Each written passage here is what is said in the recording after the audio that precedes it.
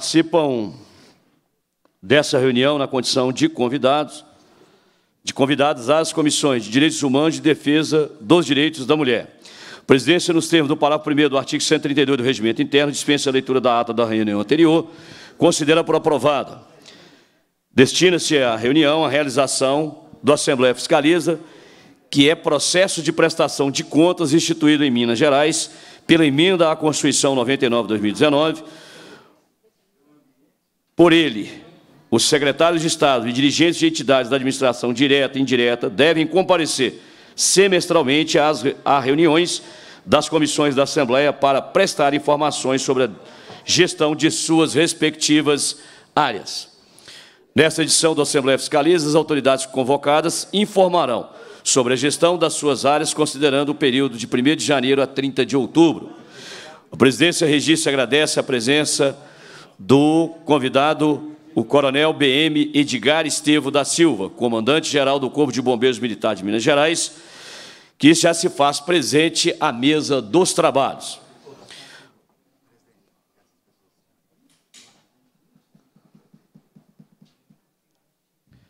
Presidência e agradece a presença do Tenente Coronel BM Edirley Viana da Silva, chefe da quarta seção do Estado-Maior do Corpo de Bombeiros, do Major BM Moisés Magalhães de Souza, chefe da terceira seção do Estado-Maior do Corpo Bombeiro,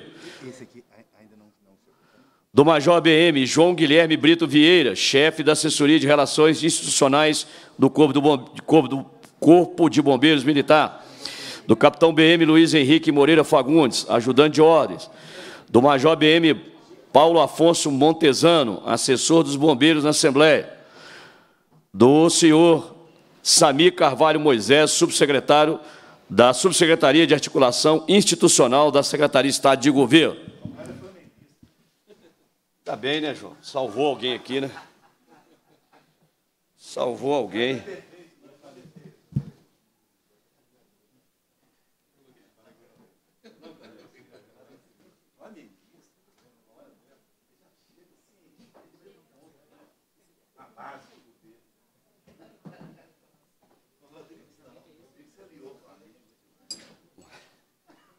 Vou aliar quem? O Atlético não é,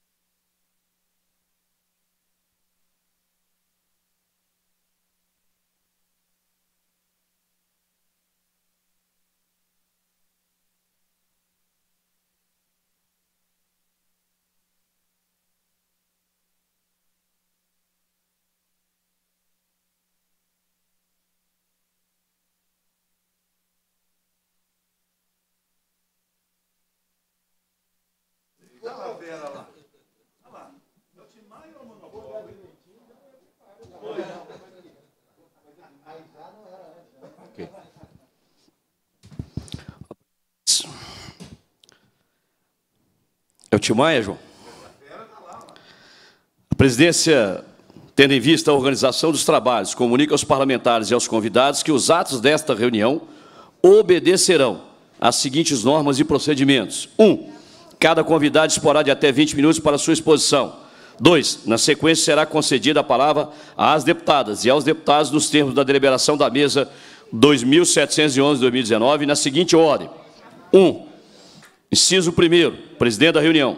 Inciso 2, presidente das comissões permanentes por ordem de inscrição. 3, membros das comissões participantes por ordem de inscrição. 4, líderes por ordem de inscrição. 5, membros da mesa da Assembleia por ordem de inscrição. 6, demais parlamentares por ordem de inscrição. Os parlamentares que desejarem fazer uso da palavra podem se inscrever pessoalmente junto à assessoria da comissão. Cada deputado poderá fazer uma interpelação pelo prazo de três minutos. Após cada interpelação, a autoridade estadual disporá de até três minutos para respondê-la. Após a resposta da autoridade estadual, o deputado que o interpelou disporá de dois minutos para suas considerações finais.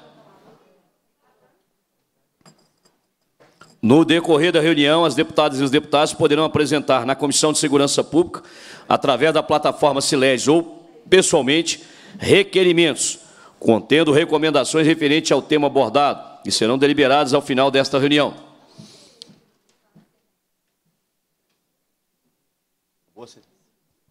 Podemos?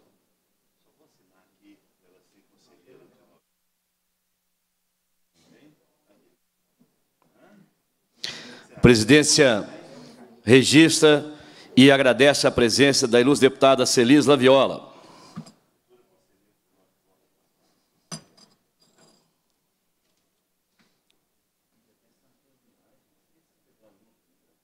Podemos, comandante?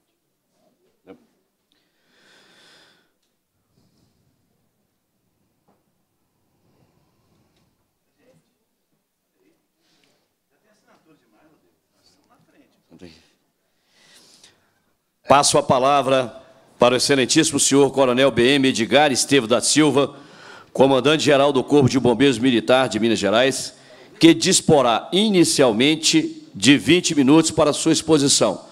Se houver necessidade, comandante, a gente estende o prazo. O senhor tem a palavra, seja muito bem-vindo.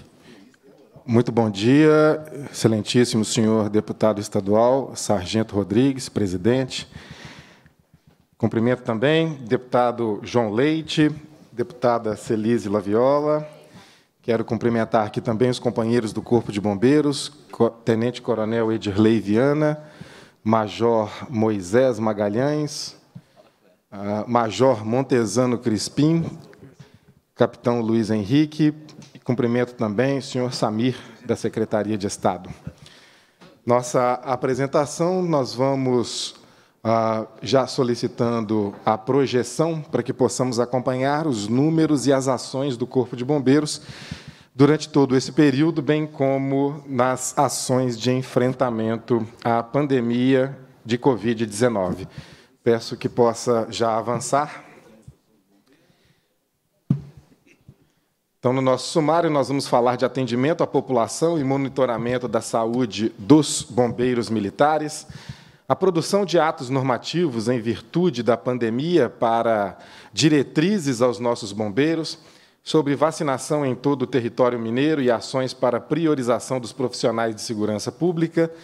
Vamos falar dos recursos orçamentários e logísticos no enfrentamento à pandemia, da adaptação do trabalho em tempos de pandemia e retomada das atividades, das ações de busca em Brumadinho, que também é um destaque, e outras atividades desenvolvidas durante a pandemia que merecem destaque nesta audiência. Sobre o atendimento à população e monitoramento da saúde dos militares. Pode passar? Nós tivemos um atendimento bastante intenso durante todo o período. E durante os anos de 2019, de 2020 a 2021, nós chegamos a atender 3.515 ocorrências específicas de atendimento à Covid-19. Estratificamos aí, sendo o primeiro COB, região central, 761 ocorrências, o segundo COB, que é no Triângulo e Noroeste Mineiro, 1.768 ocorrências, terceiro COB, na Zona da Mata, 142 ocorrências, quarto COB, que é a região norte de Minas, 218, quinto COB, que é a região leste e nordeste do estado, 445, e no sexto COB, que é a região sul, 181 ocorrências. O destaque para o segundo COB, o número de ocorrências, se deve ao fato de que lá, principalmente em Uberlândia, nós temos o trabalho do SEAT, que ele ah, suplanta o trabalho da, do SAMU. Nós não temos o SAMU atendendo na cidade de Uberlândia. Então, quem faz todo o atendimento dessas emergências na cidade de Uberlândia é o Corpo de Bombeiros, e por isso estes números robustos em termos de atendimento na cidade. Podemos passar? Segue aí, então, novamente, uma amostra que o segundo COB, nosso oeste mineiro, triângulo e todo o noroeste, é coberto por esta fração de Uberlândia, Uberaba e Patos de Minas, principalmente, com um número bastante importante em termos de atendimento. Pode passar? No decorrer do período, a gente vê que os meses de março e abril desse ano de 2021 foram os mais importantes em termos de atendimento, pico de ocorrências, e hoje com um decréscimo também bastante importante, significativo. Podemos passar? No que se refere ao monitoramento da saúde dos nossos bombeiros militares, os números finais são estes: casos suspeitos, 1.819, casos confirmados, 1.416, os casos recuperados, 1.411, e, infelizmente, apresentamos cinco óbitos de bombeiros da ativa. O monitoramento ele é constante, exatamente para que haja uma detecção precoce. Ao identificar sintomas, os bombeiros são imediatamente isolados e monitorados com a aplicação de testes de confirmação, assim como são mapeadas as pessoas com as quais mantiveram algum tipo de contato com estes bombeiros. Pode passar? Produção de atos normativos em virtude da pandemia, este é um ponto de muito destaque dentro da nossa corporação.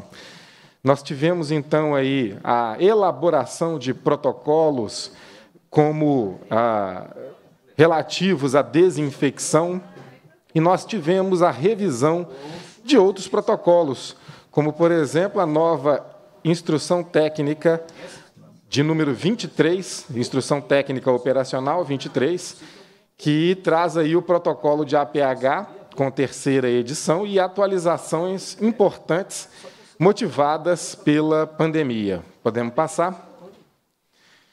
Tivemos aí a produção de outros atos normativos, como, por exemplo, o protocolo para limpeza, desinfecção e descontaminação de aeronaves utilizadas no transporte aeromédico de pacientes. Podemos passar?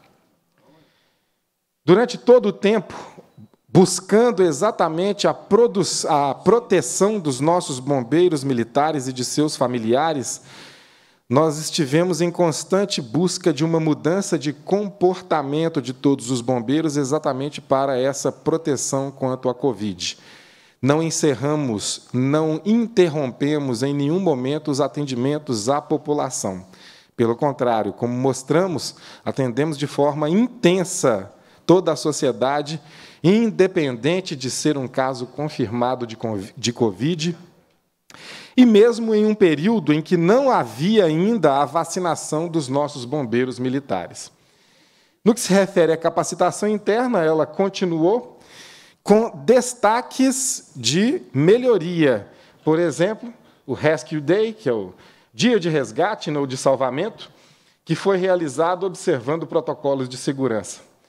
Ah, além disso, nós tivemos aí diversos outros cursos, como de atendimento a tentativas de suicídio, bem como todos os outros cursos normais da corporação, sempre observando protocolos de segurança e evitando contaminação dos nossos bombeiros.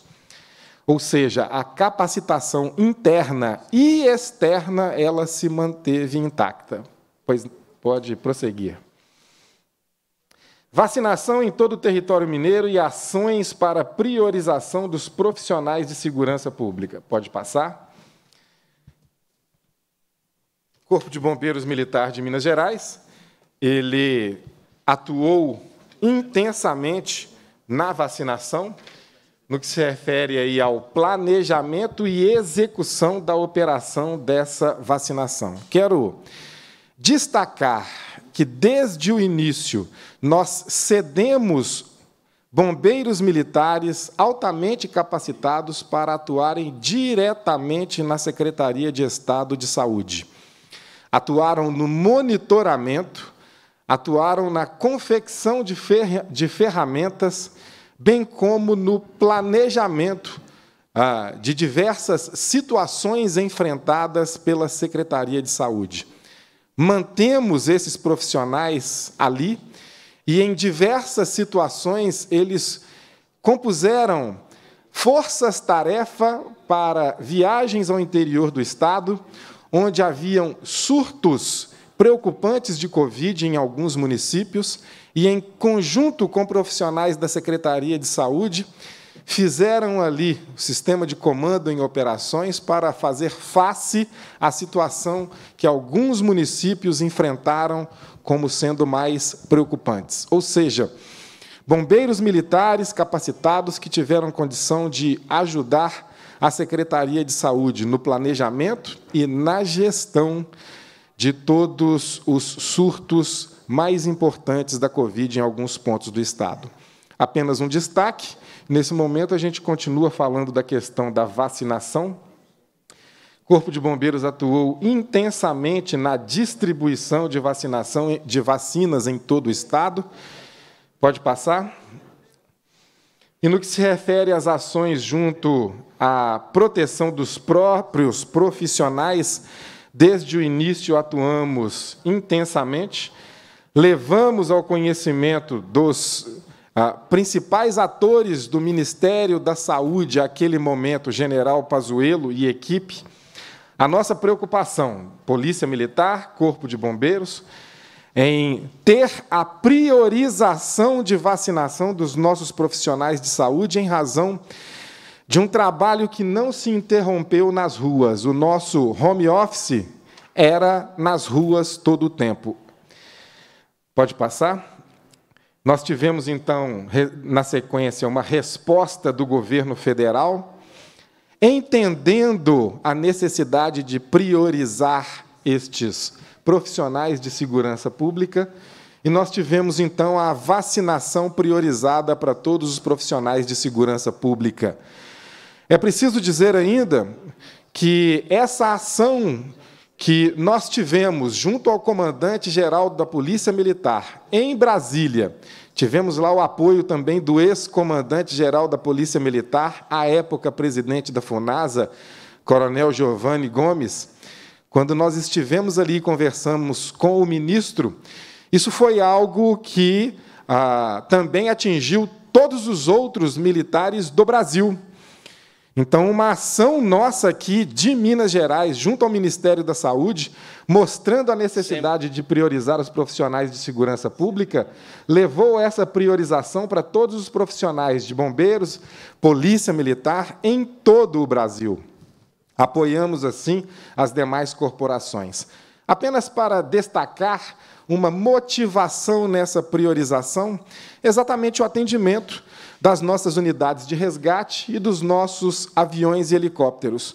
Quando nós estávamos ali transportando pacientes com Covid confirmados, vários deles muito graves, nós tínhamos na mesma guarnição profissionais da saúde, como médicos e enfermeiros, que já estavam vacinados em razão da priorização que o Ministério da Saúde deu, e nós tínhamos bombeiros que não estavam vacinados. Se a ação é a mesma, se a guarnição é única, a proteção é a mesma. E os bombeiros que ali estavam estavam prestando um trabalho fundamental para a vida daqueles pacientes, como se profissionais da saúde fossem. E por isso houve este convencimento do Ministério da Saúde da necessidade dessa priorização de vacinação de bombeiros e policiais. Pode passar? No que se refere à vacinação no Corpo de Bombeiros, os nossos números mostram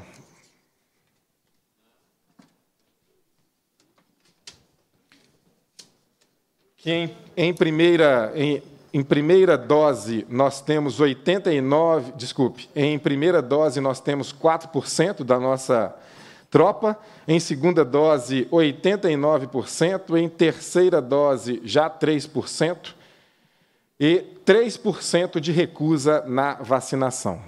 Pode passar? No que se refere a recursos orçamentários e logísticos para enfrentamento à pandemia, à pandemia Desde o início da pandemia foram disponibilizados 16,9 milhões de reais em suplementação ao orçamento do Corpo de Bombeiros para esse enfrentamento. Tudo isso se transformou em materiais e equipamentos de proteção individual em uma soma de 16 milhões 292 mil reais. Algumas obras, como por exemplo a foto que nós mostramos, um espaço de desinfecção e descontaminação no primeiro batalhão de bombeiros, em um total de 72 mil reais. Viatura adquirida também para esse enfrentamento, no total de 493 mil reais. E 101 mil reais em termos de diárias para o deslocamento desses bombeiros em diversas cidades para atendimento direto à pandemia. Pode passar. No que se refere à distribuição de materiais para as unidades, nós tivemos aí a aquisição de 56 macas do tipo bolha para atendimento a pacientes confirmados ou com fundadas suspeitas de Covid, fazendo com que dessa forma a gente tivesse uma proteção de toda a guarnição que estava em contato no transporte, seja em uma viatura por terra ou em a situação de transporte aeromédico. Ah, tivemos aí o recebimento de mais de 1,6 milhões de itens, como álcool, EPI, materiais de APH por meio de aquisições, por meio de doações ou por meio de repasse direto da Senasp, Sejusp, Seplag e SES. E tivemos a distribuição de insumos para as unidades operacionais de forma proporcional à estatística dos atendimentos. Podemos passar? No que se refere à desinfecção de, grande, de áreas de grande circulação de pessoas, apoiamos diversos municípios, Belo Horizonte, Governador Valadares, é, capacitamos profissionais para a desinfecção naquele momento de pontos como, por exemplo, estações de metrô, estações do MOVE aqui em Belo Horizonte. Fizemos também um contato junto ao Exército Brasileiro para uma capacitação conjunta de profissionais e dessa forma nós formamos multiplicadores para haver uma desinfecção naqueles locais. Pode passar? No que se refere à adaptação do trabalho em tempos de pandemia e retomada das atividades, próximo. Nós tivemos uma série de adequações, né, desde distribuição de materiais, bem como locais apropriados para asepsia e descarte dos materiais, remanejamento da administração para atividade fim, em caso de baixas no serviço operacional. Tivemos aí instruções diversas relativas aos procedimentos de segurança nas rotinas diárias. Tivemos adaptação das instalações e distribuição de EPI de uso obrigatório, normatização do teletrabalho em tempos de pandemia, reuniões do alto comando desde o mês de março de 2020, reuniões estas semanais para monitoramento, coordenação e controle de forma harmônica em todo o estado. O que a gente falava em Belo Horizonte era a mesma coisa que se falava e acontecia em Extrema, em Manhuaçu, em Frutal, ou em Januária e Janaúba. Ou seja, as reuniões de coordenação e controle semanais do alto comando garantiam a harmonia na atuação, o alinhamento das informações e um controle em distribuição de materiais, em atendimento a ocorrências e em eh, contaminação de bombeiros. Podemos passar? Essa retomada das atividades, ela mostra que hoje nós temos aí um retorno presencial da atividade meio em sua totalidade após a imunização com a vacinação de todos os nossos bombeiros, como nós já apresentamos aqui. Nós temos aí a previsão de admissão de 166 militares durante o ano de 2022. O concurso já está em andamento. São 21 oficiais e 141 soldados, aumentando a capacidade de resposta à pandemia. Estes números deste concurso, eles são levados em consideração junto à CEPLAG e à COFIN, no que se refere ao momento em que o Estado de Minas Gerais, é, em razão da lei de responsabilidade fiscal, entrou em uma situação de atenção. Então, nós não ultrapassamos o número de bombeiros militares que tínhamos no mês de outubro de 2015. Nós temos aí a execução de todas as disciplinas dos cursos de formação e qualificação de forma presencial, observando-se os protocolos de segurança. E um planejamento para a execução de 17 cursos de qualificação em 2022. Próximo.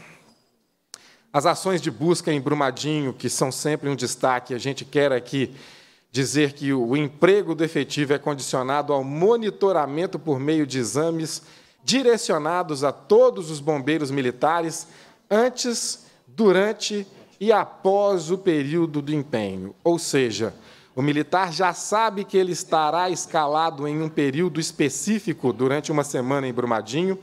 Antes de se deslocar, ele tem que ter o exame realizado bem como o resultado deste exame dizendo que ele está apto, ou seja, não está infectado, para poder entrar na área de atendimento à ocorrência de Brumadinho. Pode passar?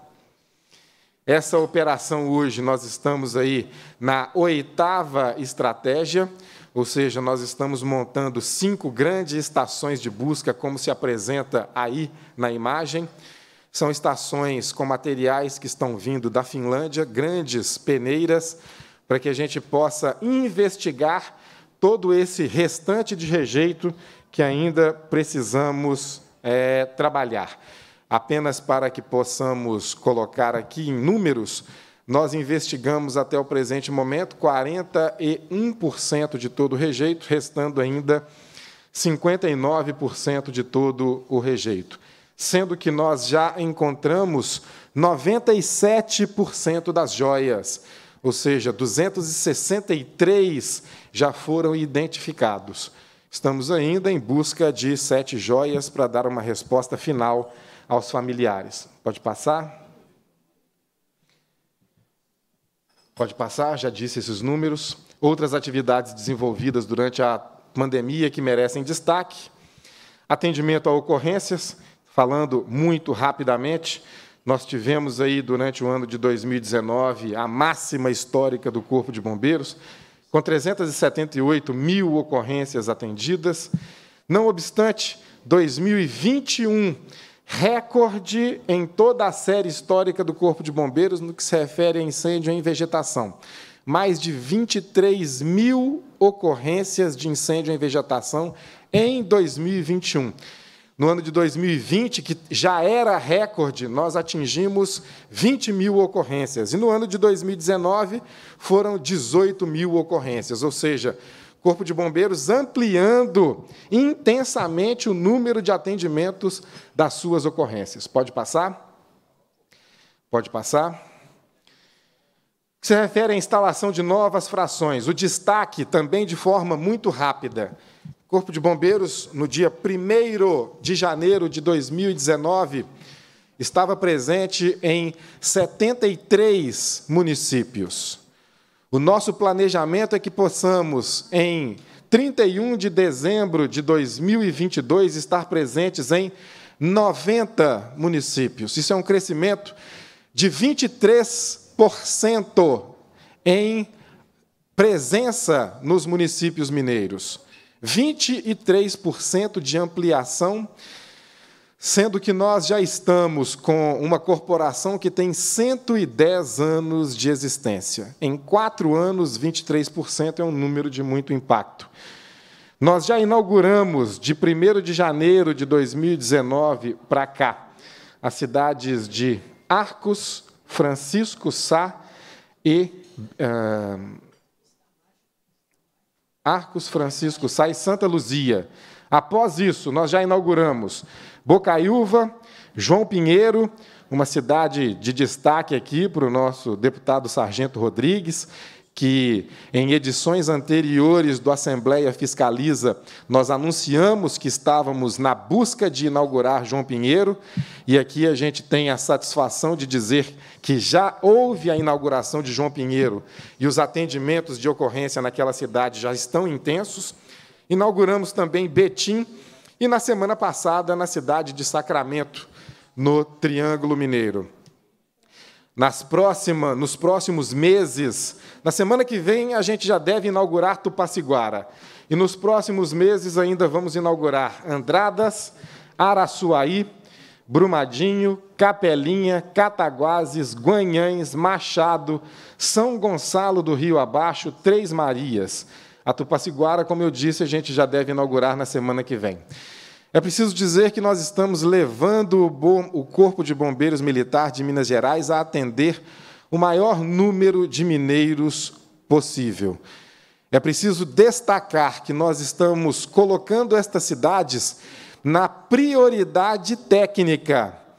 Quando eu digo prioridade técnica, nós levamos em consideração três, 13 fatores importantes, como, por exemplo, verticalização da cidade, o número de habitantes, industrialização, o número de quilômetros de rodovia e um histórico anterior de número de atendimentos naquela cidade.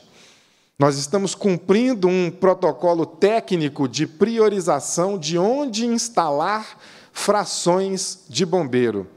E nós estamos levando a toda força aquilo, com toda a força, tudo aquilo que nós planejamos no nosso plano de comando, ou seja, Corpo de Bombeiros tem que atender cada vez mais e atender cada vez melhor. Mostramos aqui que estamos com a capacitação em andamento, mesmo no momento da pandemia.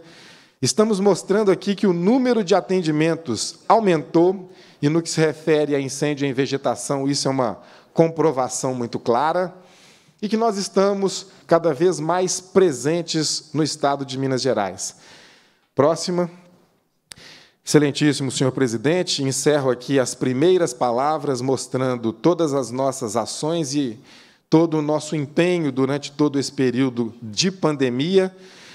Obviamente, os principais destaques, nós teríamos muito mais para poder dizer no que se refere a essas ações. Muito obrigado, fico à disposição.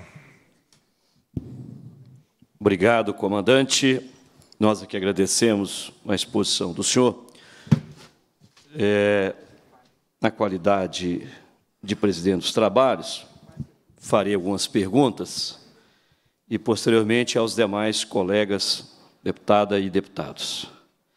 Comandante, algumas questões aqui são extremamente é, necessárias ser esclarecidas, até porque é, a pergunta será, inclusive, transformada também em requerimento para que o assunto fique formalmente registrado através da Assembleia Fiscaliza. A primeira pergunta é qual o planejamento, o cronograma para a recomposição do quadro atual e consequente redução do déficit de efetivo no Corpo de Bombeiros Militar, considerando a apresentação feita no último Assembleia Fiscaliza do déficit de efetivo? Primeira pergunta. Segunda pergunta: quais os recursos financeiros, e aí não de custeio, mas de investimento, foram destinados a, ao Corpo de Bombeiros Militar para que ele pudesse é, estar fazendo a sua expansão no Estado? apenas a rubrica investimento.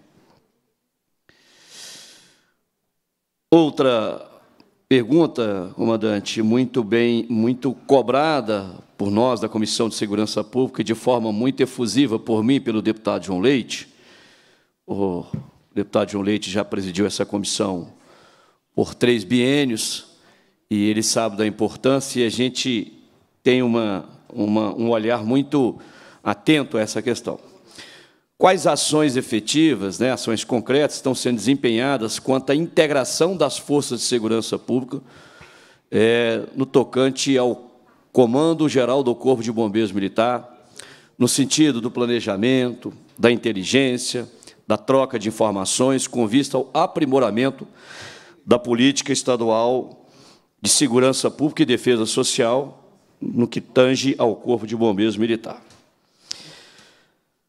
A quarta pergunta: o que o comandante-geral do Corpo de Bombeiros Militar, na condição de membro nato do Conselho de Administração do IPSM, é, tem feito para cobrar do secretário estadual de Fazenda e de Planejamento e Gestão quanto à devolução ilegal, né, da cobrança ilegal de 2,5% a mais a título de contribuição dos segurados, bombeiros militares ativos e inativos, e também das pensionistas, o valor de 10,5, considerando que o disposto no artigo 4 para o primeiro, inciso 2, da Lei Estadual 10366 de 90, não foi revogado e, obviamente, é, com os dois acórdãos, um promovido pelo Estado do Mato Grosso e outro por de Santa Catarina, determinou que o fundamento, a base jurídica da comunicação elaborada pelo secretário-geral do Estado, o doutor Matheus Simões, oficiando os dois comandantes gerais da PM do Bombeiro, em 17 de abril do ano passado, o fundamento jurídico se baseou no artigo 24C, parágrafo 1 e 2 da Lei 13954 de 2019, a chamada Reforma da Previdência Militares, que, no entanto, foi rechaçado pelo Supremo Tribunal Federal em decisão, a primeira decisão do Mato Grosso, votada por unanimidade, cujo relator foi o ministro Alexandre de Moraes. E a segunda decisão, por parte de Santa Catarina, onde houve a chamada repercussão geral do tema, ou seja, a base do ofício, comunicando que o governo do Estado não repassaria a obrigação patronal da ordem de 16%, vigente na Lei Estadual 1036-90, foi totalmente rechaçada pelo Supremo Tribunal Federal.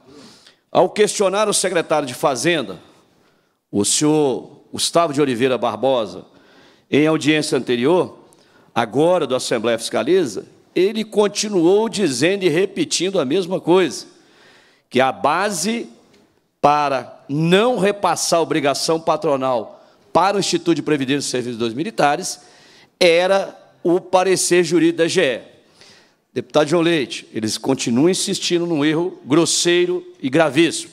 A base do parecer da GE ocorreu antes de abril de 2020. E as decisões do Supremo ocorreram agora em outubro de 2020 e a de Santa Catarina agora mais recentemente no mês passado. Portanto, a, o não repasse da obrigação patronal de 16% é um ato que constitui crime previsto no artigo 315 do Código Penal Brasileiro. Dar a destinação às rendas públicas diversa daquelas previstas em lei. Então, eu fiz questão que, relativamente a essa pergunta, comandante, de ser bem enfático e trazer aqui toda a fundamentação jurídica, porque é necessário o senhor, como membro nato do Conselho de Administração do IPSM, envie esforços nesse sentido, de mostrar para o governo o equívoco que está tá acontecendo, que parece que pairou, deputado João Leite, uma cegueira completa na Fazenda, na CEPLAG e na AGE. O secretário vem aqui e se escuda num parecer de antes de abril de 2020. O Supremo vem depois de falar, olha, isso aqui, o artigo citado não vale nada. Eu vou até pedir à doutora Laura, que está nos acompanhando nesse momento, para que traga, peça à assessoria do gabinete, para descer aqui com a cópia do ofício do senhor Matheus Simões, que é o presidente da COFIN, que é a pessoa que se tem declarado inimigo número um da segurança pública em Minas Gerais, sob todos os aspectos. Sob o aspecto da recomposição da pena inflacionária, ataca, vilipendia o Instituto de Previdência dos Servidores Militares, e isso não, não pode continuar do jeito que está. Como é que um cidadão não vai cumprir uma decisão do STF? Como é que vai se escudar num parecer que não tem mais valor, que já foi completamente é, inutilizado com a posição do Supremo Tribunal Federal. Inclusive, eu vou pedir ao doutor Matheus para que elabore requerimento nesse sentido, alertando o ministro Alexandre de Moraes e os demais ministros do Supremo que o secretário de Fazenda aqui em Minas Gerais, Planejamento e Gestão, estão descumprindo uma determinação sobre esses dois acordos. Vou informar os ministros do Supremo, porque quem sabe assim, a gente falando com o próprio Supremo, o Supremo, é, sendo provocado pela comissão, o Supremo possa é, acionar a Advocacia Geral do Estado. É algo, é criminoso, o reflexo na, na prestação do serviço de saúde aos nossos militares é fundamental, é a grande retaguarda que nós temos, e o governo do Estado né, tem se mantido inerte, frio, como é o caso da pessoa do senhor Matheus Simões e do secretário Gustavo de Oliveira Barbosa. Então, acredito, comandante, por fim, é, nós gostaríamos de saber também em relação ao número, conforme a lei de autoria do deputado João Leite, Lei 23.871-2021, cuja relatoria coube a este deputado nesta comissão, é, quanto à relação, até o presente momento, do número de policiais militares mortos, desculpa, de bombeiros militares mortos em serviço ou em razão ou ferido, com base na lei aqui citada. Eu precisava delongar um pouco mais, comandante, até porque a matéria com relação ao IPSM ela precisava ser devidamente esclarecida, até para que os pares da comissão também tivessem a atenção para o tema. Quem sabe o deputado João Leite, a deputada Celisa Viola, num segundo momento, possa nos ajudar a sensibilizar e a quebrar essa frieza do governo, é, porque o governo ainda não sabe o que o IPSM representa para os militares de Minas Gerais. Este governo não sabe. Este governo é frio em relação a isso, mas parece que quer julgar a todos nós na chamada vala comum. Mas enquanto, comandante, eu fiz questão de postar aqui no nosso history do Instagram, Enquanto muitos estavam dormindo, se recusando a trabalhar, os nossos bombeiros militares, os nossos policiais militares estavam lá na rua. Em Brumadinho, acho que é de conhecimento mundial, não aqui de Minas. E os policiais militares transportando vacina, os bombeiros militares de aeronave, ajudando de qualquer forma. Então não dá para você tratar de forma igual os desiguais, no sentido de uma prestação de uma política pública que sem a prestação dos bombeiros, dos policiais militares, o Estado simplesmente não anda, não consegue andar. Então, eu faço, faço esse questionamento, comandante, porque é importantíssimo que os comandantes gerais da Polícia Militar e do Bombeiro sejam é, é, eficientes, persistentes em cobrar do governo, obviamente, até o limite da competência de cada autoridade. O senhor tem a palavra. Obrigado, presidente. Então, vamos à sequência das perguntas. No que se refere a efetivo, o efetivo da nossa, autorizado pela lei, é um total de 7.999 bombeiros militares. Hoje nós estamos com um total de 5.663 bombeiros, temos um claro na instituição de 29,20% em números absolutos, 2.336 bombeiros militares. Ao longo desse governo, nós tivemos a inclusão de 540 soldados, já 10, ofici 10 oficiais de saúde também, bem como nós temos a regularidade no nosso CFO, então, curso de formação de oficiais, variando aí entre 21 e 30 cadetes que entram anualmente. Ah, no que se refere a, ainda a recurso humano, nós temos um concurso em andamento, como nós apresentamos aqui. Então, nós temos aí a possibilidade ainda de mais 145 bombeiros, soldados, e 21 cadetes, um total de 166. Isso deve acontecer nos meses de março e abril de 2022. Lembrando que a gente tem falado aqui que o número que nós temos de autorização máxima é o limite do momento da, do mês de outubro, fim de setembro início de outubro de 2015, quando o Estado de Minas Gerais, em razão da Lei de Responsabilidade é, Fiscal, entrou neste limite. No que se refere à segunda pergunta, o orçamento do Corpo de Bombeiros Militar do, para o ano de 2021 foi de um total de 44,5 milhões de reais. Recursos esses é, para a questão da manutenção do Corpo de Bombeiros. Não temos aí recurso de investimento. Os recursos de investimento do Corpo de Bombeiros estão sendo ah, adquiridos, estão sendo ah, trabalhados através de recursos alternativos, emendas parlamentares, estaduais, federais, e aqui a gente quer registrar nossa gratidão como gestor dessa corporação, a sensibilidade de todos os deputados desta casa, bem como dos deputados federais, e aqui a gente lembra que em Minas Gerais hoje nós temos inclusive a autorização para que possamos ter os recursos, a parcela da saúde também direcionada para viaturas, equipamentos e materiais do atendimento pré-hospitalar, que tem sido fundamental para a população. Inclusive, o próprio deputado Sargento Rodrigues também indicou viaturas importantes para a nossa corporação. Deputado João Leite, importantes materiais, inclusive para o nosso primeiro batalhão.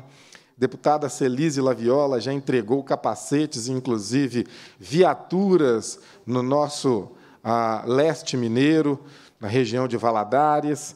Nós temos uma gratidão muito grande a todos os deputados. E destaco aqui também toda a bancada federal, liderada pelo deputado Diego Andrade, com uma participação muito grande também do deputado subtenente Gonzaga.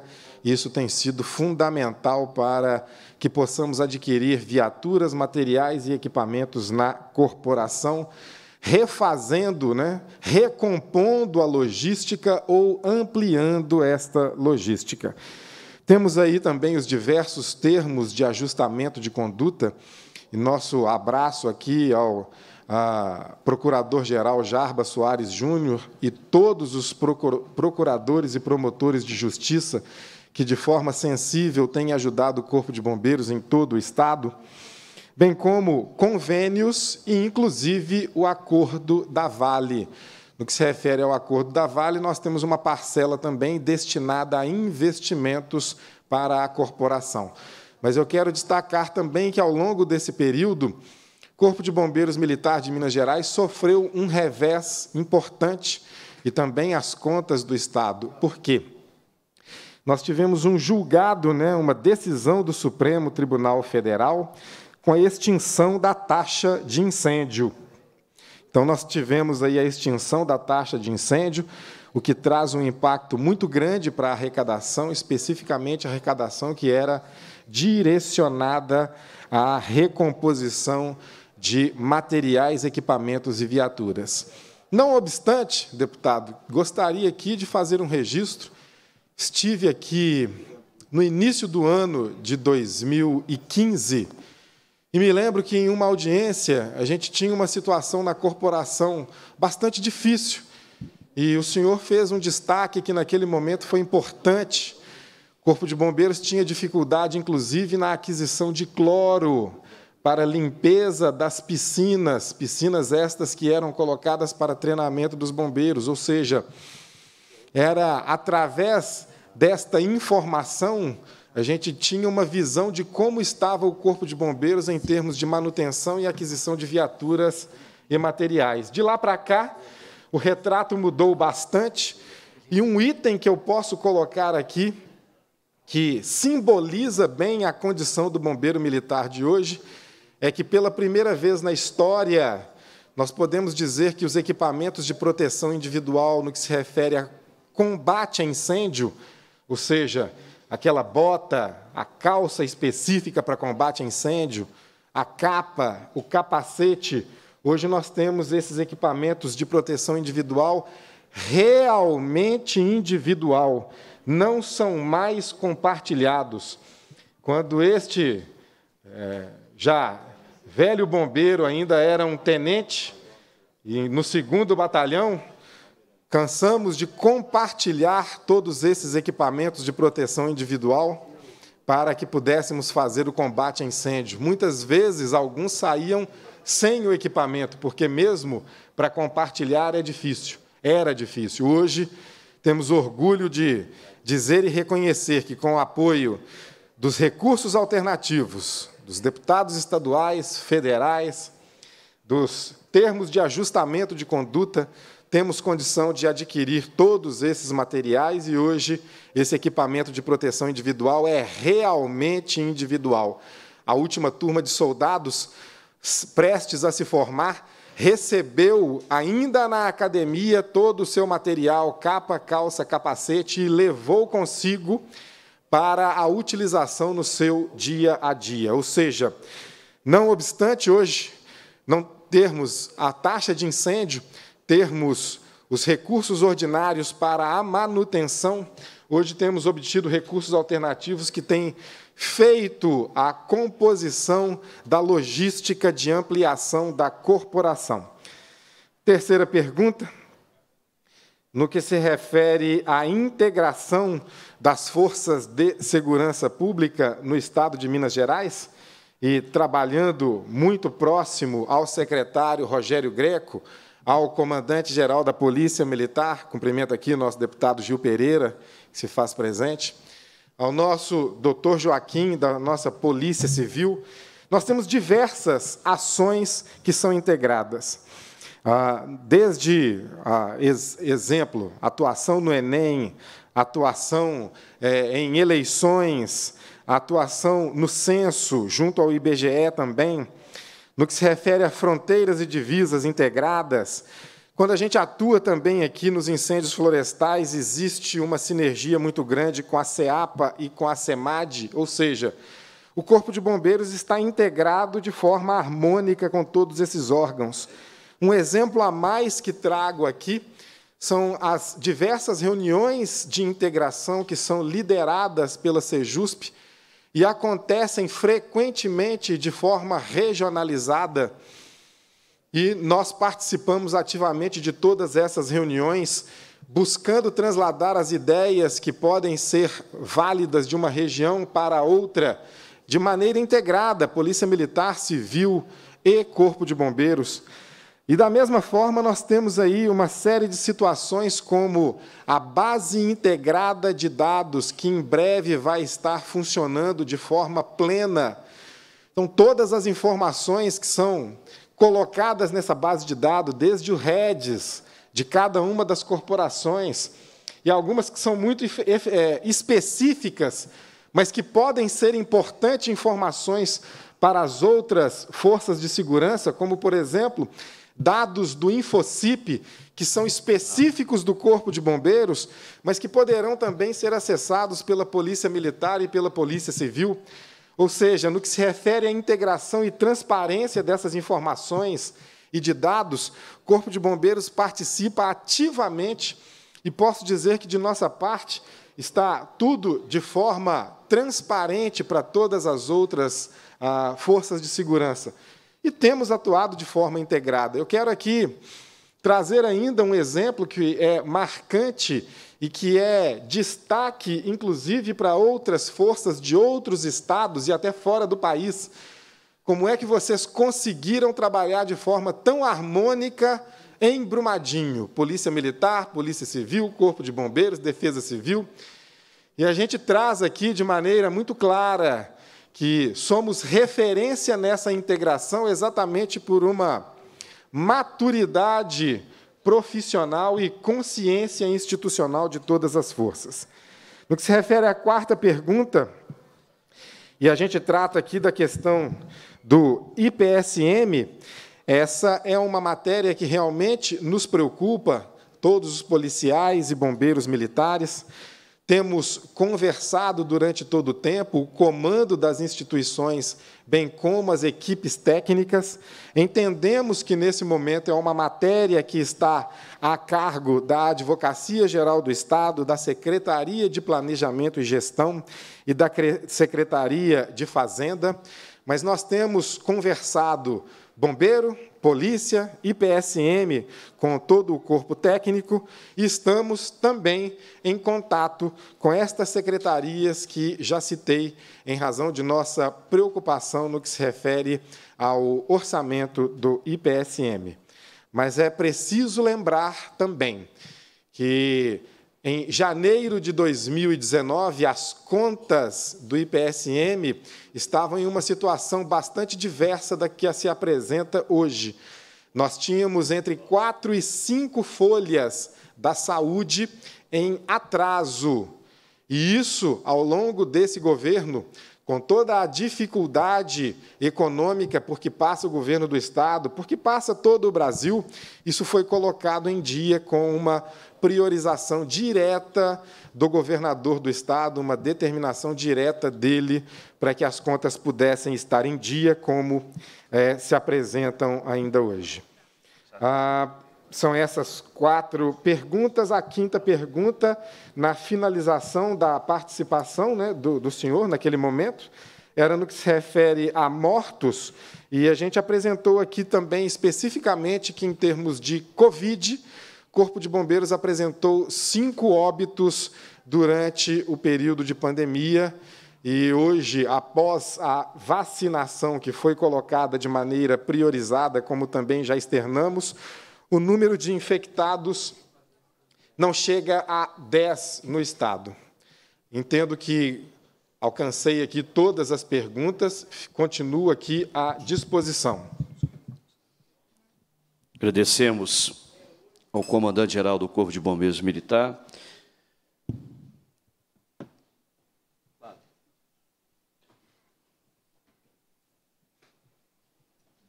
Passo a palavra ao deputado João Leite para suas considerações. Em seguida, a deputada Celisa Viola. Ok. Deputado Sargento Rodrigues, será que eu poderia conceder a palavra à deputada Celise, depois eu fico inscrito? A presidência passa a palavra a pedido do deputado João Leite e a deputada Celise Laviola. Homenagem à deputada Celise Laviola. Eu agradeço a gentileza do meu irmão, deputado João Leite. Né? Quero cumprimentá-lo, presidente, pela sempre brilhante condução dessa comissão. Né? Cumprimentar também o deputado Gil Pereira, que está aqui conosco, todos que estão aqui nos acompanhando, a equipe do Comando dos Bombeiros Militares de Minas Gerais, a nossa Segov, nossa assessoria aqui presente, e, de uma forma muito especial e carinhosa, o Coronel Estevo, que tem dado um suporte muito grande, viu, presidente, no interior de Minas. Eu sou do interior, né, do leste de Minas, e nós temos um, uma, uma condição assim. Eu sou muito grata ao Corpo de Bombeiros, viu, deputado Gil? Nós temos um batalhão dos bombeiros num município que tem menos de 20 mil habitantes mas que atende uma área muito extensa, porque nós temos na nossa região problemas sérios de incêndio, temos áreas de preservação que sofrem muito com incêndios, e os bombeiros é que tem sido nosso socorro. E temos também a situação das enchentes, das chuvas intensas. E essa diferença dos bombeiros no interior é que tem feito a gente conseguir sanar essas dificuldades que são constantes. Eu sempre brinco com o comandante que eu falo assim: a minha região vive em estado de emergência. Ou temos seca ou temos enchente. É, não temos meio termo. Então, é uma, uma região que sofre muito e que os bombeiros têm uma importância pontual na nossa região. Sou eternamente grata e estarei sempre contribuindo para a melhoria sei o trabalho. Temos lá no nosso batalhão, deputado Gil Pereira, é, é um, um, um, local muito apropriado. É lindo o nosso batalhão lá em Resplendor. Os bombeiros treinam com natação as crianças em situação de vulnerabilidade, tiram essas crianças, às vezes, de situação de rua. Isso é um trabalho, viu, presidente, que faz uma diferença considerável é, o que o batalhão do Corpo de Bombeiros faz no município Não tem assim, a gente não tem como agradecer ter um batalhão desse no município desse porte. É uma coisa realmente fantástica e estamos incomodando muito o, o coronel para que tenhamos ainda algumas alguns frações também na região para que a gente possa ter ainda maior tranquilidade. E é por isso que o meu questionamento, é, eu me preocupo muito com isso, vem exatamente com relação a, ao trabalho que os bombeiros têm feito. Eu gostaria que a senhora detalhasse ainda mais sobre essa situação da, da da expansão da capacidade de resposta do atendimento dos bombeiros em todo o interior de Minas, né, onde nós estamos distantes do, do, do, da central metropolitana.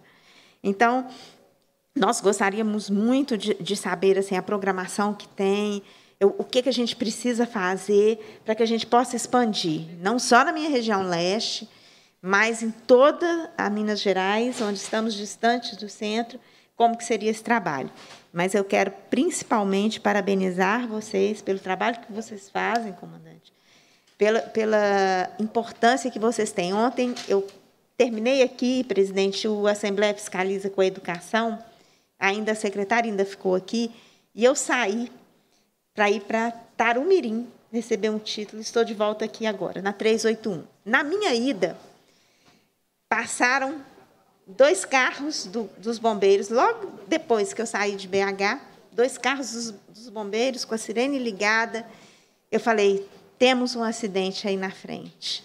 Quando eu passei no local do acidente, já tinha o helicóptero, os carros que tinham passado por mim e as vítimas sendo atendidas. Eu fiquei impressionada. Falei, gente, é uma, é uma rapidez, é, um, é uma situação assim é, realmente diferenciada. Então, nós precisamos ter isso também mais próximo do interior. É, conseguir isso. Vocês estão de parabéns pelo trabalho que fazem. É, serei eternamente grata aos bombeiros, sou apaixonada pelos bombeiros e quero dizer, comandante, que detalhar isso para a gente é importante. Eu acredito que todos os deputados queiram saber o que, que a gente deve instruir os municípios para que a gente tenha uma expansão maior. Né? e também o que, a gente pode fazer junto ao governo do Estado para que a gente tenha um número maior de efetivos colaborando com a gente em todo o Estado de Minas Gerais. Comandante, o senhor tem a palavra.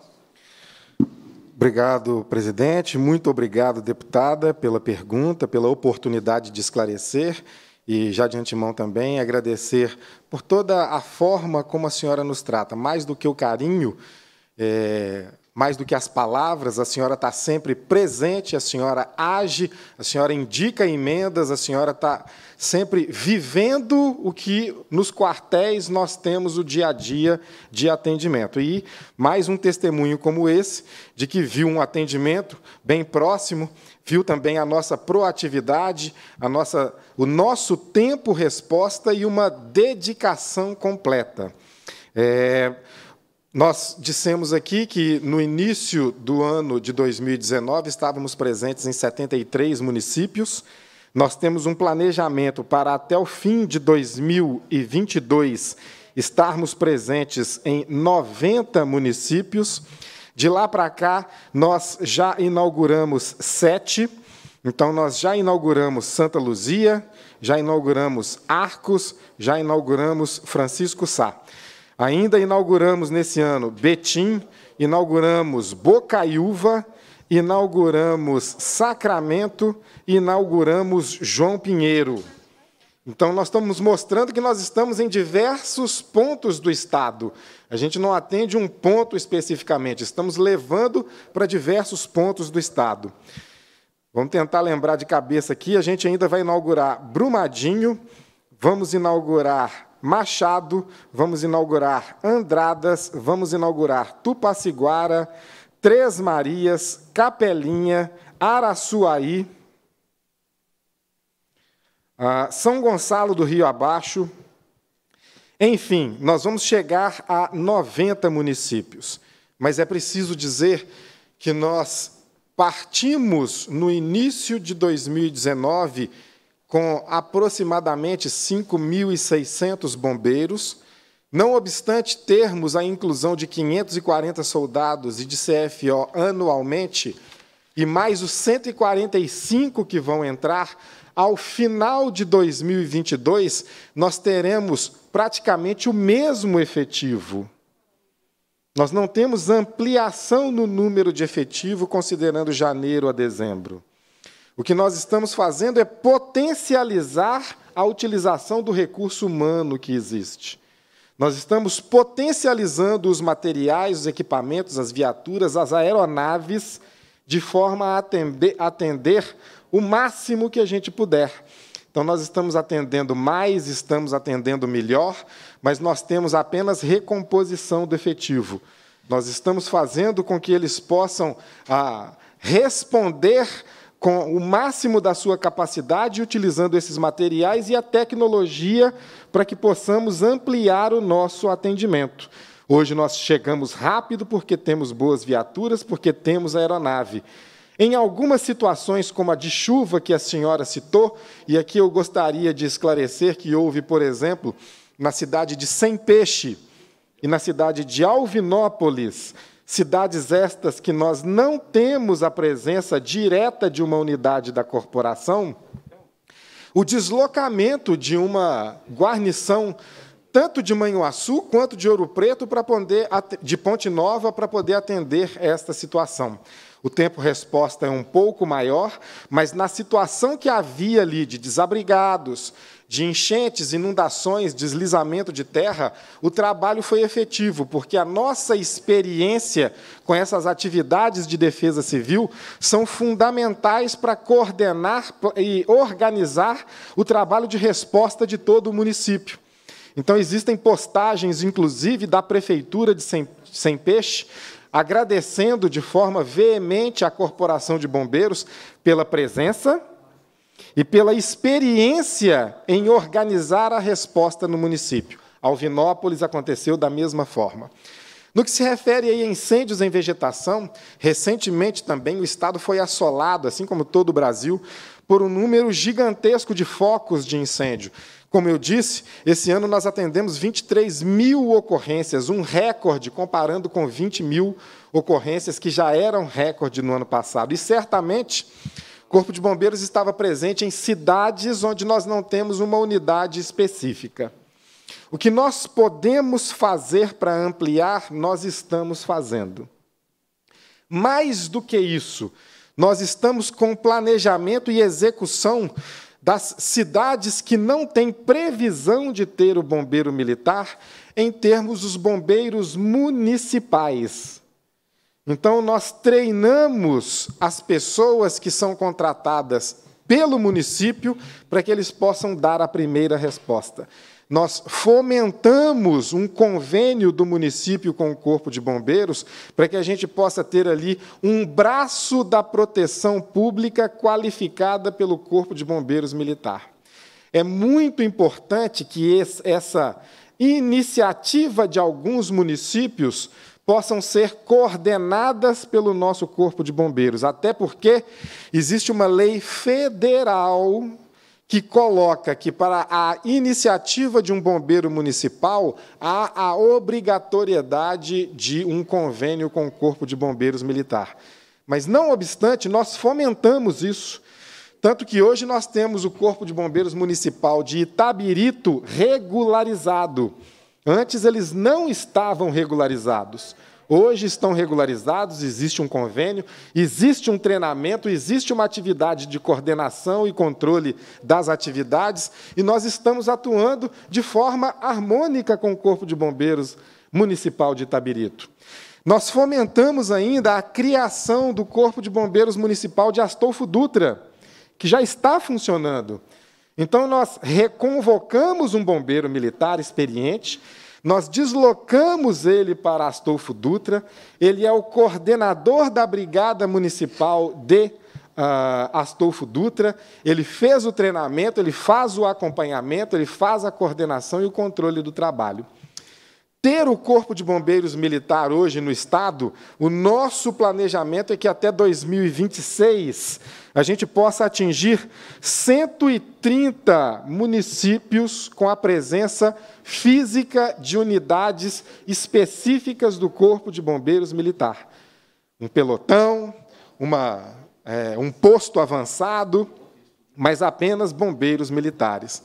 Mas nós temos também no nosso plano de comando diversas outras cidades com menos de 30 mil habitantes que podem ter esse bombeiro municipal, essa brigada municipal. E nós fomentamos isso, nós podemos levar equipe para poder treinar, e dependendo da situação, a gente pode até ceder alguma viatura ou algum material e equipamento exatamente para fomentar a criação de bombeiros municipais. O que nós precisamos? Apoio de todos para aumentar o nosso efetivo. Se nós tivermos a entrada de uma quantidade boa de recursos humanos, poderemos atingir esses 130 municípios que estão no nosso planejamento até o ano de 2026. Sem esquecer de toda a parte logística que é essencial para que os bombeiros possam atuar dentro de toda a sua capacitação. Acredito que ter respondido, senhor deputado. Obrigado e, como a gente está tranquilo, comandante, eu tenho sido bem complacente até nos prazos de pergunta, de resposta, mas eu só, deputada Excelência, Vossa Excelência ainda deseja fazer alguma consideração? Só mesmo agradecer pela resposta, né, presidente, que você viu que foi bem completa e, e, e nos orientou bastante. E dizer que realmente lá em, em, Sacramento, na semana passada, foi inaugurado, eu estive no dia seguinte em Conquista com o governador município, que também vai ser atendido por essa fração é, de Sacramento. E eles estavam, estávamos lá, inclusive, comemorando essa essa fração e que vai nos atender muito lá também no Triângulo, né, na região lá do Triângulo. E agradecer né, as orientações e vamos seguir e instruir os municípios, né, presidente, para que possam fazer esses convênios e, e termos um atendimento melhor, cada vez melhor. Viu? Muito obrigada, obrigada, viu, presidente, pela oportunidade. Agradecemos. Deputado João Leite, Vossa Excelência tem a palavra. Muito obrigado. Saudar o nosso presidente, deputado Sargento Rodrigues, deputada Celise, nosso líder, deputado Gil Pereira, aqui presente, com um trabalho maravilhoso nas energias renováveis. Nós aguardamos que seja colocada a serviço das nossas locomotivas, das ferrovias, né? essa energia limpa pela qual o nosso líder, deputado Gil Pereira, tem trabalhado tanto nessa casa, como sempre, incansável, né? Nosso querido comandante dos Bombeiros Militares de Minas Gerais, Coronel Estevo, que traz também todo o comando acompanhando a ele. Muito bem-vindos a esta casa. Coronel Estevo tem o traço também do deputado Sargento Rodrigues, né? Meu tempo de quartel tinha os vibrantes, os vibradores, dois vibradores juntos aqui, né? dois vibradores, tá Rodrigues né, e Coronel Estefo. Não é brincadeira, não, né? Ainda bem que os dois não estão tão próximos assim, né? Senão ninguém ia aguentar, né, gente? A trabalheira doida para todo mundo. Né, comando? O homem não é brincadeira, não. É muito bem-vindo nesta casa. E eu queria, assim, primeiro é, reconhecer né, esse papel tão fundamental dos bombeiros militares de Minas Gerais nesse tempo a coragem, não é? E aí extensiva a família, a família dos bombeiros, né? Os familiares e permanentemente nas ruas, como relatou que a deputada Celise, na estrada, nas rodovias, tendo contato com pessoas acidentadas, contato com todos os fluidos, tudo que envolve um acidente ou um acompanhamento de alguém, eu vi ali, é, não quis o comandante dar muita ênfase, mas o acompanhamento de tentativa de suicídios, de suicídios, as nossas bombeiros, nossos bombeiros, permanentemente tendo contato com isso, sem a possibilidade do home office.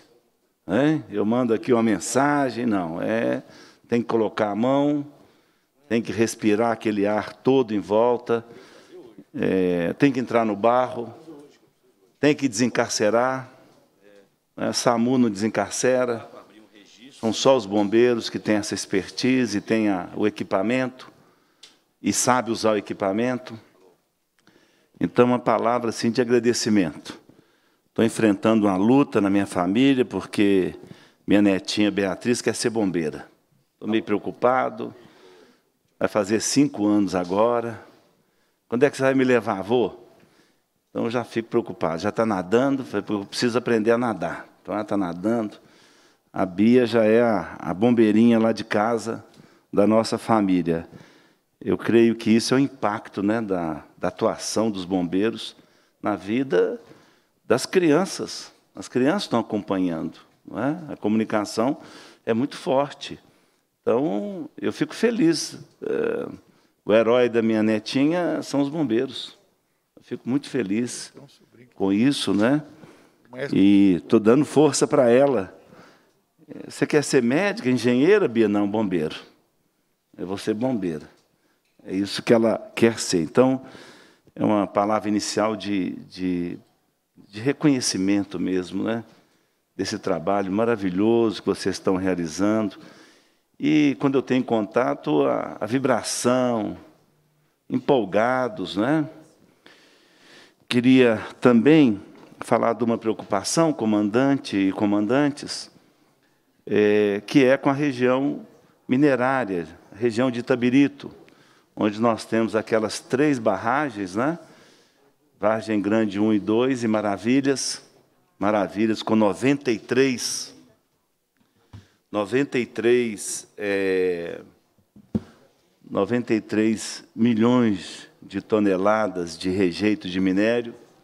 Outro dia me perguntaram assim, mas se romper, precisa do especialista, assim, Noé. Só Noé, né, da Bíblia, lá do dilúvio, que pode saber o que vai acontecer, já que Brumadinho foram 12 milhões de toneladas, 93 milhões de toneladas.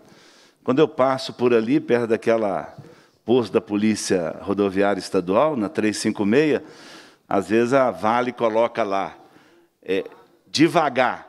Eu falo com o motorista, rápido. Que devagar, o que? Se vai romper, eu tenho que sair dali, não é mesmo? Bem interessante ali, porque a, a rodovia está a jusante da barragem e a ferrovia abandonada está a montante. Aquela ferrovia que passa ali está a mais de 400 metros do nível do mar. A solução é a ferrovia, mas especialmente, o deputado Sargento Rodrigues sempre sai na frente, ele já encaminhou um, um veículo especializado para a região. Foi o que me relatou, estou sempre conversando lá com a, com a comandante Estela. Estela, primeiro batalhão. Isso, comandante Estela, preocupado, é, se não, fica tranquilo. O, veículo nós já temos, o Sargento Rodrigues mandou, então ele já está preocupado também com essa questão. Eu queria, é na, na, no planejamento né, que o comando fará, um olhar né, para essa questão e especialmente o entendimento com, com a doutora Luísa Barreto, os recursos da Vale, já que também tem barragens da Vale nesses lugares ali em Itabirito. Então, é no, no investimento do recurso que toca aos bombeiros, avaliar a questão de, da região de, de Itabirito, esse é um pedido. Né? Depois, é, eu queria falar rapidamente também, deputado Sargento Rodrigues, Vossa Excelência me permite, eu queria falar da, de duas questões importantes. Né? Primeiro, a a, a mudança. Eu, quando comecei o trabalho na comissão de ferrovias, eu falava que a gente estava tendo um despertar ferroviário em Minas Gerais. Depois eu passei para retomada ferroviária. E agora eu estou falando em revolução ferroviária. Estou com os números aqui, comandante. Minas Gerais tem hoje uma malha ferroviária de 5 mil quilômetros, que atravessam cerca de 180 municípios mineiros. A querida governador Valadares, da deputada Celise da Viola, é atravessada 54 quilômetros de travessia do município de Governador Valadares. Minas Gerais é o primeiro estado em extensão é, de malha ferroviária. São 16,3% de toda a rede nacional de ferrovias. Nós temos hoje 1.500 quilômetros abandonados e que foram alvos do trabalho da Assembleia Legislativa, junto com o governo do Estado, junto com a CEIFRA, do nosso secretário Marcato, o subsecretário Fajardo e a superintendente ferroviária Vânia Silveira.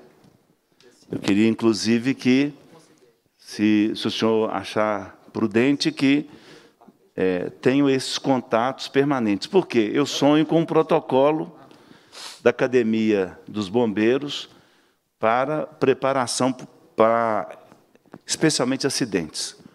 É, ontem saiu mais quatro autorizações de novas ferrovias para Minas Gerais. Então, nós estamos falando de grandes trechos ferroviários que serão construídos. Ontem saiu o Naí Pirapora, Grãos, são 302 quilômetros. Varginha Andrelândia, na Ferrovia do Aço, 143 quilômetros. Ouro Preto, Conceição do Mato Dentro, ferro e produtos siderúrgicos, 213 quilômetros. Rio Acima, a Belo Horizonte, minério, 42 quilômetros. No total, só ontem, de anúncio de 800 quilômetros de novos trechos ferroviários no estado de Minas Gerais. Nós tínhamos um anúncio anterior de autorização também, que eu já fiz as contas aqui, Uberlândia, Chaveslândia, um distrito de Santa Vitória, lá no Pontal do Triângulo. Porto Central, em Presidente Kennedy, no sul do Espírito Santo, até Sete Lagoas, passando por Conceição do Mato Dentro. Mantena, Brasília e Mantena, Anápolis, uma das linhas passando por Ataleia, Teófilo Otoni, Montes Claros e chegando a Anápolis. Então, eu dou para o senhor um número de total não é, de 9.020 mil quilômetros novos em Minas Gerais. A política ferroviária de Minas Gerais, votada por essa casa, essa casa criou um marco legal ferroviário em Minas Gerais, ela prevê que por essas linhas poderão passar carga, passageiro e turismo. O plano de estratégia ferroviária de Minas Gerais aponta muitos, muitos outros trechos. Então, o meu pedido né, na, na, na organização, no planejamento dos bombeiros, é um olhar, não é? Eu vou tomar o cuidado de mandar uma correspondência da Comissão de Ferrovias ao senhor, comandante, para que o senhor tenha conhecimento de tudo isso que está acontecendo no Estado. É, outro dia, por exemplo, na região do deputado Sargento Rodrigues, e ele presidiu aqui uma, uma reunião da Comissão de Segurança, os roubos a ferro Gusa na linha do, de Calafate ao Barreiro. É uma operação dos criminosos assim perigosíssima. Eles vão juntando ferro Gusa, eles pulam para dentro do para dentro do vagão e vão empurrando para a beirada. E chega um momento eles lançam esse ferro Gusa na beira da linha. Eles ganham aí, por cada um desses negócios, 40 mil reais. Então, é algo que a gente já denunciou, a Comissão de Segurança da Assembleia fez uma reunião conjunta com a Comissão de Ferrovias, o deputado Sargento Rodrigues sempre tão atento nessa, nessas questões, e a Polícia Civil já está com o inquérito bem adiantado, já aconteceram prisões, mas é algo que nos preocupa também. Então, é, por fim, eu queria dizer que nós temos, então, 25% da malha rodoviária federal, secretário Sami. 25% da malha rodoviária federal está no estado de Minas Gerais. A deputada Celise acaba de falar sobre uma briga minha e do deputado Sargento Rodrigues. Bom, ela estava na 381, rodovia federal. Teve um acidente. Quem que atendeu? os bombeiros militares de Minas Gerais. Quanto que Minas Gerais recebe por isso? O deputado Sargento Rodrigues fica aqui berrando o tempo todo, gritando, mais efetivo para os bombeiros. E eu fico falando, eu fico falando com ele, Rodrigues, mas o governo federal tem que pagar uma parte dele, ora. Rio de Janeiro e São Paulo recebem. Agora, a deputada Celise falou que desceu um helicóptero dos bombeiros. Tem que desencarcerar, tem que encaminhar, morreu, tem que vir um rabecão da Polícia Civil. Essa é a situação. E agora nós vamos a crescer 9 mil, com mais 7 mil que nós já temos, quilômetros de ferrovias, nós vamos para mais de 16 mil quilômetros de ferrovia no estado de Minas Gerais. Vai cair nas costas de quem? Dos bombeiros militares. Não é? Eu não quero nem imaginar um acidente ferroviário. Não é? Quando a gente vê o que acontece em outros países aí, é, um, é algo terrível. Interessante, para terminar mesmo agora, no epílogo, em epítome aqui, deputado Sargento Rodrigues, eu queria lembrar um trabalho do meu assessor, Ricardo Coutinho. É, é a última coisa mesmo. A do Gil ainda. É, falta o Gil ainda, né? Mas o Gil tem uma energia melhor, limpa. Então, é, o, o, meu assessor, Ricardo Coutinho, jornalista, fez um levantamento, deputada Celise, do transporte de passageiros de Belo Horizonte a Vitória. Foram transportados em 2018 um milhão de passageiros. Acidentes, zero. Isso aí a Vale foi bem. Mortes, zero. Enquanto isso, na 381-262, paralela, os bombeiros enfrentaram de um milhão de pessoas que passaram, 98 mortes, 40 milhões de gastos do Sistema Único de Saúde. Um caminhoneiro está internado aí no hospital, no hospital João 23, desde aquele ano, ele já fez 17 cirurgias. Qual que é o custo para Minas Gerais das nossas rodovias que hoje tem bitrem, tritrem? É carga que não é carga de rodovia, é carga de ferrovia. Falei demais, desculpe o entusiasmo da presença desse vibrador, Coronel Estevo, aqui na nossa reunião. Obrigado, deputado Sargento Rodrigues.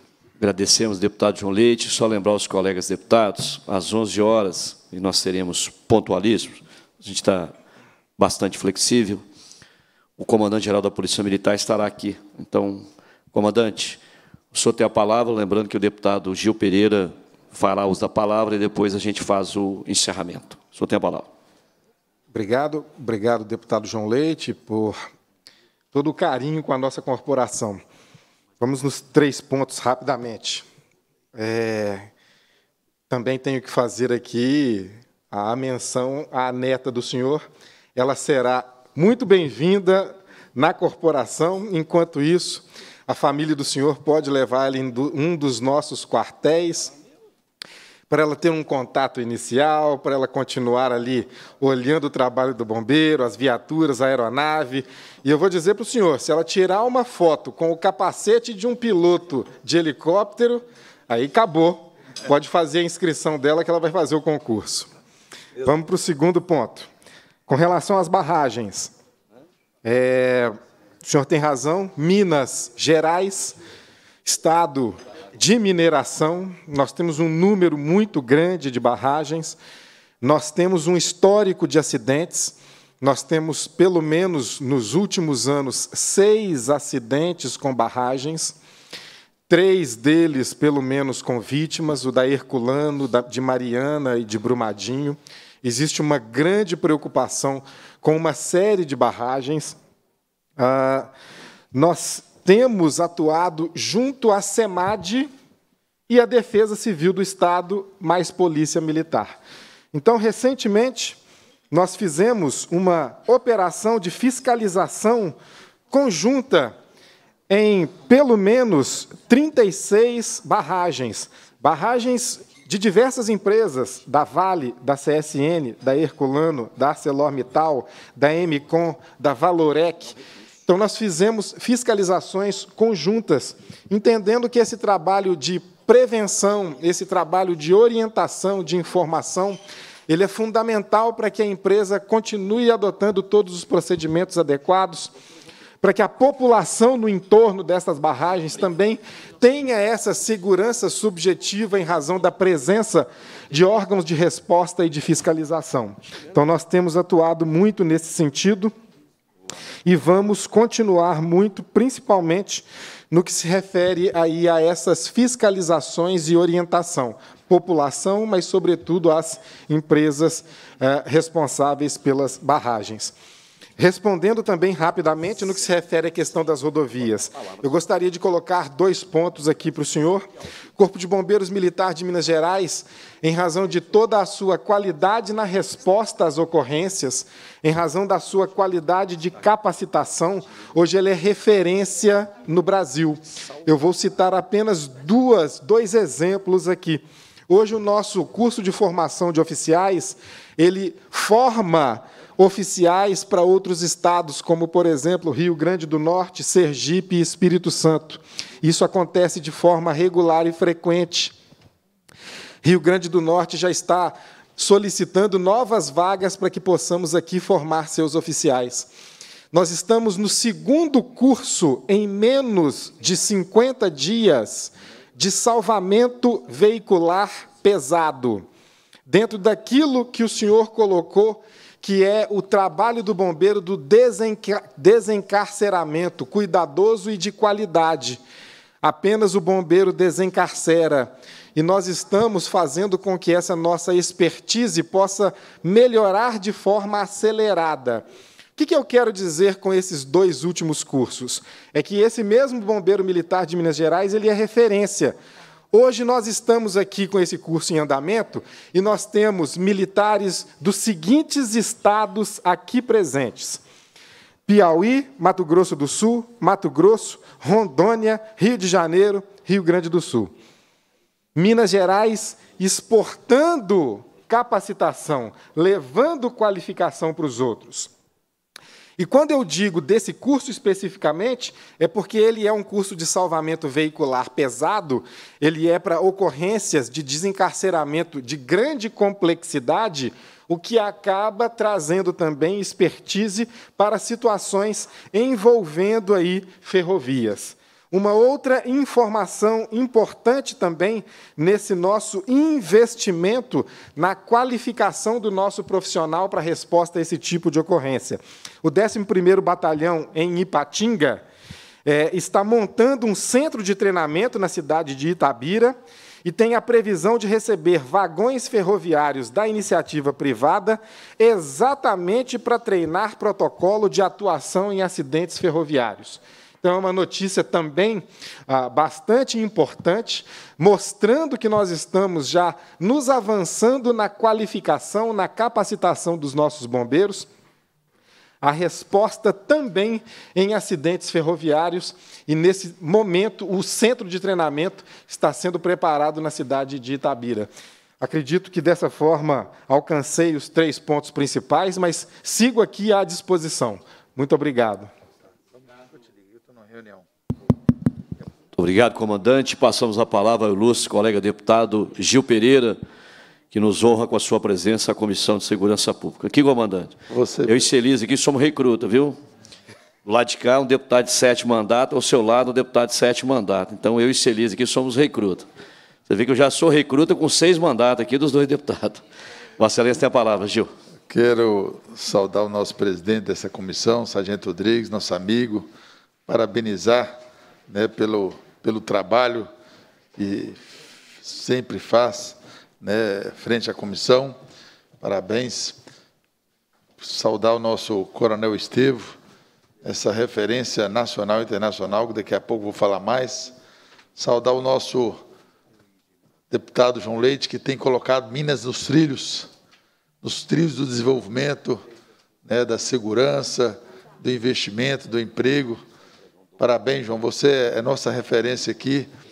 Nós sempre né, trabalhamos de mãos dadas, eu com energias renováveis e você né, criando essa retomada do desenvolvimento de Minas Gerais com segurança, com mais qualidade, que é o transporte ferroviário. Hoje você traz essa bela notícia aí e você sempre me ajudou muito nesse sonho né, da da, da estrada, da ferrovia de Pirapora para Unaí, Unaí Pirapora. Muito obrigado. Vai ser muito importante para a nossa Pirapora, para a nossa Buritizeiro. Buritizeiro, Coronel, é, nós temos, é, poucas pessoas sabem, nós temos 320 quilômetros de Rio São Francisco. São 750 quilômetros. Três Buritizeiros é maior do que o estado de Sergipe. Então, é assim, nós precisávamos de quê? Da ferrovia. Então, obrigado, João.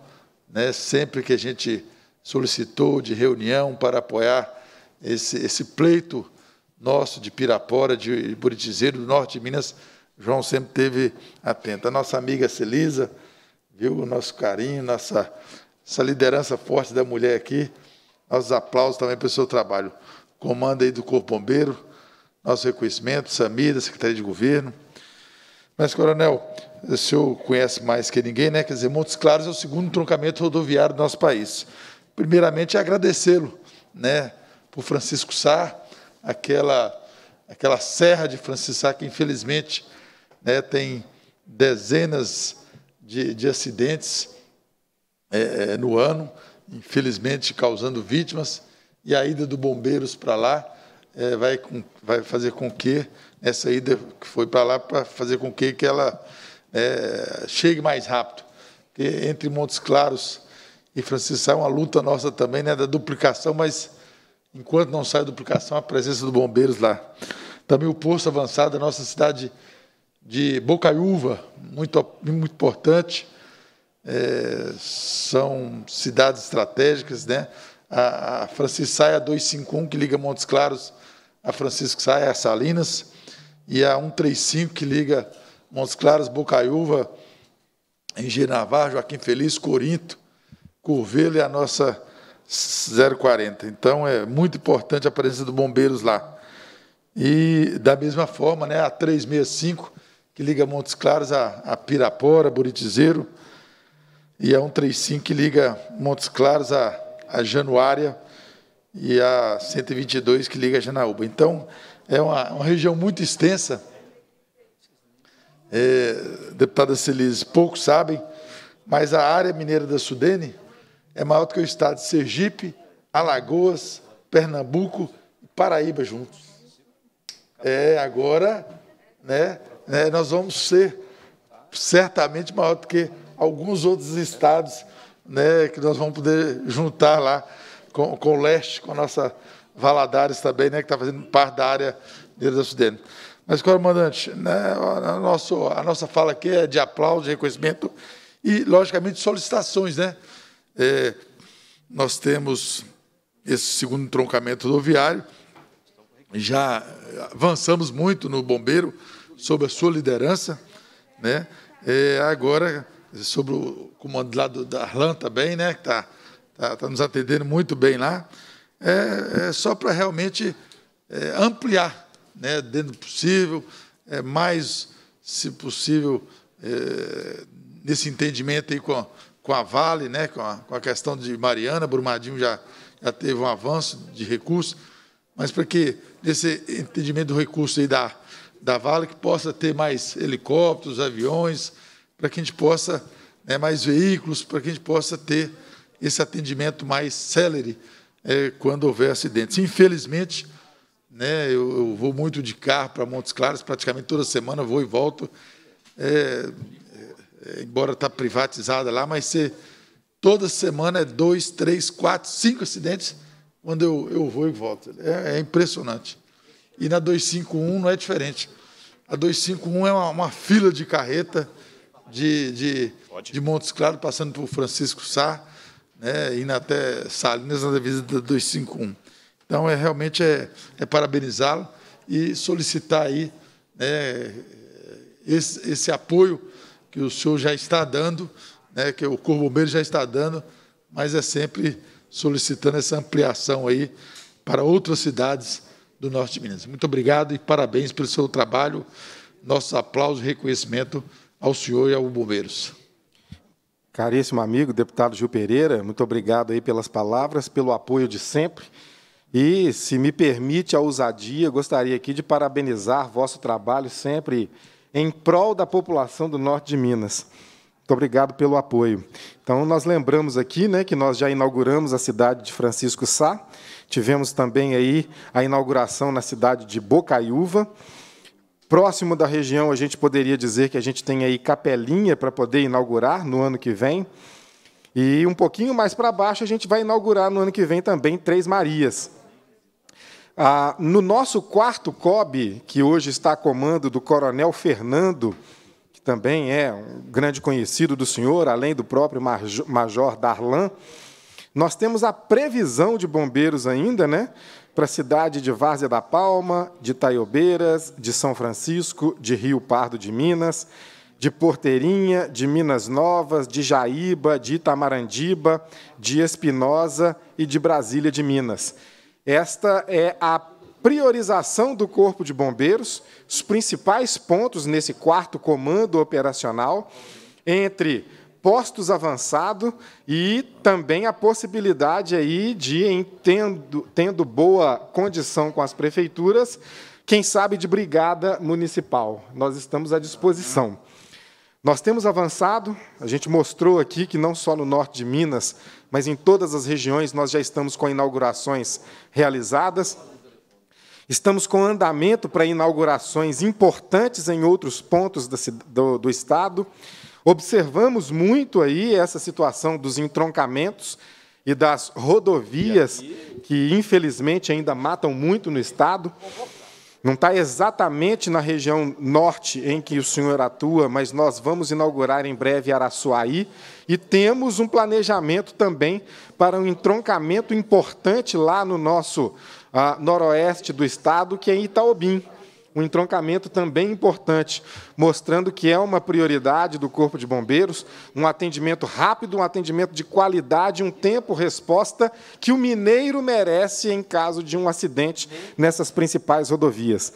A gente agradece muito as palavras do senhor, contamos com o vosso apoio sempre, para que a gente possa avançar nesses municípios que a gente coloca aqui como prioridade do Corpo de Bombeiros e vamos precisar também do apoio para que a gente possa ter recursos humanos suficientes para essa ampliação. Muito obrigado ao senhor. Eu que agradeço e pode contar sempre com nosso apoio. Parabéns ao senhor mais uma vez. Obrigado, presidente. Agradecemos as intervenções do deputado Gil Pereira. A presidência agradece também a presença e a intervenção da deputada. Eu só gostaria que Vossa Excelência pudesse ser muito breve, porque às 11 horas nós temos o comandante-geral da Polícia Militar, e eu estou sendo disciplinado. É o que Vossa Excelência tem, né? Mais três do comandante. Fica à vontade. Bom dia, bom dia, deputado Sargento Rodrigues, a quem eu agradeço desde já a compreensão. Estava numa outra reunião, mas eu não podia deixar de estar aqui Primeiro, presidente, para cumprimentá-lo pelo brilhante trabalho à frente dessa Comissão de Segurança Pública, juntamente com outros deputados, deputado João Leite aqui presente, deputado Gil Pereira, Celis da Viola, que não são da comissão, mas também tem essa pauta. Mas, de uma forma muito especial, minha homenagem, minha reverência ao Corpo de Bombeiros de Minas Gerais, na pessoa do nosso querido Coronel Edgar, a quem eu parabenizo pela brilhante condução da instituição que tem o maior alto índice de aprovação em todo o nosso Estado. A instituição que, de longe, tem os maiores índices de aprovação e aceitação popular. É, deputado Sargento Rodrigues, eu venho aqui também é, solicitar a ajuda dessa comissão. O deputado Gil Pereira ele tem sido assim um grande parceiro nessa pauta. É, nós conhecemos, comandante, um projeto aqui no primeiro batalhão que eu fiquei mais ainda admirado com o que o Corpo de Bombeiros faz e que a população de Minas precisa conhecer. Um projeto chamado Prodinata, que eu fiz questão de levar para o nono batalhão na minha cidade, em Varginha. Recebi a visita de um grupo é, do Corpo de Bombeiros, naquela visita, deputado Sargento Rodrigues, com o, o chamado portfólio, e aí eu comentei que sabia é, da necessidade de um desencarcerador para a região. E aí eu tinha recebido, no dia anterior, uma solicitação para a construção do centro de treinamento do Corpo de Bombeiros no nono batalhão. Aí eu, conversando com, com os bombeiros, perguntei: o que, que é melhor, o desencarcerador ou é, o projeto lá da, da piscina ou do centro de treinamento? Professor, desencarcerador a gente consegue comprar. Mas o centro de treinamentos é um sonho antigo de todos os comandantes que passaram pelo nono batalhão, porque nós estamos falando de uma região, deputado Ciris da Viola, que é a região que chega em janeiro, você tem muitas vítimas de afogamento por conta do Lago de Furnas, por conta das cachoeiras que nós temos no sul de Minas. E aí, deputado Sargento Rodrigues, é, esse projeto do Centro de Treinamento dos Bombeiros, ele envolve três questões. A primeira delas, a própria dignidade na formação dos homens, do Corpo de Bombeiros. A questão da geração de emprego e renda, porque aí você passa a ter formação de guardas-vidas para trabalharem às margens é, dos, dos centros turísticos. E também, terceiro, que é a menina dos meus olhos, o impacto social, deputado Gil Pereira, com o Prodinata, que dá a oportunidade de crianças carentes de fazerem aula de natação quando nunca poderiam fazer além de aula de hidroginástica para a terceira idade. O senhor sabe muito bem o que aconteceu, comandante. Houve a perda de prazo em parte desse recurso, e eu queria pedir, deputado Sargento Rodrigues, a essa comissão, o deputado Gil Pereira já tem é, sido assim um guerreiro, a quem eu agradeço aqui publicamente, deputado Gil Pereira. Mas vejam só como que as coisas são burocráticas no Estado.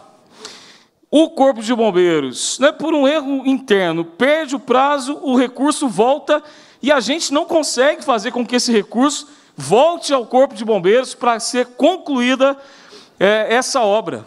E aí, por causa da CPI da CEMIG, deputado João Leite, eu peço para ser atendido no governo e não sou.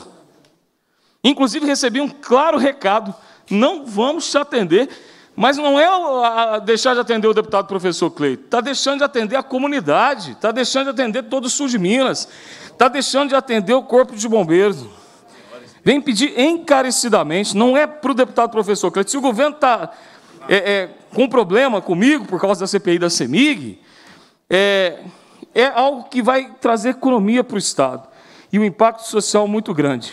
Mas eu peço encarecidamente aqui, amigo Arnon, flamenguista, né, que hoje vai torcer contra o Atlético, que, e, e ao deputado Sargento Rodrigues, que em nome dessa comissão, que esse recurso possa levar à conclusão dessa obra, que vai gerar emprego, vai impactar uma comunidade de 16 bairros, que são bairros carentes em Varginha, é, onde está o nono batalhão.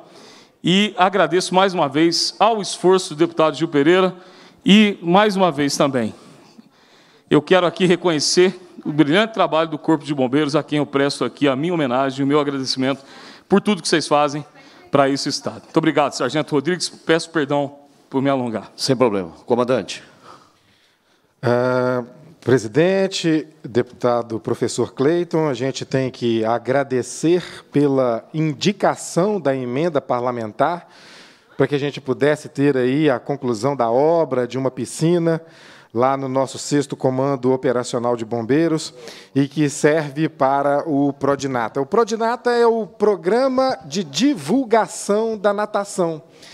O objetivo de levar a prática da natação ou conhecimentos básicos para que as pessoas possam evitar o afogamento. É preciso colocar aqui um número que muitas vezes as pessoas não sabem. Nós temos uma média de 600 pessoas que perdem a vida por ano no estado de Minas Gerais em virtude de ocorrências com afogamento.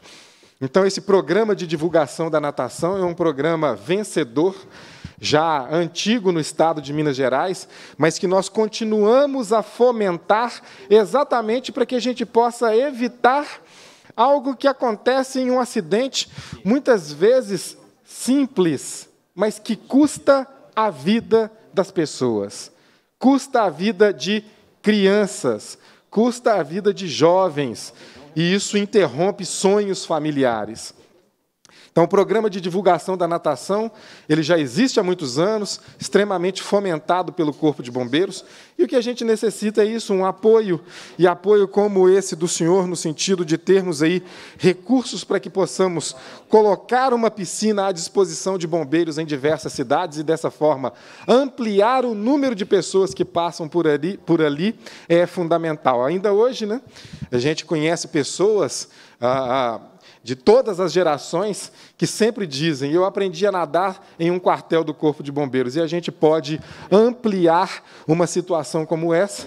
E são pessoas que têm esse, essa marca na sua vida e, principalmente, dessa maneira, incentivam os outros à prática da natação para evitar o afogamento. Obrigado ao senhor. Eu que agradeço. E quero dizer que eu acho que o governador não sabe dessa situação, viu, deputado? Não, já, é, O governador não está sabendo disso. Informá-lo é que há esse recurso para concluir essa obra tão importante, que tantas vidas vão ser salvas na nossa região. Muito obrigado. Muito obrigado, deputado professor Cleito.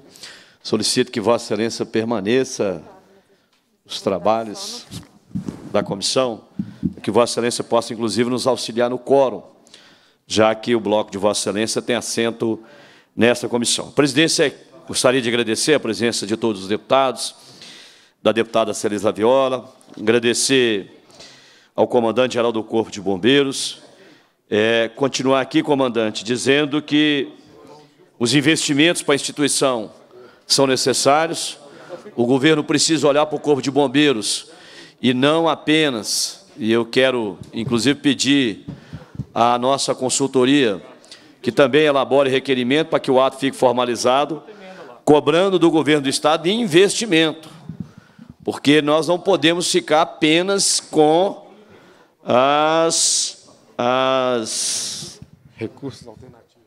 recursos alternativos. As emendas parlamentares de deputados estaduais e federais. Tenho a grata satisfação, talvez o comandante não quis é, falar até para não, não criar milindres, mas nós destinamos, deputado João Leite, para o Corpo de Bombeiros Militar uma emenda de uma única canetada, nós estamos destinando a aquisição dos armários para abrigar o macacão antichama de 3.421 bombeiros operacionais. É um equipamento extremamente necessário, que deve ser individualizado. O comandante tem ciência disso, além de outros recursos, de aporte de recursos, que a gente destinou. Mas os recursos de emendas parlamentares estão longe de fazer frente aos investimentos para a criação de uma unidade. Unidade do Corpo de Bombeiros, por menor que seja, não, não consegue se criar por menos, se eu não estou equivocado, o comandante pode nos corrigir, de algo em torno de 1 milhão e 200 mil reais cada menor unidade quando é criada. Isso eu não estou falando do efetivo, estou falando da estrutura física dos bombeiros. Então é necessário que haja investimento. E a gente está aqui para cobrar do governo. A Assembleia fiscaliza a cobra do governo. Nós sabemos que o comandante tem feito esforços, tem feito gestão, junta a CEPLAG, junta a Fazenda, mas a tal da COFIM, professor Cleito, eita COFIM, essa COFIM, presidida pelo senhor Matheus Simões, é o terror dos, dos outros secretários e chefes de polícia. Então a gente sabe que o comandante-geral do Corpo Bombeiro tem feito todos os esforços. Fico aqui contente em saber que o comandante está fazendo de tudo dentro das, do limite da sua competência e da competência do seu assessoramento estratégico para potencializar os recursos humanos e logísticos. Mas o próprio comandante admitiu aqui que falta efetivo e precisa de mais efetivo. Não há como fazer expansão das unidades do Corpo de Bombeiros, porque não adianta a gente ir lá e criar, fazer a edificação, o concreto, se não tiver o soldado para dirigir a viatura do bombeiro se não tiver o cabo para pegar o desencarcerador e retirar o cidadão de um acidente de veículos. Então, sem o efetivo humano, a viatura não anda, a viatura do bombeiro, o macacão anti-chama, o, o incêndio não é apagado e o bombeiro passou um período dificílimo agora nesse período de seca. O bombeiro é assim, quando vem seca, ele trabalha. Nós tivemos a perda, inclusive, de um sargento, se eu não estou equivocado, em Unai, exatamente que esse sargento teve uma intoxicação muito forte, não resistiu, mesmo sendo um militar preparado, é, faleceu em virtude da intoxicação dessa fumaça tóxica do, ocasionada pelo incêndio, e é uma situação que a gente precisa. Nós precisamos de aumentar o efetivo do Corpo de Bombeiros. Os números foram colocados é, e eu espero, comandante, que além, além da questão da cobrança do IPSM, tanto o senhor como o comandante-geral da Polícia Militar continuem envidando esforços para cobrar do governo a recomposição da perda inflacionária, cuja assinatura da ata o senhor fez juntamente conosco no dia 22 de novembro de 2019, onde o governo previa o pagamento de três parcelas. O governo pagou uma e simplesmente o senhor Matheus Simões disse que a ata não vale mais nada, que o documento assinado por dois secretários de Estado, quatro chefes de polícia, deputados federais, estaduais, presidentes de sindicatos, associações, não vale nada. Então, essa foi a resposta que nós tivemos aqui, uma, uma resposta, como sempre, do inimigo número um da polícia em Minas Gerais, das forças de segurança, sou Matheus Simões. E eu não vou parar de repetir. Agora é ele mesmo, autor do ofício encaminhado aos dois comandantes gerais da PM e do Bombeiro, onde fala que não vai repassar a obrigação patronal, com base numa lei em que o trecho da referida lei foi julgada inconstitucional pelo Supremo, em dois acordos, inclusive com repercussão geral.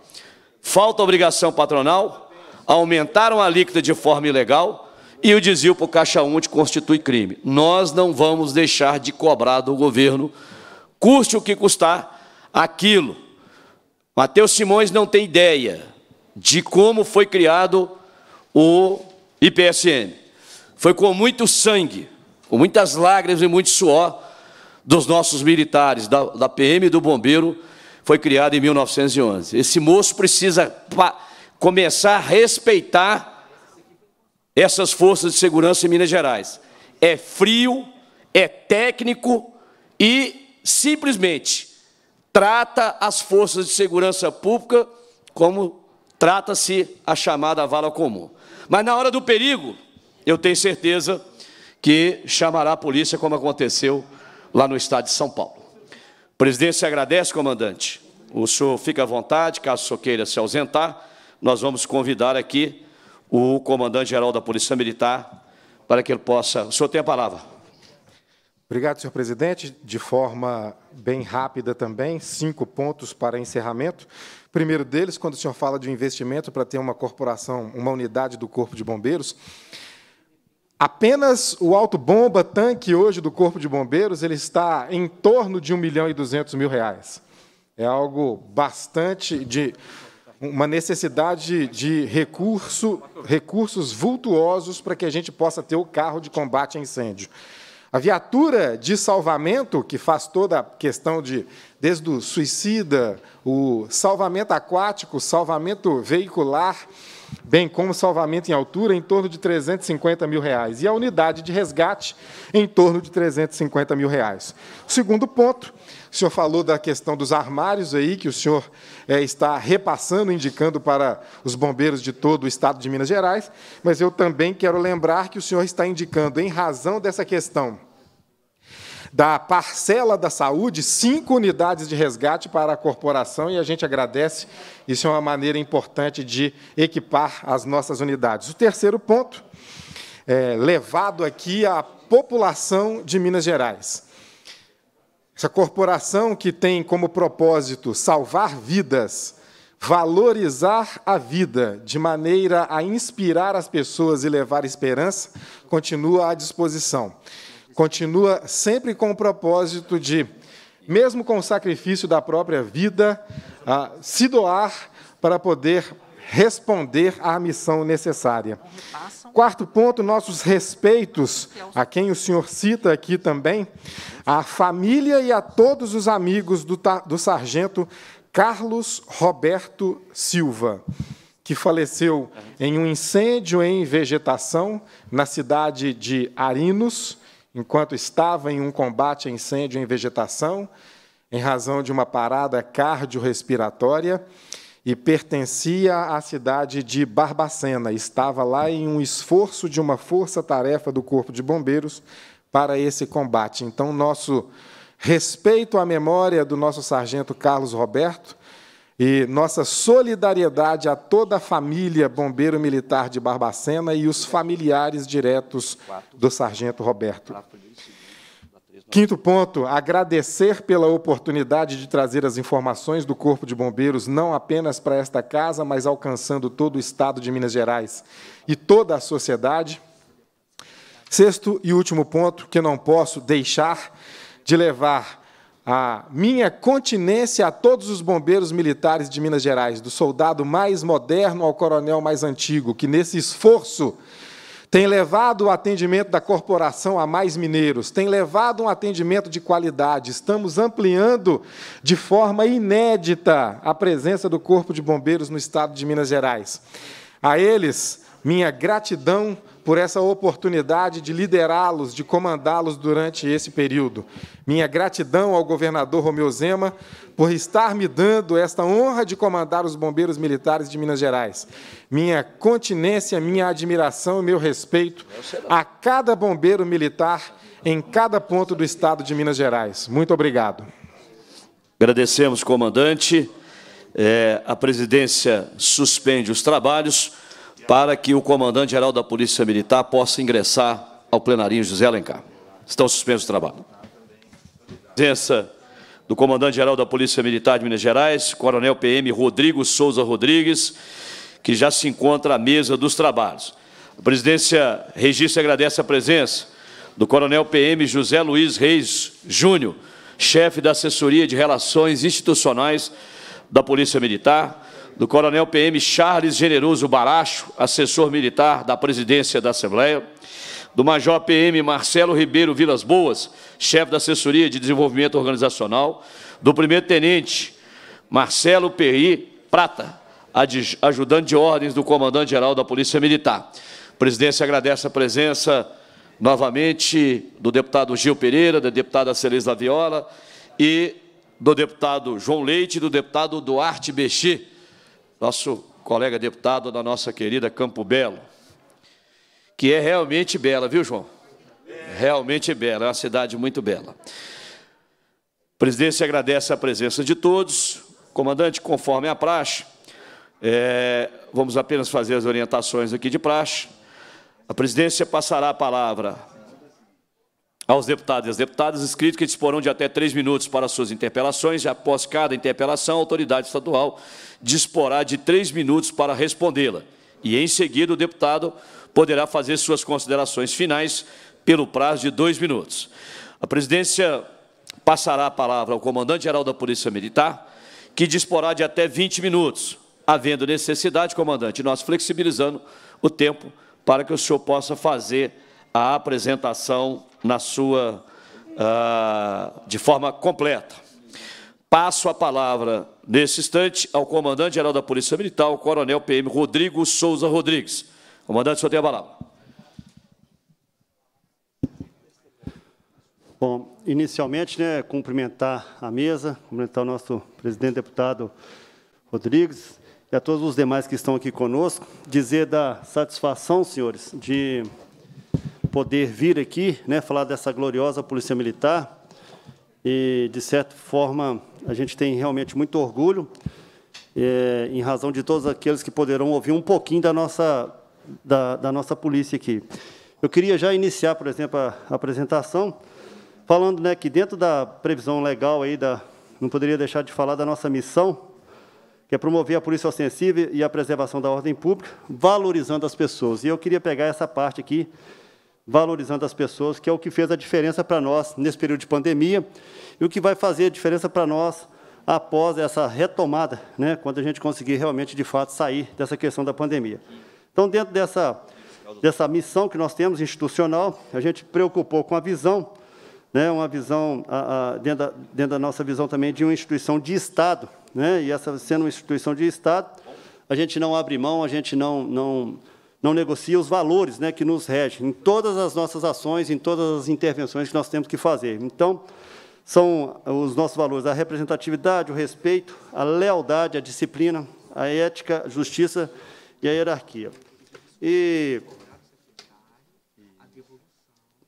nesse, nesse, nesse, é, nesse período, né, a, a PM fez a estratégia dela seguindo o, o Plano Mineiro de Desenvolvimento, que está previsto aí né, do, do governo de 2019 a 2030, e nós estamos bem alinhados, então, os nossos objetivos estratégicos com o, o, as bandeiras e, e, os objetivos do governo, no sentido de o que, é que nós buscamos, né, de para onde a gente vai. Então, é, segura, é, aumentar a sensação de segurança, e, e, também melhorar a nossa a segurança. E dentro dos nossos projetos eh, estratégicos, né, nós temos aqui contribuir para a melhoria da sensação de segurança no Estado, é, né? também contribuir para a redução do crime violento no Estado de Minas Gerais. E aí a gente desenvolveu três, é, podemos dizer assim, três núcleos de ações, que são é, zelar pela instituição, né, cuidar da instituição, focar no cidadão e otimizar a alocação de recursos. A transparência está indo aí? Então, nessa linha de, de zelar da Polícia Militar, cuidar da Polícia Militar, por quê? Sem segurança, a gente não consegue prestar segurança.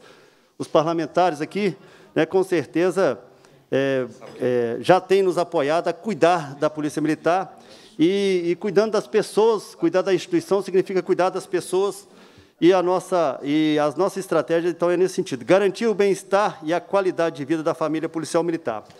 Lembrando, senhores, que nós estamos é, falando de uma pandemia né, que assolou o planeta inteiro e nós tivemos que nos adaptar, nós tivemos que nos ajustar, nós tivemos que aprender, nós tivemos que, é, sem aglomerar, nós tivemos que unir, né, unir ideias, unir pensamentos, unir protocolos e, e, e fazer prioridades. Então, eu gostaria de dizer para os senhores como nós cuidamos da nossa tropa nós, nós focamos aqui, ó, são mais de quase 5 milhões de atendimentos realizados de 2019 até agora, em 2018. E nesse período aí, então, foi procedimentos farmacêuticos, procedimentos odontológicos, procedimentos médicos e procedimentos psicológicos. Pode passar aí. Nesse sentido de cuidar e zelar das pessoas, né, zelar da instituição para ela poder dar segurança, a gente fez a proteção ao policial militar e à sua família com ações para a promoção da saúde. Então não tinha nada mais caro, né, nada mais importante nesse período de pandemia do que a saúde. Então, foi ações como ampliação da capacidade do Hospital Militar e núcleo de assistência à saúde, que permitiram, com o apoio né, de, de diversos, diversos setores, a gente ampliar em mais de 400%. Né? Parece que já está longe, mas foi logo ali, é, a partir de abril né, e, e, junho ali que nós tivemos aquele pico, nós tivemos que ampliar mais de 400% os leitos. Aquela, aquela área lá nossa, lá de PA, né, que para quem conhece, a, de pronto atendimento, a, aquilo ali tudo transformou em, em, em UTI de, de Covid. Né? Então, assim, foi muito esforço para isso. Então, é nesse sentido que a gente está falando que a gente conseguiu focar a atenção. Atualização também de protocolos operacionais e campanhas preventivas direcionadas ao público interno, é, com, com gente, é, muita orientação, né? Muitas pessoas estavam desorientadas, sem saber o que fazer, e, e nós precisávamos de orientação para nós mesmos, policiais, para depois também fazer o trabalho de orientar a população. Disponibilização de equipamentos de produtos de, de proteção individual. Né? Então, fizemos protocolo tanto para, para o funcionamento da viatura, né? como é que ele entrava de serviço, como é que ele saía, até o ponto de como é que ele chegava em casa, ele se organizava para poder não levar a Covid para a família dele. Então, todas essas atenções vieram com os produtos né, de, de, de proteção individual, foi muita, muito produto distribuído, ainda continua sendo. Também a, o kit biológico e todas as outras partes. Mas a nossa, a nossa paz começou a chegar quando a gente, né, com apoio dos senhores também, dos parlamentares, apoio, nós tivemos lá em Brasília, né, do senhor governador do Estado, é, nós conseguimos a vacinação do efetivo da Polícia Militar. Então, hoje, olha como é que nós estamos. 95,5% dos nossos policiais militares estão vacinados. Né? São os nossos policiais da ativa que a gente está contando aqui. E a segunda dose, 78,5%. Isso, é, isso é atualizado, né? vem pelos dados lá do município, que os nossos policiais militares estão sendo vacinados lá no município, é, e os daqui e, e, é, vem atualizando. mas já está pronta a terceira dose para aquele que quiser vacinar e que já tenha é, mais de cinco meses da primeira, da, da, segunda dose. Então já tem aí o reforço, né? Já está disponível e isso aí é uma realidade. Eu só gostaria de registrar algo que eu senti que nós, após começarmos a primeira vacinação, nós não perdemos mais nenhum policial. Então, foi uma questão de justiça colocar a gente naquela, naquela lista né, de, de, de prioridades, onde a gente estava de colocar de forma equivocada. Então, houve o apoio, houve menções, houve a atuação de vários parlamentares aqui. Com a autorização do governador de Minas, nós fomos lá em Brasília, conversamos no Ministério da, da Saúde, eu era o único comandante das polícias militares do Brasil que estava lá, junto com o coronel Estevam. E depois daquilo a gente começou a ver uma luz no fundo do túnel. E valeu todo o esforço, porque não faleceu mais nenhum policial militar, nenhum, depois que nós começamos a tomar a primeira dose. Isso é, é gratidão a todos os senhores que nos apoiaram nesse, nesse projeto. Além disso, senhores, nós estamos falando aqui por que nós cuidamos da nossa polícia, né? A nossa, cuidando da nossa tropa, cuidando da nossa instituição. E aí nós reforçamos muito um outro lado, que a gente diz aí a quarta leva da, da questão da, de enfrentamento à, à saúde, enfrentamento à Covid, é a questão, é, é, é a questão da saúde mental. É importantíssimo né, a questão da saúde mental. Muita gente aí com, é, às vezes, ficando isolado ou, ou então com restrição do, nas, suas, nas suas atividades. E o que, que a gente fez dentro da Polícia Militar? Nós, nós ampliamos os acolhimentos, né? nós acolhemos os nossos policiais, nós montamos um sistema, call center, e ele atende, eu falo Polícia Militar, mas atende todo o pessoal do Corpo de Bombeiro também. É, quem, às vezes, a pessoa tinha dúvida sobre Covid, ele ligava qualquer hora do dia ou da noite. Às vezes, se ele fosse lá fazer um teste, após o teste, a gente acompanhava nessa central de telefone. Então, foram mais de 34.600. Se ele tiver se tivesse sido contaminado com o Covid, mesmo que ele não tivesse que ficar internado, ele era acompanhado diariamente até dar uma solução para ele. Fizemos também diversos seminários e eventos, né, eventos remotos, eventos à distância, mas que fomentava e buscava melhorar a qualidade de vida dos nossos policiais militares. Por quê? Porque o senhor sabe muito bem que o nosso escritório é na rua, né? Então a gente falou muito dessa frase, nosso home office foi na rua, nós não paramos um minuto e só pelas, pelas cautelas, pelas é, as precauções que nós não fomos acometidos da Covid. Alguns foram, mas foram fortalecidos dentro dessa questão aí dos protocolos bem definidos. Escola, funcionamento de escola, quando foi possível, né? quando foi oportuno. É, como eu falei, desde a limpeza da viatura na hora que ele chega, na hora que ele sai, durante a ocorrência. Então, assim, todos nós vivemos isso. Parece que já ficou lá atrás, mas não ficou, não. Se a gente não tivesse tido a atenção que nós tivemos, a nossa perda seria muito maior, já que nós estávamos expostos. É, continuando, a proteção ainda nossa, aí, a, a nossa, é, a gente desenvolveu o, um instituto, né, a gente já tem um, um programa que ele, é, bienalmente, né, a cada dois anos, todo policial militar ele passa por um programa de saúde, né, onde ele faz um check-up, faz um, uma, um acompanhamento, e nessa bienal a gente acrescentou também um, um, diagnóstico, um questionário psicológico que nos permite acompanhar de muito perto a nossa tropa. Isso aí para nós é um sucesso.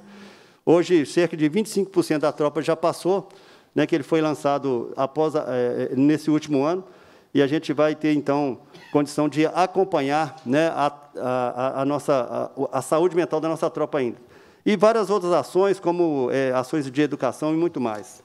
É, ainda continuando, contra outras ações importantes né, no cuidado da família militar, é, aí já saindo da área da saúde, foi a retomada né, segura das aulas presenciais no Colégio Tiradentes, a partir de agosto de 2021. É, o Colégio Tiradentes, ele, é, é nós, nós conseguimos fazer né, aquela aula, aula, aula online, e foi um sucesso, nós cumprimos todo o currículo previsto, e, e os protocolos de retomada é, permitiram, então, a gente dar atenção aí e, e, e, cuidar da nossa, da nossa família, porque o Tiradentes é muito importante para todos nós também. Também fizemos a manutenção da regularidade dos repasses do Instituto da Previdência dos Servidores é, Militares, né, do IPSM, logo no, com, com o governo, que nos fortalecia. Né, hoje, é, durante a, a, a, esse período, para pagar. Né? A gente estava lá com praticamente quatro folhas atrasadas, então foi possível né, atualizar e manter esses pagamentos em dias, é o que nos ajudou, né, o que nos permitiu é, ampliar alguns convênios e dar assistência, tanto aqui na capital como no interior, aos, aos nossos, aos nossos é, beneficiários. Também nós tivemos uma, uma atuação interessante, quando a gente fala cuidar da instituição, cuidar da Polícia Militar, porque a gente vai dar segurança para a gente cuidar dos demais. Né? A nossa natureza é servir.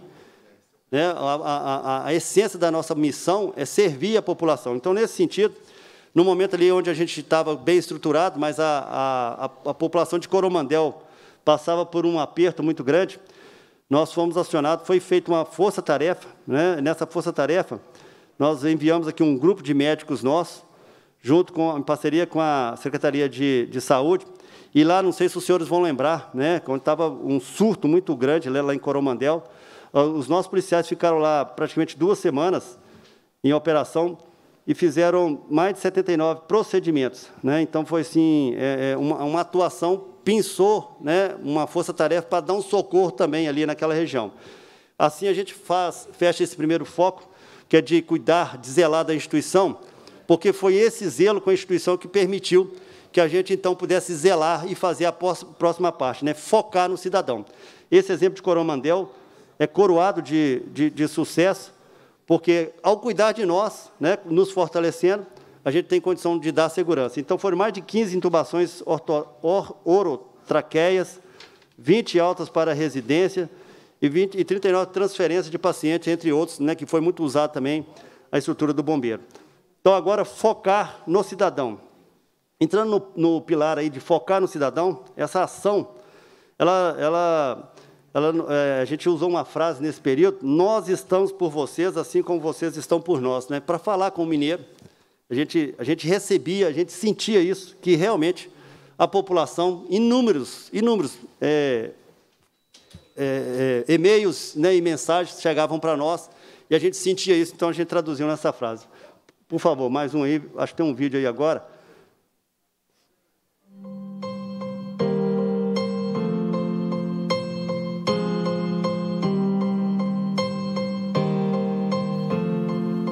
Talvez você não entenda o alcance de nossa missão.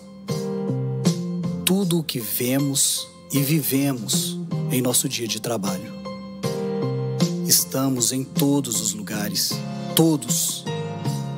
E você não faz ideia do que os nossos olhos veem, os chãos que pisamos, a verdade do mundo que tocamos com nossas mãos todos os dias. Presenciamos a realidade de nossa sociedade sem nenhum filtro. A realidade crua e cruel, quase sempre. E isso exige que sejamos capazes de ir além do policiar. Que estejamos lá, onde a esperança nos espera.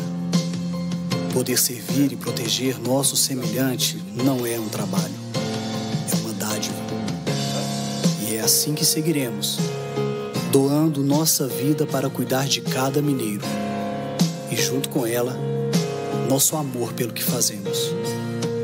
Indo além, onde o dever nos chamar, onde a humanidade nos levar, mesmo com o sacrifício da própria vida. Esses aí são nossos 34 heróis, serão nossos heróis para sempre, os heróis da Covid. É muito emocionante, senhores, que com essa ajuda, com esse olhar humano que a gente cuidou da tropa, a tropa cuidou da sociedade. É isso que a gente pode enxergar. Nos momentos mais difíceis, às vezes ali com algumas questões de ideologia, né?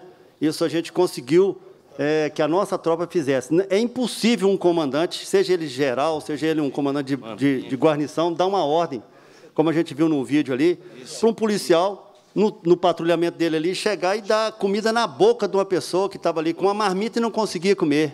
É impossível. Isso está na pessoa.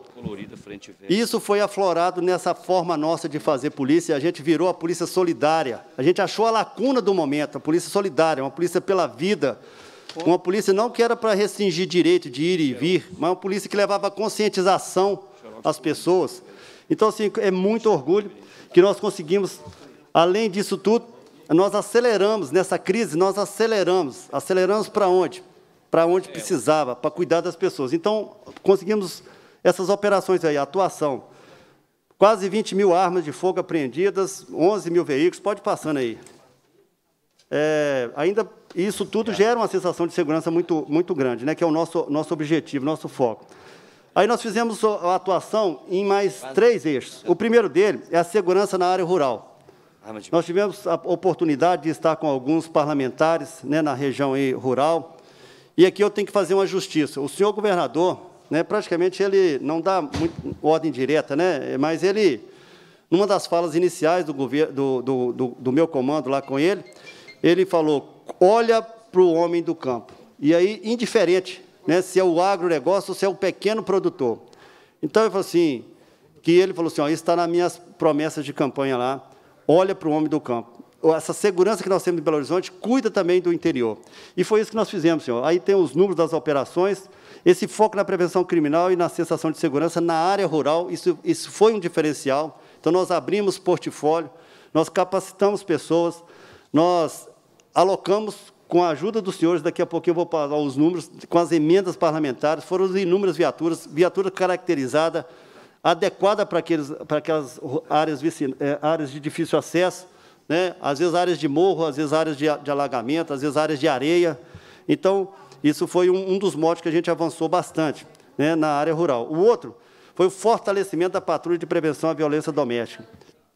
Desse período também de pandemia, as pessoas estavam, às vezes, é, estavam, às vezes restritas né, aos ambientes é, familiares, e ali é, houve uma tendência, então houve uma, uma, uma, uma expectativa de que é, a, a, as ações ali internas e poderiam se acirrar e outras, e outras questões. Então, juntamente, né, de forma integrada, é. com vários outros poderes, juntamente com orientações do governo federal, nós avançamos muito no fortalecimento da patrulha de prevenção à violência doméstica. No, em 2019 para 2021, nós ampliamos, nós tínhamos esse serviço, essa patrulha destinada especificamente, em 25 nós passamos para 107, e nós vamos ampliar ainda mais. É, o efetivo empregado, né, nós ampliamos também, pode passando aí, por favor. E hoje, o fortalecimento nosso, pode passar? De janeiro de 2015 a outubro de 2015. E hoje o fortalecimento nosso da patrulha de prevenção, ele está também nas atuações. É lógico que vai aumentar o número, nós estamos qualificando, nós fizemos só no. É, até nos municípios menores, é, 26 é, seminários né, de conscientização envolvendo o, o, o, Judiciário, envolvendo o Ministério Público, envolvendo a Polícia Civil, a Defensoria Pública, envolvendo todos os setores ali que podem nos ajudar, né, que podem é, olhar né, para, para é, a, é, a, prevenção à violência doméstica no Estado de Minas Gerais. Então, isso resultou nesses números ali. Ó. Nós, nós tivemos um, um aumento de 31% nas visitas realizadas. Essas visitas, quando, onde a gente tem esses 107 municípios, nós temos uma patrulha que obrigatoriamente tem que ter uma policial feminina e ela fica durante o, o turno é, fazendo atuações preventivas. Então, essa atuação dela é que permite, então, a gente ampliar e fazer essas visitas, e ali, alinhado com os outros poderes, os outros, os outros atores, nós conseguimos também fazer, é, fazer as, essas visitas, né? e ali a gente sai medidas, nós conseguimos medidas é, é, preventivas né, para as próprias mulheres, às vezes direcionamento para, para emprego, e um, um trabalho muito, muito bonito, muito interessante, que só evolui dia após dia. Pode passar, por favor. Um outro, um outro é, pilar nosso é o Programa Educacional de Resistência às Drogas e à Violência, é o PROERD. O PROERD ele foi adaptado, né, junto com a Secretaria da Educação, com a Rede Minas e a TV PM, nós adaptamos aula é, online, depois nós adaptamos para, para, para um, um modelo de aula, aula virtual, né? E a gente não parou, né? Nós conseguimos ainda nesse período aí de 2000, 2021 capacitar, né, e passar esse treinamento para mais de 200, é, 200, 200 mil alunos matriculados. Pode seguir, por favor. E o outro mote, né, que a gente tem avançado também nesse tripé, para a gente já, aqui já falando da saída né, dessa crise, como é que vai ser o, o, o, avanço, né? Nós, nós estamos já, o, o Estado de Minas, ele tem sido noticiado, né, está aí como um, uma, uma, das melhores é, opções turísticas, né, para para o nesse ano agora de 2021, as pessoas estão procurando áreas, né, de áreas livres.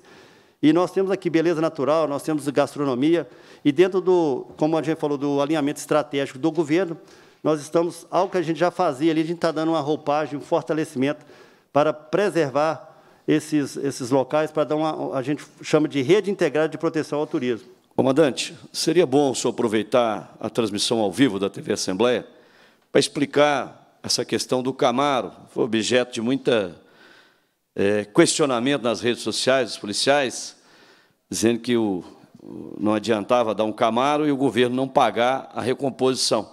Só para o senhor explicar em que situação a Polícia Militar é, recebeu esse Camaro, para que as pessoas que estão acompanhando saibam. Porque foi um zum, zum, zum e foi muitos comentários nas redes sociais. Apenas isso, comandante. É, muito obrigado pela oportunidade de esclarecer. Né? Então, o que, que acontece? Esse veículo ele era produto de um, de, de um, de um, de um crime, foi apreendido junto com, com um traficante. Então, é produto de crime e estava apreendido lá há, há vários anos em Poços de Caldas.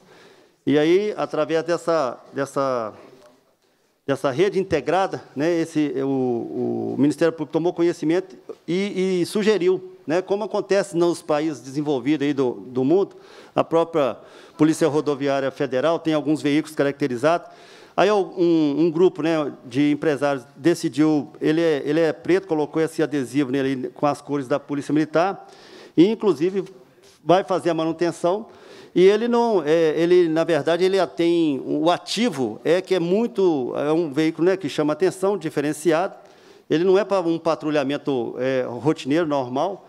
Ele ele fica lá nos pontos turísticos somente e vai ser custeado inclusive pelos os empresários nessa parceria. Então não entra nem recurso público nem da prefeitura, né? É um veículo que está, é, como eu falei, apreendido de traficantes e que agora volta para ser um chamariz, né? Eu vou usar esse termo bem simples aqui, porque as crianças e os adultos, né, que não têm coragem de falar que vai, ele leva a criança também e, e, senta lá e tira foto, e ali a gente passa dicas de segurança, ali a gente é, passa as informações de, de, de segurança pública, e, e, acho que o custo né, e o benefício é muito maior tendo ele. E olha que moça bonita que fala de lá para nós aí, olha o vídeo aí. Good morning. I am Sergeant Juliana. I am in Poços de Caldas, city with one of the best human development rates and located in the states with the lowest criminal rates in the country. The Minas Gerais Military Police launched the Christmas operation to improve even more your safety in this holiday. Come celebrate with us. Minas Gerais Military Police, 246 years. Our job, your life. Come visit us. Essa, essa sargento, ela é, é nossa, é da, da nossa da 18ª região, né, Pós de Caldas, e a gente pediu para ela fazer esse, esse, vídeo. Ela trabalha nessa, nessa patrulha, né, que lá tem uma natureza turística muito grande, para divulgar aí para... Esse é, é, é, ela fez em várias versões, essa daí eu não entendi também, não, mas a de português eu entendi. Ela fala, venha visitar a gente em, em, em de Caldas, que você vai estar num local seguro, e muito bem, e muito bem, e vai ter muitas atrações aqui gastronômicas, e, e aí ela fala da, das naturezas lá. Bom, é, seguindo aí, o último ponto, o, o, o, terceiro ponto nosso, né, é otimizar a alocação de recursos. Quem? E aqui a gente vai falar de eficiência e inovação a serviço do povo mineiro. Ah, então, primeiro nós cuidamos da instituição, depois nós focamos no, na, na, na, no cidadão, e agora nós vamos, pode passar aí, nós vamos falar aqui é, do, do, do, da nossa obrigação, né, do nosso cuidado aqui de, de, alocar adequadamente os recursos. Então, o nosso efetivo hoje atual é 37.346. Nós tivemos a inclusão de 2.120 é, militares de 2019 até agora. Nós temos aqui uma expectativa, né, que é concurso já em andamento, de incluir mais 1.887 né, em 2022. O concurso já está finalizando, tem 120 para cursos de oficiais, 1.700 é, formação de soldado, incluindo é, para o interior, que é praticamente a metade, e 30 dos quadros de saúde nossos que há tempo a gente não conseguia fazer. É, por favor, essa é, captação dos recursos extraordinários. Aqui eu queria registrar, pedir atenção dos senhores, são 59,9 milhões que a Assembleia, né, neste mandato, encaminhou para a Polícia Militar, seja das emendas parlamentares, viu, senhores, seja das emendas de bancada. É isso que permite hoje a Polícia Militar né, ser essa grandeza, ser essa gigante, estar nesses, nos 853 municípios. Então, os senhores, é, aqui é uma prestação de contas também, é uma gratidão. É, e, e, o que, é que nós compramos aí? Mais ou menos dentro dos nossos portfólios, os senhores sabem, né, além das viaturas, coletes, é, obras, obras de reformas em, em, é, nos nossos quartéis, e o grande mote agora a digitalização da rede rádio. Além disso, os, agradecer aos senhores, os senhores aprovaram aqui né, aquele projeto da, é, do acordo com a Vale, Brumadinho, para a Polícia Militar, os senhores nos ajudaram. Eu faço aqui, não vou citar nome, mas a gratidão nossa dos senhores foram 243 milhões que vão ser muito bem empregados. A gente registra isso aqui. É um agradecimento, um reconhecimento à nossa Assembleia que, que deu, que aprovou e, e conseguimos então esse valor aí. E vai, nesses projetos que vão, vai haver um, eu afirmo, haverá um aporte, né, e vai ficar um legado muito grande. Então, quando o senhor olha aí, né, na parte da saúde, na parte da, da rede de digitalização, vou falar um pouquinho mais à frente, viaturas para essa patrulha rural é, e essas pistolas de impulso elétrico. Pode seguir, por favor. Esse investimento logístico, ele tá, a gente tem que registrar aqui, dentro daqueles, daquelas três linhas que nós colocamos, então tem um investimento na área da, da, da patrulha de prevenção à violência doméstica, nós estamos ampliando, né, a ideia é a gente conseguir chegar em 93 viaturas exclusivas para esse tipo de serviço, e mais equipamentos, pode passar, e também na área do investimento no policiamento rural. O policiamento rural, como né, vários dos senhores aqui são do interior, estão nos assistindo e sabem, é, nós chegamos, nós estamos direcionando investimento até o, o, final do ano que vem, vai dar cerca de 40 milhões para fortalecer essas patrulhas rurais. Lembra agora lá de Itamonte, né, senhor? A gente manda, às vezes, uma, uma viatura que nem é nova, mas a gente registra aqui é, que é, é, o que está permitindo a gente avançar nesse portfólio aí é que nós colocamos. O outro item é a digitalização da rede rádio. A, a Anatel ela tem um prazo específico para aquelas polícias que ela atualizar. Hoje, ninguém compra mais um, um rádio analógico. Né?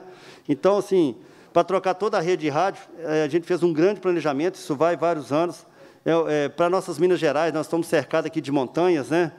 é, uma, é um dificultador mas nós estamos saindo é, na frente. Então, dentro desse projeto estruturador do governo, os senhores têm também nos apoiado. É, nós vamos ter comunicações mais seguras, mais confiáveis, mais disponíveis e onde a gente pode gerenciar, porque é, pelo rádio, pela viatura, o senhor consegue identificar, por exemplo, o GPS, consegue transmitir dados e fazer rastreamento. É, o outro projeto, né, que, é, como a gente falou no, no início, é, é investir também nas, uhum. a, a, na tecnologia. Né? Então, dentro desse projeto de tecnologia, nós temos dois, dois grandes projetos, que é o projeto Divisa Segura, onde a gente faz aquisição de central de processamento de dados e imagem de sistema Hélios. Né? A gente faz intercâmbio é, de, de imagens. Então, nas cidades do interior, nós estamos aí cercando, é, entre aspas, né, nas principais cidades das divisas, é, buscando patrocínio, buscando é, emendas, buscando parceiros para a gente comprar o máximo de, de números de, que a gente pode dizer aqui, de câmeras. E através do sistema de, de inteligência, né, esses equipamentos, ele, é, além de viaturas, nós estamos comprando é, cap, é, computadores né, e, e centros de processamento de dados com capacidade para usar a inteligência artificial e nos ajudar no monitoramento desses dados. A gente, a gente pode dizer, inclusive, sobre a ocorrência de Varginha, que lá em Varginha a, havia um monitoramento, é a inteligência que fez a grande diferença ali, né? E nesse projeto, e nesse processo nosso aqui de, de monitoramento, às vezes na, nas madrugadas, localiza veículos, placa de veículo, né? Passa nessa placa e é, a, a, essas câmeras pegam a placa e a gente vai para uma central, a gente, a gente consegue, então, através disso, monitorar e ver para onde estão deslocando aqueles veículos. E, às vezes, nesse caso lá, tinha alguns veículos furtados, e é o que nos chamou a atenção e permitiu a gente fazer aquela ação exitosa. Agora, para fechar, vou falar dos resultados, né? e a gente queria fazer uma síntese da seguinte forma. Então, foi cuidando da instituição, olhando para dentro da instituição, cuidando da tropa, cuidando da saúde, que nós pudemos, então, ter segurança para poder cuidar da nossa, da nossa sociedade, cuidar aí naquilo que ela necessitava, achar o ponto da gente ser ali uma polícia solidária, uma polícia de proximidade. E, e a gente, em alguns momentos, alguns falam assim, comandante, mas vai entregar a cesta básica, nós temos que prender bandido. Comandante, nós vamos, nós vamos fazer campanha de, de, de mantenha máscara, de conscientização contra a Covid. Nosso, nosso negócio aqui é é prender bandido, falou assim, não, nós vamos fazer os dois. E eu tenho a grata satisfação agora né, de mostrar esses resultados, que é fruto, além de tudo isso, né, dessas estratégias, é fruto também do apoio da, da logística colocada, como nós colocamos nesse, nesse triângulo aí. Bom, então, os senhores podem ver né, como é que a linha descendente de 2016 para cá, taxa de homicídios consumados, né, de 2015 a 2021 veio, caindo, nós estamos chegando na taxa da Organização Mundial da Saúde. A meta, isso aqui é uma projeção, hoje está variando assim, eu acordo de manhã e olho, olho como é que ficou o dia anterior, varia dois para cima, três para baixo, mas a gente está com a expectativa que nós vamos manter essa meta até o, o dia 31. E no ano que vem buscar a taxa da Organização Mundial da Saúde, que são é, abaixo de 10, né? Ou seja, de, a gente quer, quer hoje está 10,99, a gente quer chegar ano que vem em 9,99 é muito apertado, que a gente veio caindo proporcionalmente, e é, é, é, desafiadora, mas é isso que nós estamos procurando. Aqui são centenas, né, centenas de vidas poupadas. Isso aqui, gente, nós temos o próprio bandido, né, às vezes ele está numa escuta nossa lá, o próprio bandido fala assim, não mata não, não mata não, que a, senão a polícia é, vem cá e, e, fica aqui 15 dias aqui no, no aglomerado. É, nós temos é, muito foco né, na redução desses homicídios. Continuando aqui, os resultados finalísticos, taxa de crimes violentos, da mesma forma, uma, uma ainda mais agressiva, a queda, né, 75,38%. Esses dados são do nosso sistema nosso mineiro, né, de é, os sete crimes violentos que a gente monitora. Mas olha que interessante. O Ministério da Justiça, pode passar aí, por favor, estamos acabando o Ministério da, da Justiça e, e, Segurança Pública, são dados que eles, eles monitoram do Brasil inteiro, né, dos 27 estados, são dados é, que eles computam somente os dados da ocorrência registrada, o boletim de ocorrência, já lá na, já na, na, nas delegacias. Né? Então, nós tivemos lá, no, no ranking de 2019, a gente estava em terceiro lugar, em 2020, nós passamos nos nove crimes de lá para o segundo lugar, e agora, né, nesse mês, de outubro, a gente passou para o primeiro lugar. Isso é fruto do apoio que os senhores têm nos dado, né, de todo o apoio logístico, de toda a, a, a estrutura que é colocada à disposição do, das forças de segurança. Isso aqui, é, nós somos Polícia Militar, nós somos contribuinte desses resultados, nós temos uma, toda uma integração com as outras forças, e inclusive com os outros poderes, né, que nos fortalece, nos direciona, e a ação integrada, são muitas ações integradas. É, Fechando aqui os resultados finalísticos de Minas, é, é diferente a metodologia do, de, de, Brasília, né? É, eles, por exemplo, no primeiro crimes violentos, eles citam ali no, é, nove crimes. É, nos crimes ali violentos mais impactantes são cinco crimes. E no, e no último, na última linha lá, na última coluna, Crimes mais violentos são quatro crimes que são o homicídio doloso, lesão corporal, seguida de morte, latrocínio e estupro. Né? É, nós estamos em todos eles em primeiro lugar. Isso é muito orgulho, isso é muita satisfação, mas isso é muito trabalho, é, é o esforço individual de cada policial né, de, de trazer é, Minas para essa posição de segurança aí. É, fechando, eu gostaria de, de falar que foi o alinhamento, aquilo que foi determinado né, no Plano Mineiro de, de, de Desenvolvimento, é, como, por exemplo, melhorar o destino turístico-cultural, segurança, melhorar a sensação de segurança. Esse alinhamento da instituição a isso, né, que nos permitiu, então, nessas três ações que a gente que tem usado para o comando, zelar pela instituição, zelar da polícia, né, zelar, zelar do policial, para que ele também possa conseguir trabalhar focado no cidadão e, e com essa, esses resultados, a gente tem credibilidade, a gente tem confiança da instituição, dos parlamentares, para investir, continuar investindo, né, como a gente citou aqui as emendas, mais de é, quase 60 milhões nesse período de emendas, que foram destinadas especificamente né, para esse foco que nós colocamos, e é nessa otimização dos recursos que a gente tem chegado a esses resultados. A minha fala é, é essa, desculpa avançar o prazo, e muito obrigado mais uma vez pela oportunidade, e é um orgulho ser um policial militar e ter contribuído para que o Estado de Minas esteja atravessando essa danosa é, pandemia.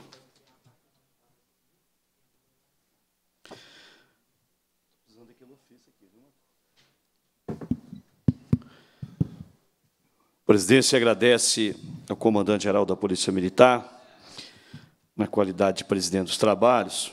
Passarei a fazer algumas perguntas, comandante considerando a necessidade dos esclarecimentos em relação aos questionamentos aqui e também em relação ao último Assembleia Fiscaliza. Primeiro, quero parabenizar os trabalhos e o senhor deixou claro que em todos os índices estamos em primeiro lugar.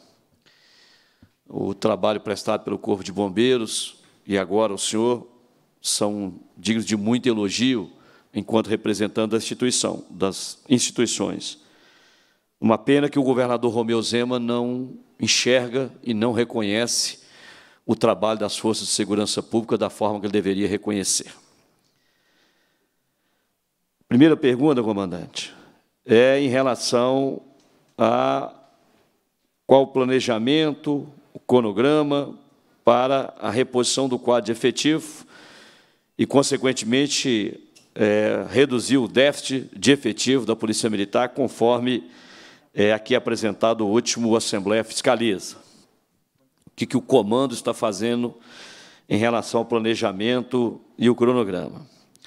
O segundo, porque é bom que saiba, quando a gente cobra aqui o efetivo do governo, é porque nós sabemos que a sobrecarga de trabalho é enorme para os policiais que estão na ativa tanto policiais quanto bombeiros. O segundo, quais são os recursos financeiros, e aí não é custeio, mas de investimento, foram destinados à política de segurança pública, Polícia Militar de Minas Gerais. Quais são os recursos de investimento destinado pelo governo do Estado? Terceira pergunta: Quais ações efetivas, concretas, estão sendo desempenhadas quanto à integração das forças de segurança pública por parte do comandante-geral da Polícia Militar, no sentido do planejamento, da inteligência, da troca de informações, com vista ao aprimoramento da política estadual de segurança pública.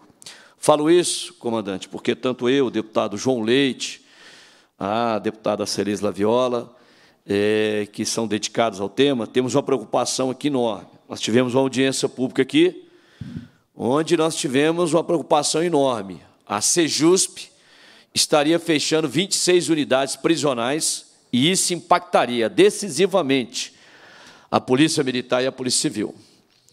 Providenciamos uma audiência pública, fomos alertados, fizemos a primeira, chamamos a primeira audiência, mas infelizmente o secretário não pôde vir. Nós remarcamos a audiência pública, veio aqui o representante da Polícia Militar, da Polícia Civil, o secretário Rogério Greco que, Greco que esteve, e conseguimos, através da intervenção da Comissão de Segurança Pública, que os 26 unidades prisionais não fossem fechadas. Iria impactar decisivamente. E assim sempre será, comandante.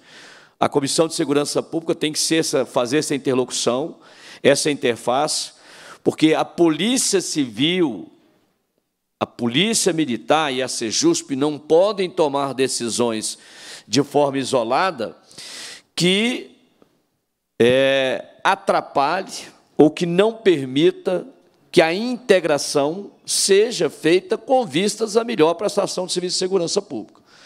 E isso a comissão estará sempre vigilante para que a gente cobre isso. Muitas vezes há uma certa dificuldade entre os chefes, e isso é histórico, mas aí cabe à Comissão de Segurança Pública é, solicitar, intervir, intermediar para que isso aconteça.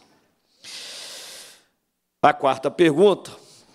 O comandante-geral da Polícia Militar, como presidente do Conselho de Administração do IPSM, nós solicitamos do senhor para que o senhor evite esforços no sentido de cobrar da Secretaria, do Secretário Estadual de Fazenda e da Secretaria de Planejamento e Gestão a devolução da cobrança ilegal de 2,5% a mais a título de contribuição dos segurados dos policiais militares ativos e veteranos e 10,5% das pensionistas, considerando que o disposto no artigo 4 parágrafo 1 inciso 2 da Lei Estadual 10366 é, está em vigor.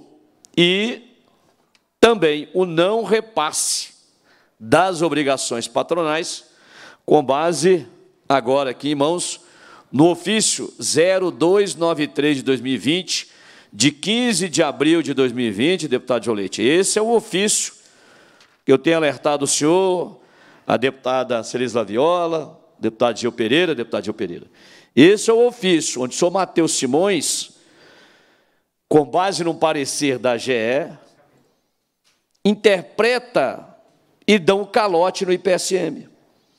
Só que este ofício foi baseado em, em pareceres antes de abril. Ele está datado de 15 de abril de 2020. Os pareceres que eles embasaram foram antes de abril de 2020. No entanto, deputado Gil Pereira, deputada Celis Laviola, deputado João Leite, houveram duas decisões do Supremo Tribunal Federal em que julgou inconstitucional o artigo 24C da Lei 13954/2019, a chamada reforma da previdência dos militares em Brasília, e que exatamente o núcleo da, da segurança que eles basearam estava nesse artigo. Então, a lei vigente atual é a nossa, que não foi é, é, é, é revogada de forma nenhuma. E aqui o secretário de Fazenda continua insistindo em querer se amparar. Só que nós tivemos um acórdão é, por provocação do Mato Grosso. O que, que o Mato Grosso fez, deputada Celis? Olha, eu não concordo com a alíquota de 10,5. Eu quero mais. Foi o Supremo, o Supremo disse, olha, essa matéria é de competência do Estado-membro. Não é de competência de norma geral da União. Então nós estamos com dois acordos. Inclusive o acórdão do Mato Grosso votado por unanimidade, sabia? Unanimidade, cujo relator foi o ministro Alexandre Moraes. Falou: olha, o artigo 24C, parágrafo 1 e 2, o senhor Matheus Simões baseou, ele é inconstitucional. Veio isso agora em outubro do ano passado. Agora, o mês passado, o Estado de Santa Catarina também vinha com uma ação judicial questionando a mesma coisa.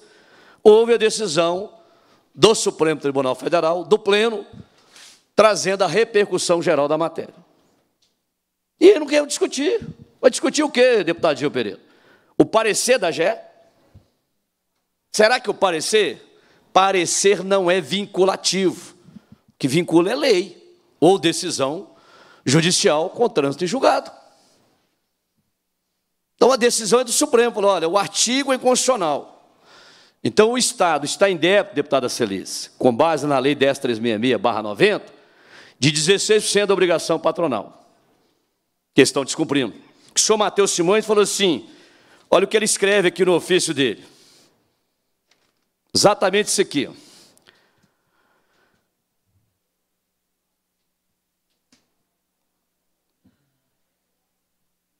Em outras palavras, o parágrafo 1 do artigo 24c prevê que compete ao ente federativo a cobertura de eventuais insuficiências financeiras isso é fato, mas também está na lei 10366.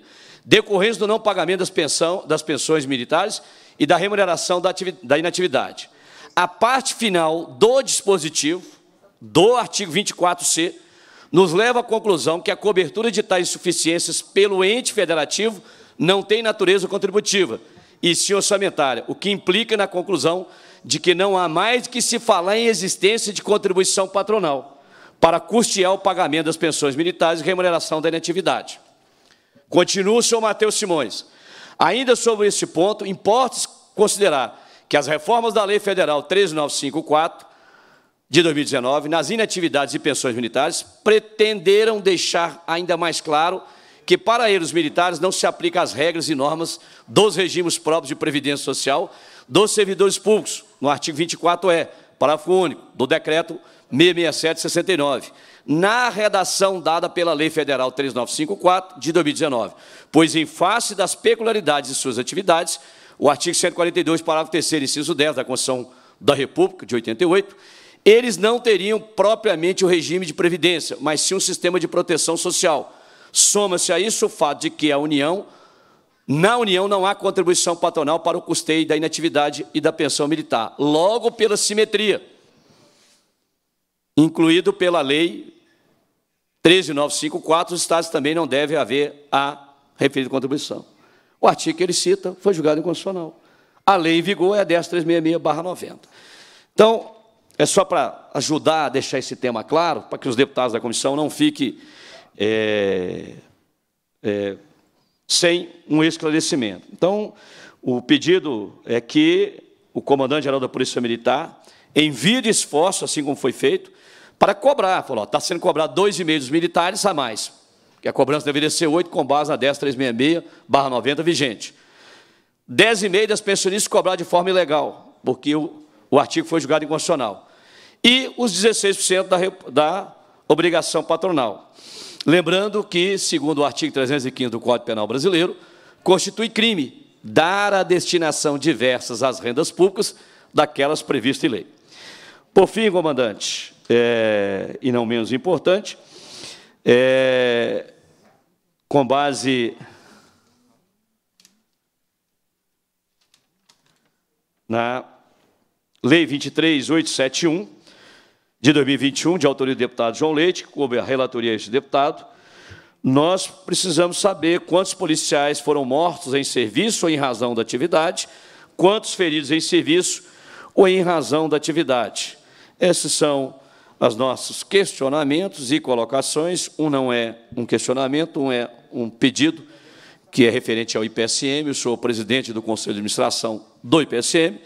Então, nós gostaríamos que o senhor fizesse, envidasse, envidasse esforços no sentido de cobrar da CEPLAG, da Fazenda e da AGE, que está fazendo uma interpretação que nós chamamos no direito de mala parte, para prejudicar a outra parte. E a outra parte é exatamente o IPSM.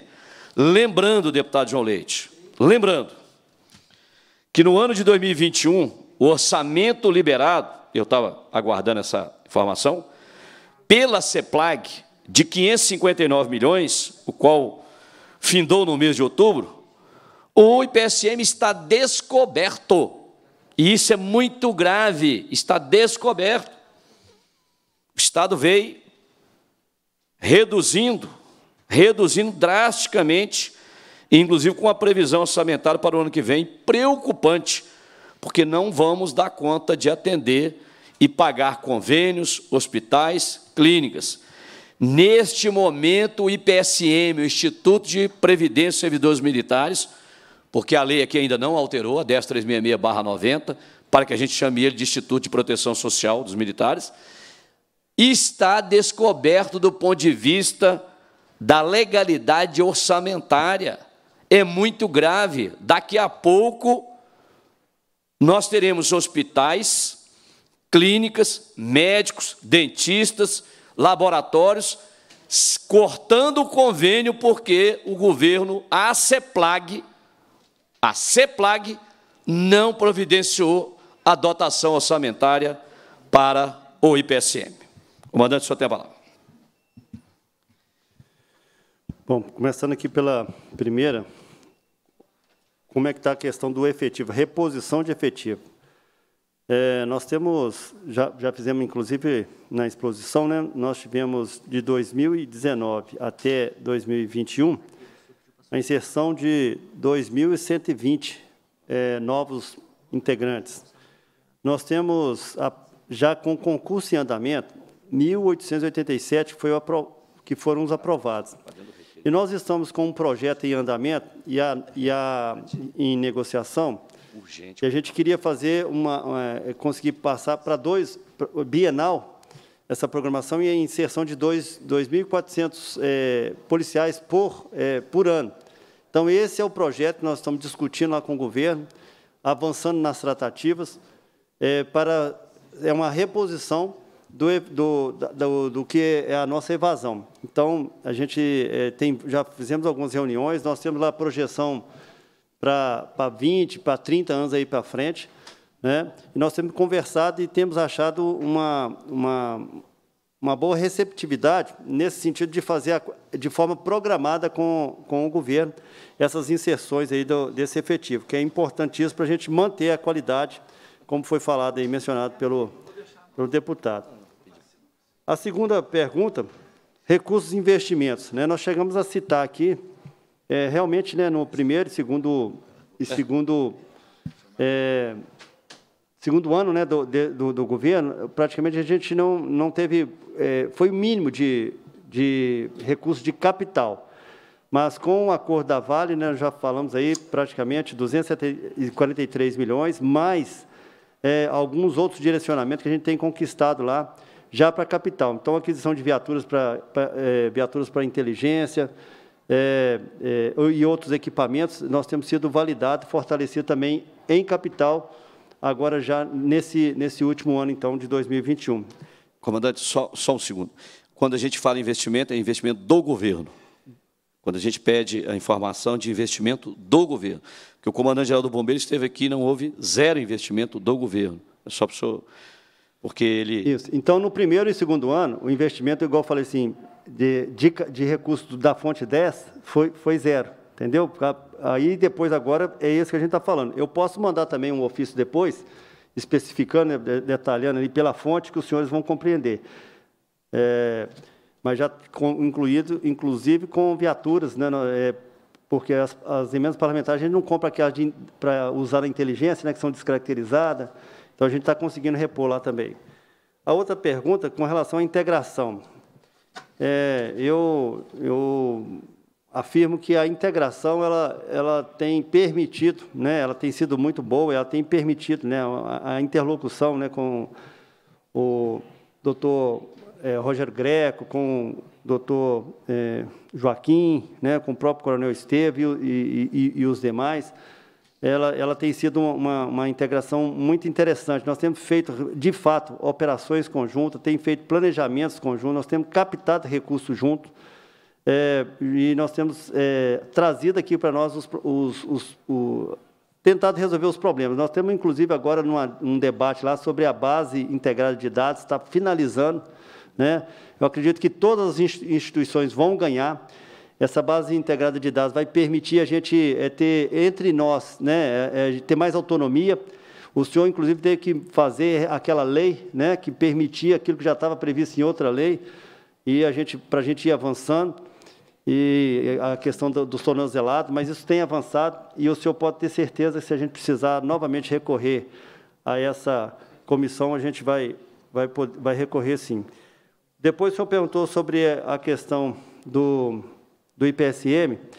O, IPSM, senhores, é um, é um dos pontos mais é, importantes para a gente que nós estamos discutindo. Né? Nós temos que achar solução.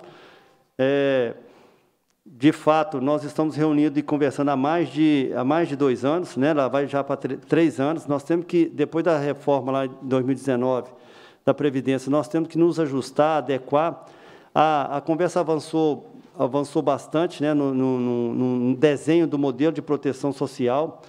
É, é importantíssimo a gente ter essa, essas, essa clareza, né? E tem uma parte que ela é interpretativa, a gente realmente, como o senhor, determin, é, o senhor colocou aqui para nós, né? Nós vamos, vou oficiar lá e vou, e vou atuar e vou demonstrar para o senhor quais as ações que nós estamos fazendo porque o, o, IPCM, de fato, ele é o nosso bem maior. O senhor viu que eu passei aqui falando, um terço do que eu falei, pelo menos, foi relativo à saúde. E se a gente não tem saúde, a gente não tem segurança. Se a gente não tem segurança, a gente precisa é, ficar... É, é, a gente vai desviar nossa atenção para outras questões. Então, Esse é, a gente diz, o IPCM é a joia da coroa, é, mas a legislação atual, ela tem uma parte lá que ela vai ser resolvida de forma, eu acho, bem, é, aí para mais uns 10, 20 anos, através dessa, dessa legislação que, que será discutida aqui nessa casa. Né? A gente fez, é, nós fizemos muitas reuniões estamos aguardando um momento adequado que o governo vai mandar para cá. E eu acredito que a gente vai sair com uma solução que vai trazer é, é, um, uma solução aceitável né, para essas questões que o senhor colocou aqui. Uma parte dela realmente é interpretativa, e, mas a gente tem uma boa expectativa né, que a gente vai atualizar o documento, a gente vai atualizar segundo a legislação, e, de fato, é, é necessário né, que a Assembleia aqui, que a lei saia do Estado, para poder a gente é, ter mais segurança né, é, é, jurídica e, e, segurança da sustentabilidade do nosso é, prestimoso IPSM. O senhor fez uma, uma, ainda, o senhor fez uma, uma, quinta, uma quinta pergunta, eu acabei me distraindo nela, senhor. Foi com relação, relação ao número de mortos Isso. e feridos em serviço ou em razão da atividade. Eu vou buscar meus dados aqui, senhor. Depois eu vou. Isso aqui é, é é uma informação que a gente não, não passa ela em público, né, senhor? Mas a gente, é, eu tenho uma grata satisfação de dizer que de 2019 para cá, senhor, nós não perdemos nenhum policial militar. Eu estou muito orgulhoso, eu agradeço a Deus, eu oro a Deus, todo mundo aí que, que pode orar e pedir, a gente faz. Eu tenho os dados aqui, vou mostrar para o senhor, nós não perdemos nenhum policial militar é, em combate. Aí tem algumas outras questões aqui de policial ferido, eu vou, vou, vou passar aqui para o senhor, mas essa é uma afirmação que eu falo com muito orgulho. A gente pede às igrejas para orar, a gente agradece a Deus, porque isso é muito precioso para nós. E, e a gente, mas a gente perdeu lá para trás, só que nós aprendemos, nós reforçamos nosso protocolo. Nós, os policiais militares podem até treinar, podem até reclamar de treinamento, mas ele vai reclamar que está treinando demais. Né? E aí a gente tem que conscientizar, tem que ajustar as escalas, mas é, é, mas é isso que está acontecendo. Eu vou, vou abrir aqui e vou mostrar para o senhor. Comandante, quando a gente fala mortos em serviço ou em razão da atividade, ela está abrangendo não só nas atividades operacionais, mas também, por exemplo, no enfrentamento da própria pandemia. Né? Porque se ele estava na ativa, né, então o senhor Palestor trouxe aqui um número de 34. E, e eu já falei, inclusive mostrei as fotos dos nossos heróis aí, foram 34 34 em decorrência da, da Covid. Da Covid. Não tem relação direta com a nossa atividade, mas foram aqueles que tombaram. Alguns tinham é, comorbidade, outros não. Então, cada caso lá tem um diagnóstico, foi feito um estudo aprofundado, mas esse é o fato. Esse é o, e depois, senhor, da vacinação, não perdemos mais nenhum. Muita gente ainda pega, né, é, ainda é contaminado, mas passa ali uma semana ou duas, às vezes não está não tá tendo mais entuba, entubamento, né? É, então, a gente, é, é essas informações. Ok. Deputado João Leite ou Celisa Viola? Oi? Celisa Viola. Deputada Celisa Viola, Vossa Excelência tem a palavra. Sempre. A gentileza do irmão deputado João Leite é uma coisa impressionante, não é, presidente? mais uma vez, presidente, aproveitar, né, porque os que não estavam aqui conosco na primeira, parabenizá-lo pela condução dos trabalhos, a Comissão de Segurança Pública, que praticamente já pertence ao deputado Sargento Rodrigues, né, deputado João Leite? Não tem jeito, e, e, esse trabalho fantástico que ele faz frente à comissão e a forma como ele representa a, a, sua classe aqui na Assembleia, respeitada por todos os colegas, né, a forma de condução do trabalho. Deputado Gil Pereira, aqui conosco também, participando, é, Coronel Luiz e Coronel Baracho, Tenente Peri, Peri nosso Samir lá da Segov, né, a nossa assessoria aqui da, da maioria, a minha do gabinete, e, de uma forma muito especial, né, a nossa turma aqui das comissões e, e, e consultoria também, de uma forma muito especial, o nosso comandante, Coronel Rodrigo, que tem feito um trabalho de destaque, principalmente eh, o presidente, na, no interior de Minas. É, ele esteve conosco, fez questão, entregamos várias viaturas para a patrulha rural. É, ele esteve lá vendo a realidade, que é claro, né, vocês militares todos conhecem muito de, de perto a realidade de todo o Estado, mas ele fez questão de ir e, e presenciar realmente a necessidade daquelas emendas que estavam sendo entregues, né, os, os investimentos feitos, e essa diferença que tem sido o trabalho da Polícia Militar sobre o comando do Coronel Rodrigo e também né, com o nosso governador Romeu Zema, a forma como vem sendo conduzido o trabalho, o que, o que continua mantendo, porque a nossa Polícia Militar é conhecida como a melhor polícia militar do Brasil. E isso continua e permanece. Não é, não é conhecida, não, ela é. Não, mas eu digo que ela é conhecida no Brasil todo como a melhor. Eu me expressei mal. Né? E como o, o, o presidente sabe, meu pai já foi da Polícia Militar, uma vez militar, todos os filhos sempre apaixonados por ela. Então, a gente tem que fazer essa menção desse trabalho maravilhoso que vocês estão fazendo é, o empreendimento que vocês estão tentando levar para o interior, deixar aqui a nossa satisfação com a queda das taxas de criminalidade, né? essa diminuição da criminalidade tem feito também uma diferença, dizer que a importância que tem a presença do policial militar em todo o município, a sensação de segurança que a presença da polícia militar traz. Basta a presença a população já se sente segura, o povo já se sente seguro e sabe que ali está protegido.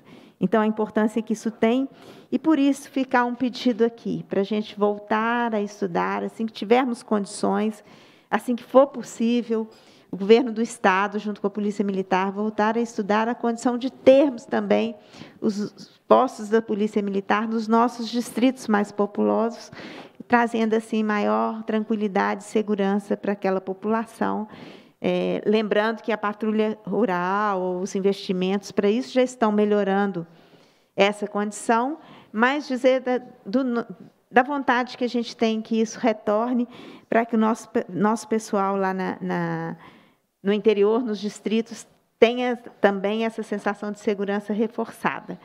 Então, fica aqui esse pedido. E tenho aqui uma pergunta de um colega muito querido, o deputado Charles Santos, deixou, e se o presidente me permitir, vou passar. Fique à vontade.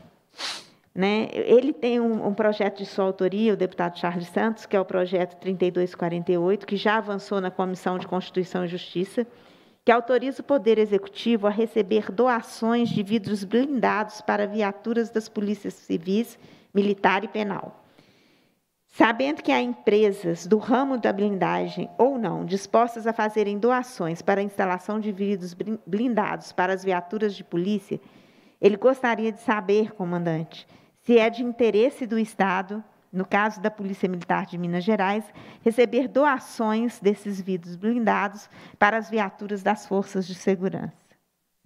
Ele, ele deixou essa pergunta aqui, estou fazendo para ele aqui né? E agradecer mais uma vez a receptividade do Coronel Rodrigo e de toda a equipe da Polícia Militar, toda a equipe, da forma como a gente tem sido tratado é, por essa instituição.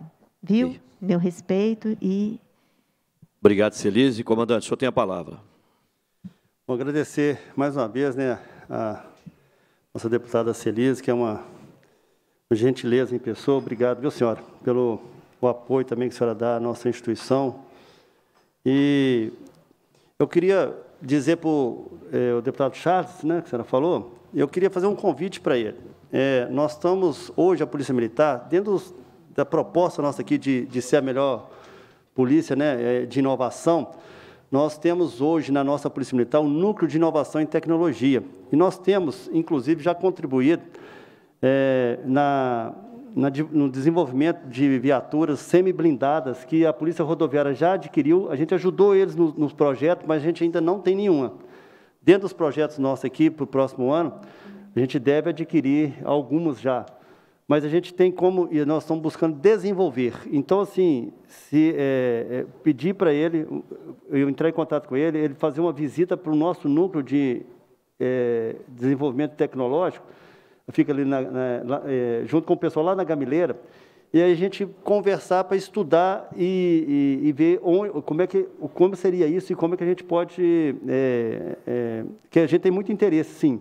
Inclusive, é, nós temos é, convênio, assinamos um convênio agora recente né, de parceria com a, a, a Universidade Federal, né, o sistema de tecnologia desse também, é, às vezes na, na área de, de inteligência artificial, mas também nessas áreas de desenvolvimento, a própria é, e a própria Secretaria de Desenvolvimento, nós estamos junto com eles, é, buscando, dentro desse grande laboratório que é a Polícia Militar, formas da gente avançar.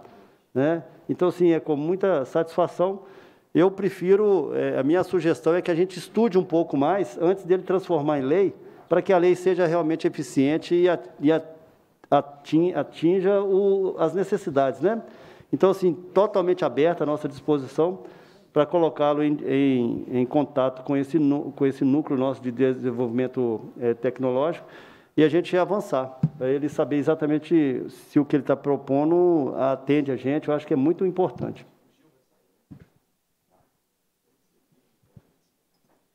Obrigado, comandante. Com a devida autorização do deputado João Leite, passa a palavra ao deputado Gil Pereira. Obrigado, presidente Sargento Rodrigues, mais uma vez parabenizando pelo belo trabalho que faz frente a essa comissão. Nosso respeito e aplauso ao seu trabalho. Saudar nesse grande amigo, deputado João Leite, e há sete mandatos nós convivemos aqui, também um, um deputado brilhante, como eu falei há pouco, está colocando Minas nos trilhos, né, levando o desenvolvimento, levando a segurança, a qualidade de vida e barateando, vai baratear né, os alimentos, baixando a inflação. Saudar a nossa deputada Celise, minha vizinha, que convivi com seu pai, né, com, com, com Zé Henrique e você, parabéns pelo belo trabalho da família toda. Saudar o Coronel Rodrigo, é, em seu nome também o nosso amigo Coronel Baracho, o Luiz Reis, dizer do, do, do nosso contentamento em saber sempre que a nossa polícia militar é a número um de, do, do, nosso país. A gente fica orgulhoso né, com a nossa polícia militar pelo efetivo, pela consciência, pelo trabalho, pelas músicas que a gente ouve também da banda, né, das bandas que, que a gente tem que aplaudir. Né? A gente remete à nossa infância. Então, a, todas as bandas é, são muito importantes. E dizer, é, Coronel Rodrigo, que sexta-feira passada estive lá na Câmara Municipal de Montes Claros, na, na minha cidade, na minha Montes Claros, o vereador Marcos Né fez lá um título cidadão benemérito para o Coronel Giovanni, Tenente Coronel Giovanni. E que história bonita de vida, né? Deixa eu falar uns dois, uns dois minutinhos aqui. Coronel Giovanni, que, igual ele falou, né, a mãe solteira, teve que dar o, esse, esse, esse rapaz, esse menino, para uma pessoa criar. E aos 13 anos saiu para trabalhar, encontrou com a mãe aos 16 anos. Dois, dois anos depois a mãe morreu, é, o pai morreu, é, e aí era jogador de futebol, né, goleiro, é, João Leite. Jogou no São Paulo, né, é, jovem ainda. Foi alfabetizado aos 20 anos e entrou para a Polícia Militar. Então, sem pai, sem mãe, sem a, os avós que faleceram também, sem nenhuma referência. Aí entrou na Polícia Militar. Hoje tem três cursos superiores, sargento Rodrigo. Tem cinco especializações, mestrado.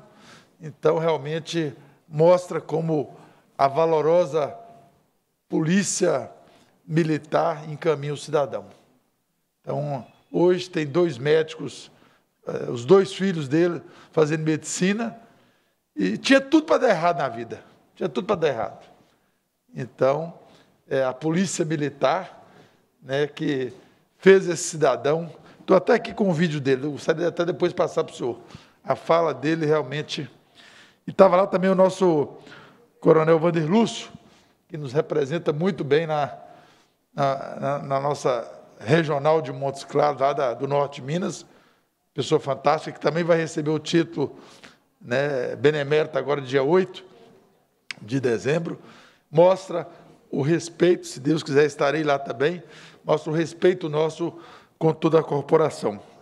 Mas aí vai os pedidos também. Né? Como o senhor sabe, a nossa região do norte, Minas, é o segundo entroncamento rodoviário.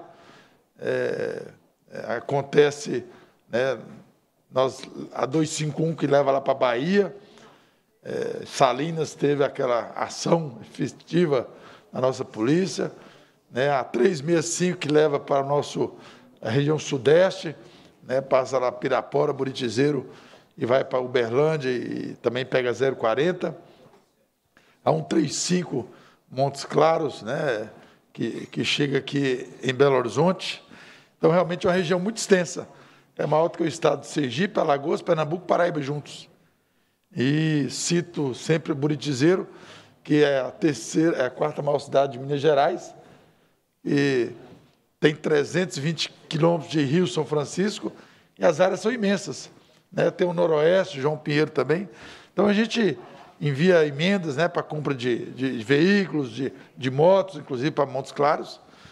E aí, mas a gente sempre aplaudindo, mas é, é, é, solicitando que nesses acordos aí, né? Estivemos lá em Brasília com, com o nosso senador Rodrigo Pacheco, Alexandre Silveira, né? Aqueles 50 milhões, é, é, que foi esse entendimento lá da bancada federal e, e dos deputados federais do Senado é, Federal, com o Alexandre Silveira, é, é, que é o diretor também lá da, do Senado, da presidência, representando o senador Rodrigo Pacheco, que é também né, da Polícia Civil.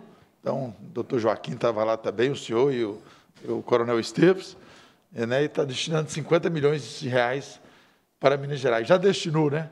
E aí é para distribuir, acho que é é, para todas as polícias. Então, é, nesse quinhão aí, a gente pede, solicita para que a gente possa né, atender o norte de Minas, né, o noroeste, o Jequitinhonha, que são regiões carentes, muito grandes, e tem muitos distritos longe, né, é, e nós pedimos que né, esses recursos sejam realmente encaminhados para lá. Então, é, é agradecer, parabenizar né? Essa base integrada é muito importante para o nosso Estado, principalmente para a nossa região do Norte de Minas, e nós queremos, né, parabenizando, mas solicitando também esses recursos prioritariamente para a nossa Montes Claros para todo o Norte de Minas. Muito obrigado.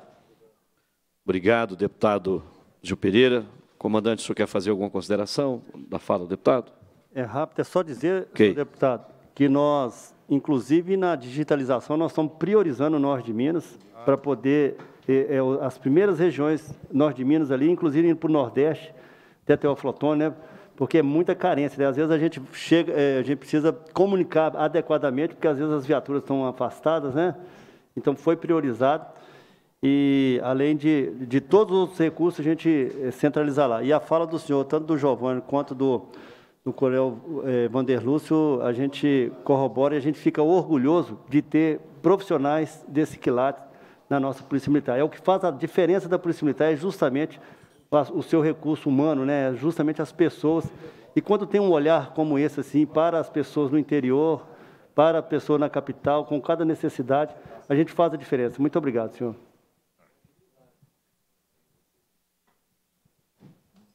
Presidência passa a palavra ao deputado João Leite. Ele tem que votar requerimentos, precisa da presença do, do Gil para votar. O presidente não quer votar os requerimentos de uma vez, não? Senão eu vou poder falar pouco. Está tá ainda em conclusão, né? Tá bem, então. Então, vou falando, eu queria saudar o Coronel Rodrigo, esse servidor não é, do Estado de Minas Gerais, tão competente e esforçado. Queria também aqui registrar com muita alegria a presença do Coronel Reis, Coronel Reis sempre tão, tão querido, né, recebendo as, as manifestações da Assembleia, os pedidos. O coronel está sempre muito atento. Muito obrigado, prazer revê-lo. Estava preocupado, tem tempo que eu não, não te vejo. E, mas que bom vê-lo tão bem, viu? Os outros comandantes também aqui presentes, muito obrigado. É uma honra para a Comissão de Segurança Pública receber o comando no, da nossa Polícia Militar do Estado de Minas Gerais. Eu queria aqui homenagear não é, esses 34 heróis da Polícia Militar, que a gente fica emocionado porque é, esse é um dos, dos pilares né, da, da democracia, dos direitos humanos, da Constituição, que é o direito à segurança da população. E eles deram a vida deles, né, se arriscaram, não ficaram home office, estavam nas ruas. E nas ruas, infelizmente, perderam suas vidas. Que bom que existe toda uma estrutura da PM para abrigar a família agora, o que é fundamental. Né? Imagino que todos que vão para o embate, o combate nas ruas, pensam nisso, né? que terão essa proteção da Polícia Militar se tombarem no, no exercício né? dessa função é, tão santa de é, garantir as vidas, proteger as vidas, né? Tenho acompanhado o comandante Rodrigo suas andanças, viu? Fico vendo por onde o senhor passou. E onde o senhor passa, o senhor deixa um rastro, né? É, cobrando da população, cobrando das igrejas, apoio a, a todas as suas comandadas e comandados. Parabéns, não é? Estou acompanhando, estou vendo onde o senhor está passando e chamando a população de Minas Gerais ao apoio tão importante ao trabalho da Polícia Militar de garantia das vidas, de garantia das famílias, de garantia da propriedade, tão fundamental, da garantia do ir e vir. Então, eu queria aqui também agradecê-lo e agradecer o comando da PM pela atenção permanente com essa comissão. Nós aqui dessa comissão, e a gente, deputada Celise falou aí, deputado Gil também, nós temos um carinho pelo deputado Sargento Rodrigues.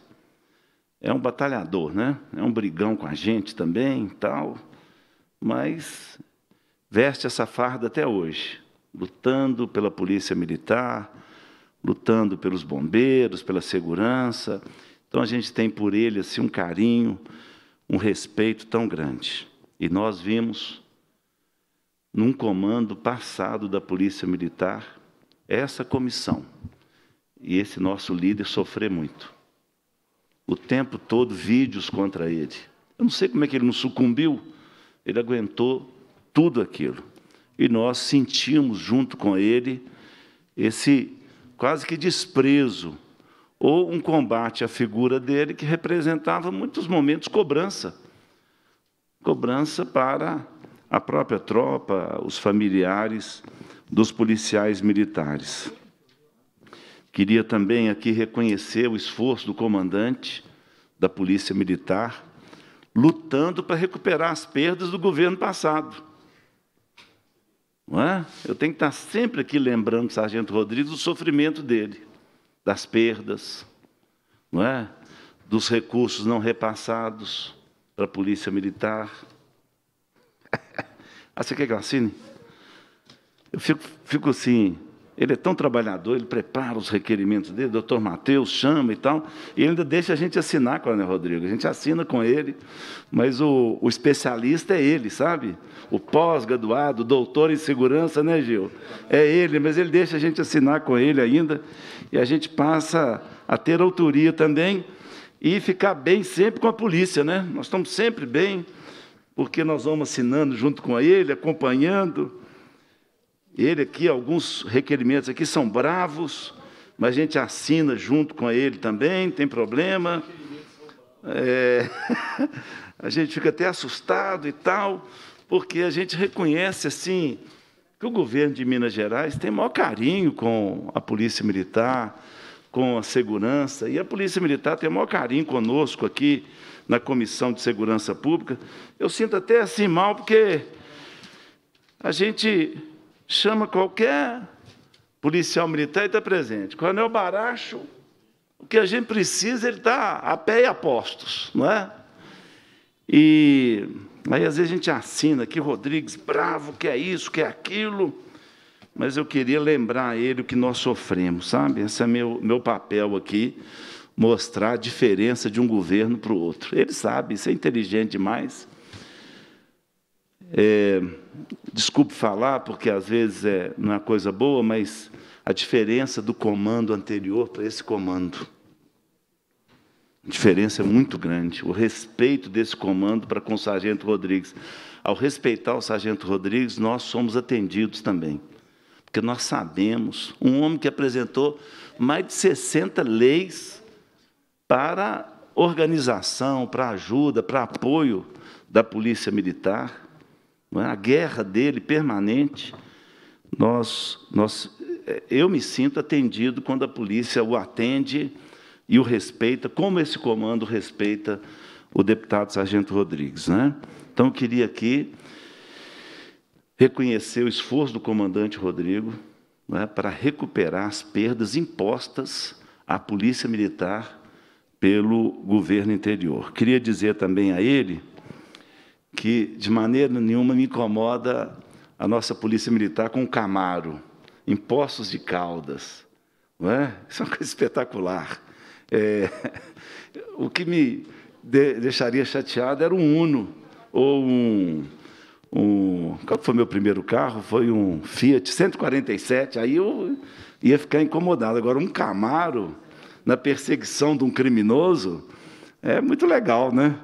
Acho que a gente tem que estar atento a isso. Esses criminosos estão ganhando dinheiro com crime, enquanto a Polícia Militar trabalha com os nossos jovens pelo PROERD para impedir isso.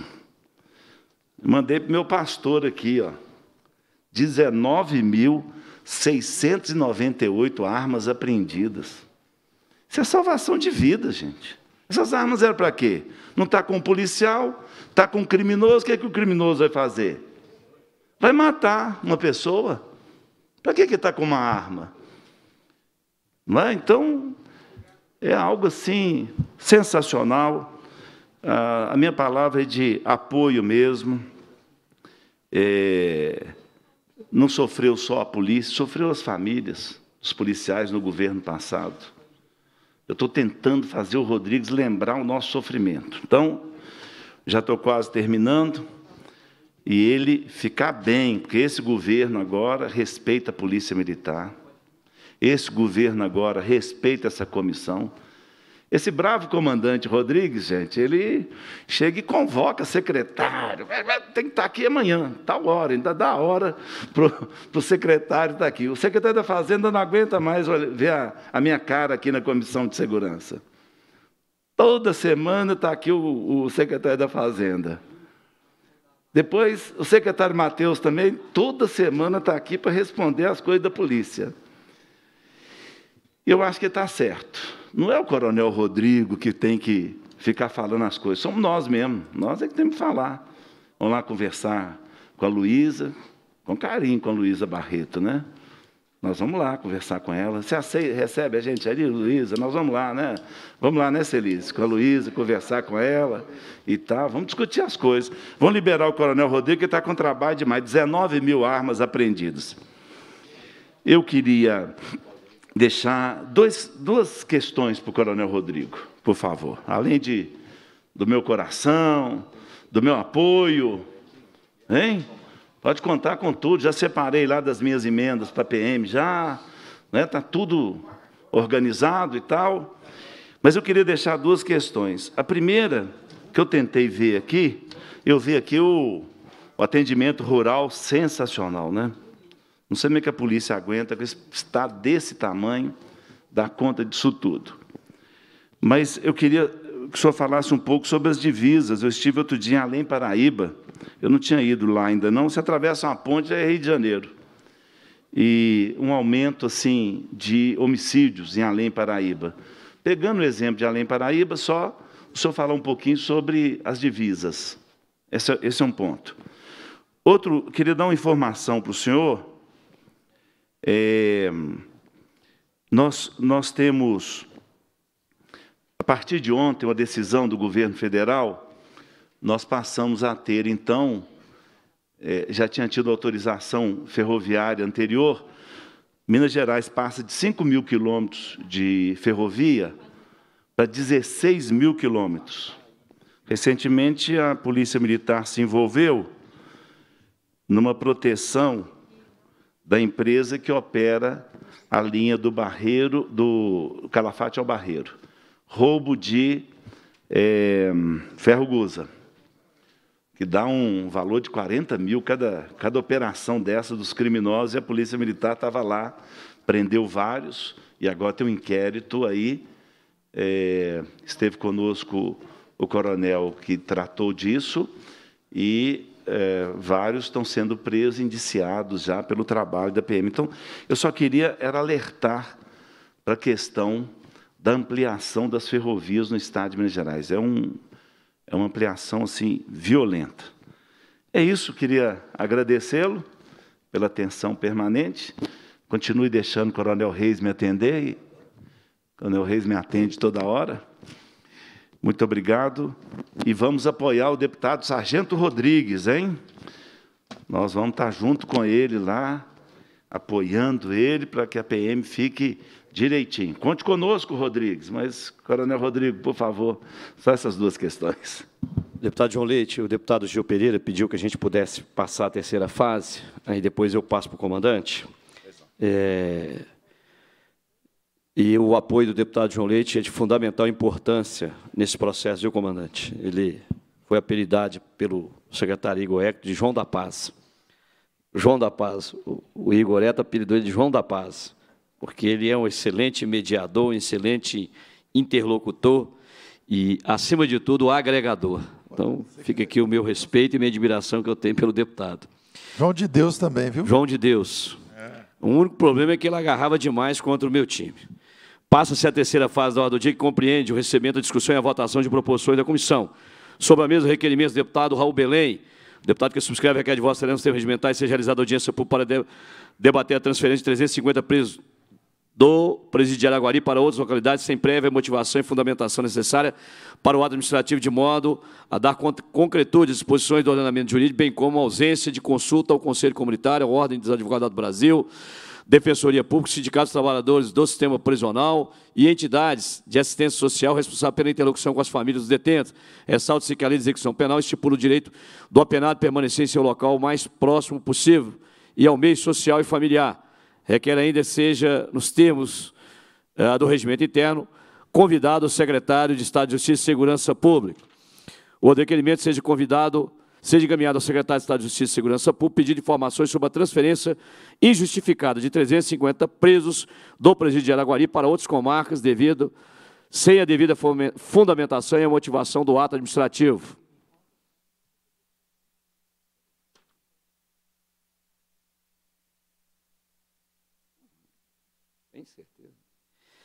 Seja encaminhado, requerimento do deputado Charles Santos, seja encaminhado ao comandante-geral da Polícia Militar, pedir informações se é de interesse do Estado, no caso da Polícia Militar, receber doações de vidros blindados para a viatura da Polícia das Forças de Segurança Pública. Deputado Charles Santos, é do interesse, sim. Doação. Sobre a mesma requerimento assinado, deputado Gil Pereira, Celisa Viola, Sargento Rodrigues, deputado João Leite seja encaminhado ao comandante-geral do Corpo de Bombeiros Militar pedir providências consubstanciadas no cronograma de recomposição do efetivo da instituição, considerando o gráfico de efetivo existente. O requerimento pedir providências para realizar para a realização de esforços, seja encaminhado ao comandante-geral do Bombeiro, a fim de que seja integralmente cumprido o compromisso firmado pelo Poder Executivo para com a recomposição das perdas inflacionárias dos integrantes das carreiras da segurança pública. O outro requerimento seja encaminhado ao Supremo Tribunal Federal para que o Estado de Minas Gerais é, é, no tocante que o Estado, o Estado de Minas Gerais está descumprindo a decisão do STF exaradas nos acórdons, com repercussão geral conhecida nos temas, haja visto que continua sendo descontada de forma ilegal as contribuições dos militares, ativos, veteranos, pensionistas, bem como obrigação patronal. Outro requerimento, seja encaminhado ao comandante-geral do Corpo Bombeiro pedir providência para que a instituição passe a cumprir o disposto no artigo, na Lei 23871, que altera a Lei 13772, que dispõe sobre o registro e a divulgação de dados relativos à violência e criminalidade. Outro pedido que seja encaminhado ao comandante-geral do Corpo Bombeiro, pedido providência, para realizar esforço a fim de seja integralmente cumprido o compromisso firmado pelo Poder Executivo para a recomposição das perdas inflacionárias nos vencimentos das carreiras dos integrantes das Forças de Segurança Pública. Também outro requerimento, seja encaminhado ao governador do Estado, pedido de providência para destinar recursos financeiros e investimentos ao Corpo de Bombeiros Militar, considerando que atualmente a instituição depende de recursos acessórios, ou melhor, aleatórios, tais como emendas parlamentares estaduais e federais. Outro requerimento, seja encaminhado ao comandante-geral do Corpo de Bombeiros Militar, pedido informações consubstanciadas nas ações concretas que estão sendo desempenhadas quanto à integração das forças de segurança pública por parte do comando-geral dessa instituição.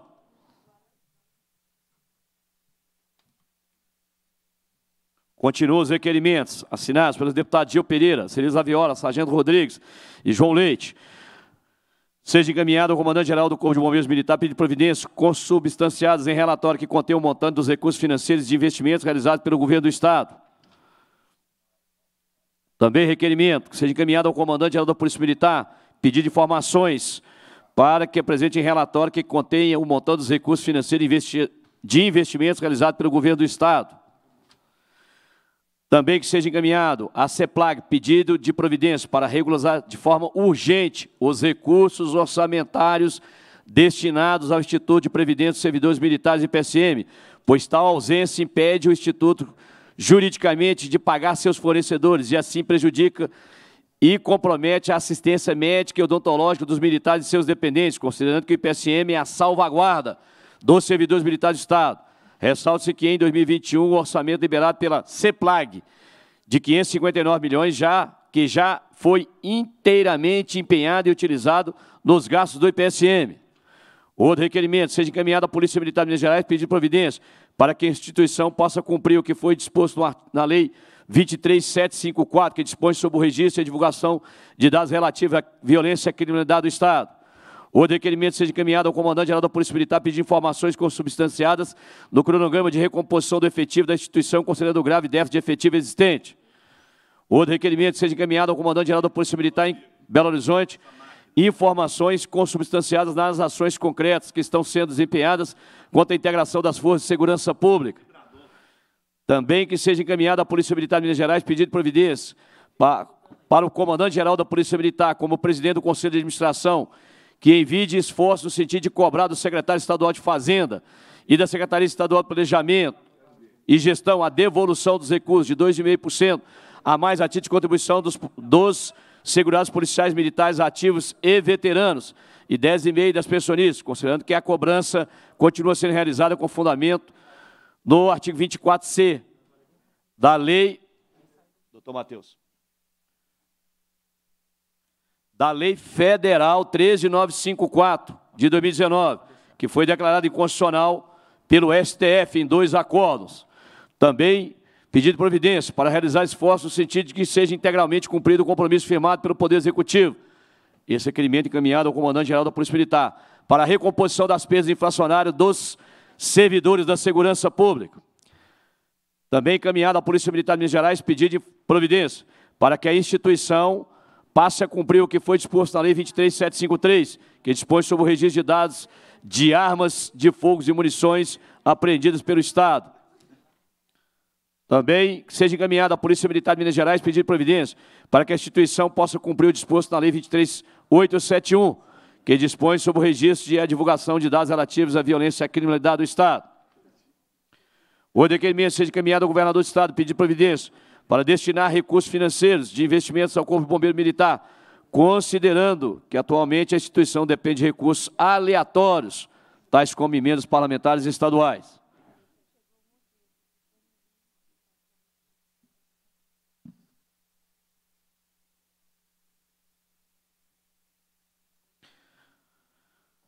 Também requerimento do deputado Charles Santos, para que seja realizada nos termos regimentais para que esta comissão realize visita ao Núcleo de Desenvolvimento Tecnológico da Polícia Militar para conhecer os trabalhos desenvolvidos a convite do comandante-geral da Polícia Militar, o coronel Rodrigo Rodrigues de Souza. Em votação, os requerimentos, cada um por sua vez. Senhores deputados e a deputada que aprova, permaneça com 50. Aprovado. Coronel, eu, sargento, presidente. Pois não, deputado. É, eu esqueci de falar de duas pessoas também é, caras para mim, né, para toda a corporação, que já passou por Montes Claros, que é o Coronel Oswaldo, viu? É, hoje está lá né, perto, junto com o governador lá, o, o chefe do gabinete militar, né, e também do SEDEC. E também uma mulher maravilhosa. Em nome dela, eu quero cumprimentar todas as mulheres né, da Polícia Militar, que é a Tenente Coronel Graziella, tem feito um belo trabalho lá no SEDEC também, é, Montes Clarence, é, é, da nossa gema. E, e, então, é, em nome dos dois, eu quero mais uma vez parabenizar e enaltecer né, as pessoas, os ser, os ser, os ser humanos né, da, da, da, da PM. E mais uma vez, parabéns, coronel, pelo seu comando, pela sua voz. Estarei aqui sempre à disposição. Nunca votei contra a PM, pelo contrário, sempre votei é, é, é, em favor da PM, porque esse trabalho que vocês fazem orgulha os mineiros e os brasileiros. Muito obrigado e uma boa tarde. Muito obrigado. Indago ao deputado, primeiro vice-presidente dessa casa, o deputado Antônio Carlos Arantes, se deseja fazer alguma consideração. Muito obrigado. Vossa Excelência tem a palavra. Muito obrigado, deputado Sargento Rodrigues, presidente desta comissão, cumprimentar deputado João Leite, deputada Celise, Gil Pereira também. Queria cumprimentar as lideranças aqui presentes, também coronel Luiz Reis, cumprimentar o prefeito da nossa cidade da Ventania, do Alpinópolis, o Rafael está aqui, o Sebastião Neto, vereador também conosco. Queria falar, coronel Rodrigo, primeiro a satisfação que nós, nós sempre tivemos de acreditar e apoiar a Polícia Militar, mas o senhor realmente tem nos deixado cada dia mais felizes, com a sua competência, com a sua seriedade, com a sua capacidade é, de gestão. E os exemplos são muito claros. Essa semana, por exemplo, o Coronel Chaves, que tem feito um belíssimo trabalho em São, lá em São Sebastião do Paraíso, toda aquela região, mostrando vídeo da polícia já de helicóptero, percorrendo, fazendo as operações na área rural. Vimos aquele lançamento lá na cidade de Divinópolis, né, que foi realmente é, mostrou a força e a, e a, mostrou o foco da polícia. Como o senhor bem disse, quando o governador disse que era para cuidar do nosso produtor rural, a gente tem visto que isso é uma prática constante. É, eu queria mandar um abraço também para o Coronel Oswaldo, né, que tem sido muito acessível também, que faz um belo trabalho no gabinete militar do governador. E, e sei lá, 60 dias atrás, para nós foi o maior gesto mesmo, gesto não, ação que mostrou que a, a Polícia Militar Mineira honra sua farda, soa e, e acredita e, se preciso for, dá a vida para o povo é, mineiro. O exemplo foi a de Varginha. Aquela ação de Varginha deixou muito claro que aqui em Minas Gerais, aqui é a coisa, como se diz, o ditado popular, que o buraco é mais embaixo. Não dá para entrar de qualquer jeito, não. Então, aquela operação de Varginha, eu queria, na sua pessoa, cumprimentar todos os militares que participaram daquela operação. Foi fantástico e conseguiu abortar ali que poderia ser uma carnicifina na cidade. Quantas pessoas poderiam ter sido ali atacados e mortos inocentemente em função daquela operação, em função daquela é, é, proposta né, e, e daquela ação que poderia ter sido, teria acontecido lá no banco em Varginha se não fosse a, a, nossa gloriosa polícia militar. Então, o nosso reconhecimento, o nosso respeito. Como foi também aconteceu já também sob seu comando lá na cidade de Campo do Meia, onde desocupou ali aquele bando de invasores. E como tem sido agora, também cidades onde tem tido mais problema, por exemplo, vou dar um exemplo, Santo Antônio do Amparo, né, Luiz Reis. Levei o prefeito até o senhor, E o prefeito falou que tinha perdido, que a, a, tinha perdido o controle na cidade. E após aquela nossa reunião, falando com o coronel Rodrigo, coronel Oswaldo, também o, o coronel lá da cidade de Lavras, me fugiu o nome agora, apenas uma mudança, colocando um sargento atuante, forte, na cidade. Essa semana o prefeito ainda esteve aqui e falou, cara, a cidade virou outra, virou outra. Acalmou, hoje a turma está respeitando. Então, ou seja, nem sempre não teve que aumentar o efetivo, apesar que eles solicitam aumento de efetivo, é uma necessidade, mas apenas ali colocando o técnico certo no time ali, que segundo ele, os policiais agora estão assim, guerreiros mesmo. Então, parabéns. Enfim, coronel, hoje, um exemplo, por exemplo, quando falando de roubo no campo, né, hoje teve um assalto lá na cidade de. Um roubo na cidade de São Sebastião do Paraíso, o divisa com Pratápolis, acho que até a propriedade é o município de proprietário que é de São Sebastião, e não tiveram êxito, inclusive foram presos. Né? Então, e aí o, pessoal me ligaram muito preocupados, olha, Arantes, o mais difícil foi o que a polícia militar fez em prender. Agora o medo nosso é que amanhã você pode estar na rua, porque não levaram nada, não levaram os bois, então, a nossa preocupação, inclusive, que ele tentei falar com, com o nosso secretário, Rogério Greco, com os delegados da região, nós precisamos ter uma ação, uma forma que mantenha esse povo preso, porque realmente existe essa quadrilha do Estado de São Paulo que entra ali e roubam. Enfim, sabemos que ainda tem dificuldade, que ainda falta veículo, que ainda falta é, pessoal, ainda falta o efetivo, mas nós sabemos e nós não temos dúvida da seriedade, da disposição, da capacidade e o tanto dos resultados têm sido positivos. Tanto é que viramos, sem dúvida, o Estado mais seguro do Brasil. Parabéns, coronel.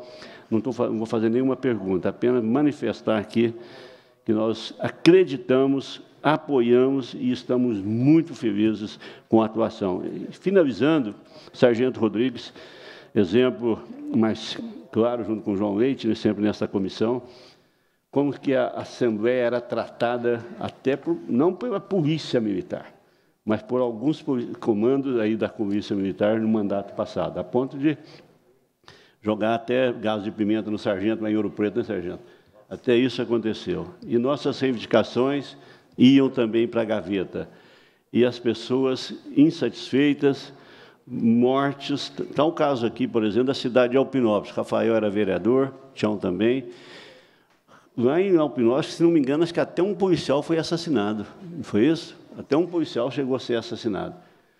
Era crime para todo lado. Uma cidade de 20 mil habitantes teve vários assassinatos num único ano. Vários assassinatos, se não me engano, acho que mais de sete assassinatos, que não é normal. Esse ano já teve quantos lá? Nenhum. Está aí. Aprova o prefeito falando assim, nenhum.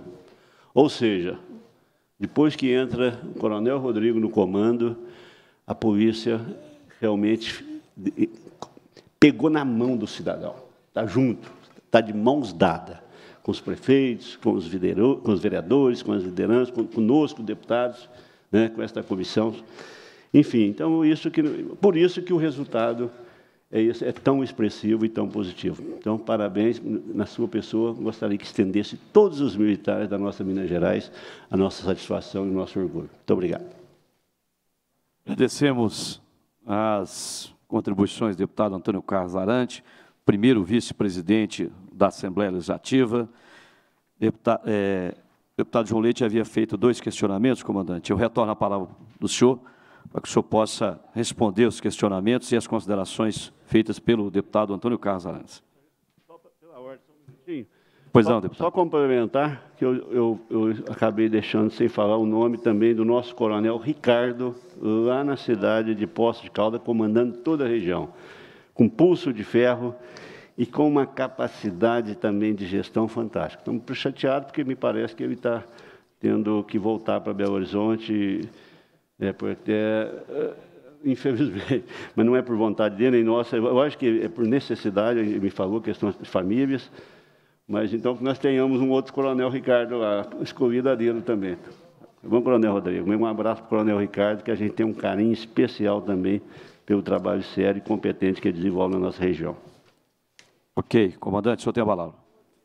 Queria registrar, né, em nome da Polícia Militar, é, a gratidão né, e, o, e a deferência, o carinho, né, a, gentileza do senhor em trazer essas palavras aqui para para nós, né, diante dessa, dessa plateia, isso só aumenta a nossa, a nossa responsabilidade, viu, viu deputado Casarantes? A gente, a gente sabe da, da responsabilidade, e aí a gente não tem medo dessa responsabilidade, não, porque a gente sabe da equipe, a gente sabe da qualidade da equipe. E, e eu, às vezes, chega, né, é, como você falou, lá de Alpinópolis, pessoa de Ventania, às vezes vai de longe lá no nosso escritório, a agenda é muito apertada, mas, mas a gente tem que dar atenção. É o mínimo que nós precisamos fazer, né? Então, assim, nesse momento a gente registra, quando os senhores levam lá, às vezes, algum pedido, é porque é a única forma que nós temos é, de, de melhorar. Né? A Polícia Militar está lá nos nossos, no plano estratégico, não é o Coronel Rodrigo. Se o senhor trocar o Coronel Rodrigo, o senhor vai ver que o plano estratégico vai seguir aquele que seguiu o plano estratégico. Então, é gestão e a gente fica grato, porque chega as demandas lá, a gente recebe, recepciona, faz as análises dentro dos nossos critérios, né, que é, é, é da nossa obrigação.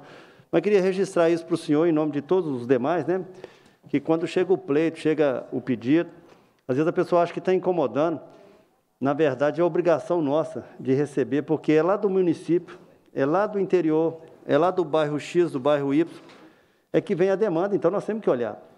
E é só assim que a gente consegue, cada dia, a gente melhorar mais. E na pergunta e na fala que o senhor fez, inclusive de Varginha, né, senhor, é, é, é, foi muito polêmico, né, para alguns, mas para nós foi muito tranquilo. A gente antecipou uma ação ali desastrosa que seria para a população. A nossa, a nossa população seria humilhada, senhor. É, o que aconteceu lá, por exemplo, em Uberaba.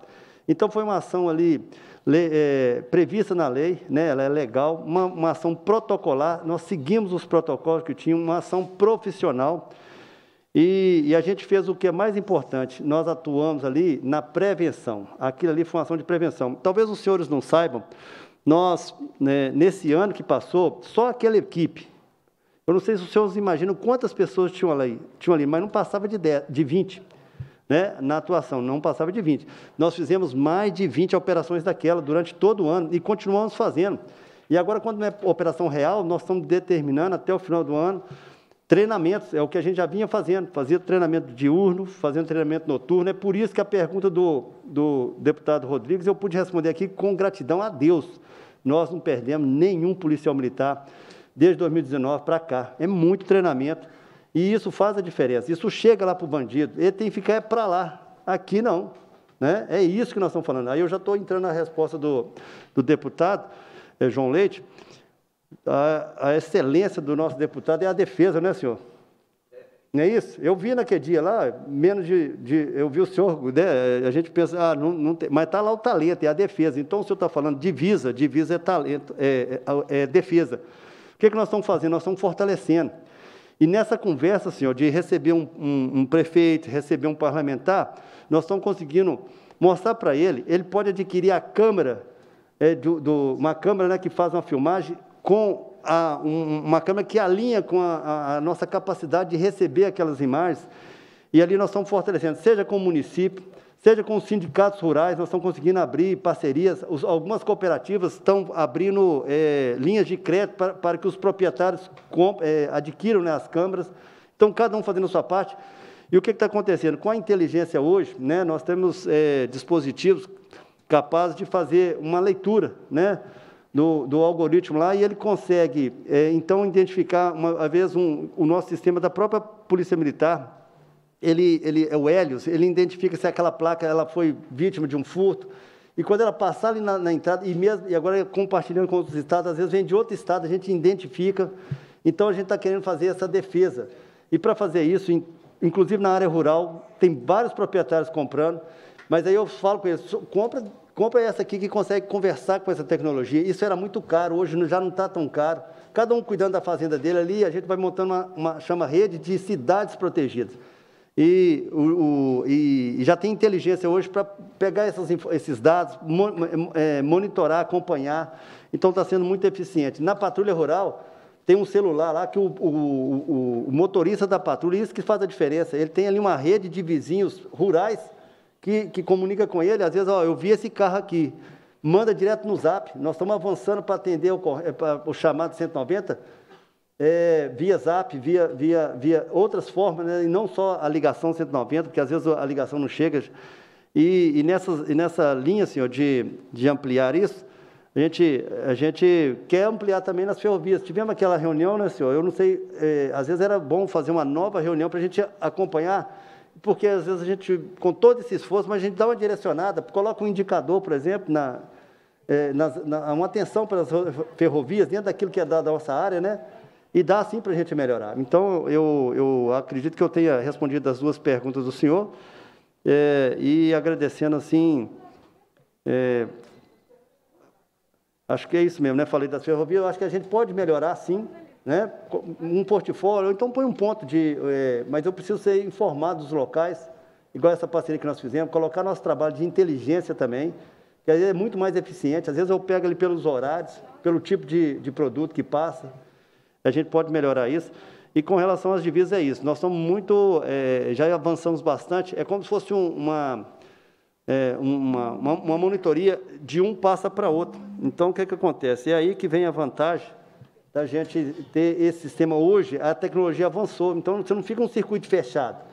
Imagina o, o proprietário lá da, da fazenda rural lá enorme ou a pequena, ele consegue comunicar com a polícia. Além disso, ele tem um celular do policial que toma conta do, daquela área dele. É isso que a gente está avançando. É dessa forma nós estamos cuidando do, do pequeno e do grande produtor rural. E eu lembro uma coisa aqui, senhor, eu sei que o senhor é um homem do campo, isso eu não sou, eu sou nascido aqui de Belo Horizonte, mas tem um, um eu, eu, entendi a, a, fala do governador, porque é o seguinte, esses dias para trás eu vi lá uma C10 daquela antigona, o cara com duas uma, uma, uma, uma, é, uma, uma, uma, bezerra pequena, toda amarradinha, assim, igual amarrava para carregar porco e, um, e, uma, uma, uma vaca um pouco maior. Aí, mas eu pensei assim, eu vi aquela foto, quando isso ali, para o pequeno proprietário, às vezes aquele bezerrinho é o que ele esperou, não sei quanto tempo, mas talvez o ano inteiro, era o lucro dele do ano.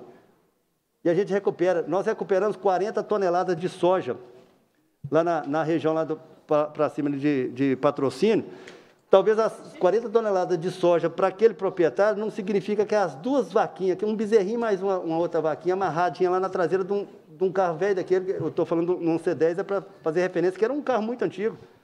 Mas isso é importante para nós. O nosso policial que vai lá, ele, ele ama, ele, ele, ele, ele tem um treinamento apropriado, ele consegue falar a língua daquele, daquele pessoal né, do interior, então ele não assusta. O senhor falou helicóptero, nós estamos usando sim passando, ele, ele, tem lá um circuito dentro da, de uma atuação preventiva, né? Ele passa em algumas regiões, em alguma fazenda, aquilo ali, com certeza, é a sensação de segurança que está no nosso plano mineiro de desenvolvimento, melhorar a segurança e a sensação de segurança, que uma coisa é a segurança, a outra é a sensação, para as pessoas diminuir o medo do crime. Né? Imagina o senhor está lá no final de semana, numa fazenda bacana, mas está tá com medo. Né? A gente tem que trazer isso. E aí a gente precisa reforçar essas divisas. Eu, eu fecho aqui dizendo da satisfação e aqui, senhora, registrar, são as emendas parlamentares, são o apoio dos senhores dessa, dessa casa que tem permitido a gente avançar, a gente levar as viaturas naqueles locais que os senhores indicam que precisam.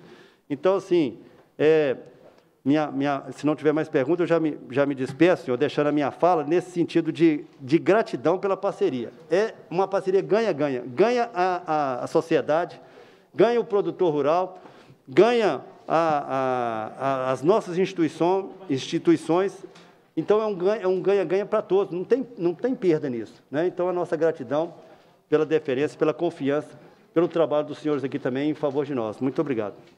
Obrigado, comandante. Para as considerações finais, deputado Antônio Carlos Arantes. Então, mais só uma vez, é, eu também preciso manifestar também a satisfação com o trabalho do, do coronel Luiz Otávio, que comanda toda a região de Passos também, e fazendo também um brilhante trabalho. E também aos policiais que, durante, que essa noite prenderam esses bandidos lá na região de Pratápolis. Muito obrigado. Com as considerações finais, deputada Celisa Viola. Só mesmo parabenizá-lo, presidente, pela condução dos trabalhos, é, agradecer a presença do querido deputado, irmão João Leite, do nosso primeiro vice-presidente, Antônio Carlos Arantes, e, claro, de todos que estão aqui, né, da EGOV, da Polícia Militar, e o nosso Coronel Rodrigo, né, que com tanta disposição nos esclareceu todas as dúvidas e trouxe tantos retornos para a gente aqui. Muito obrigada. Deputado João Leite. Agradecer, deputado Sargento Rodrigues, novamente uma grande audiência com levantamentos importantes, debates importantes. Agradecer sua assessoria aqui, né? nosso consultor, doutor Matheus, a doutora Andréia, doutora Andréia, Flavinha, Flavinha ela vai emagrecer no ano, tem que acabar, né? E a... Hã? A Dani também veio para... Não é brincadeira não, hein? Rodrigues, não trabalham doido. Nosso som, a querida TV Assembleia, aqui com o nosso povo aqui, mandando a gente para mais de 400 municípios de Minas Gerais. Muito obrigado. Obrigado, comandante Rodrigo, todos os nossos comandantes aí. Comandante Reis, me aguarde, guarde meus pedidos, né? Muito obrigado.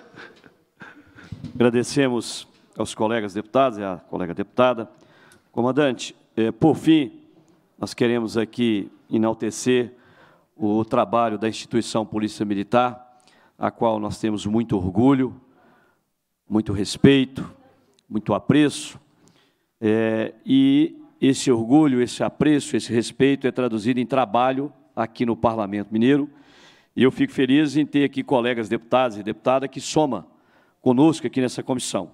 Não só o deputado João Leite, a deputada Celise, o deputado Arantes, o deputado Gil Pereira, mas os demais membros da Comissão de Segurança Pública, que são é, pessoas que têm nos ajudado muito aí a defender as instituições de segurança pública e, no meu caso, eu falo de forma muito especial a Polícia Militar, a quem a gente tem muito orgulho.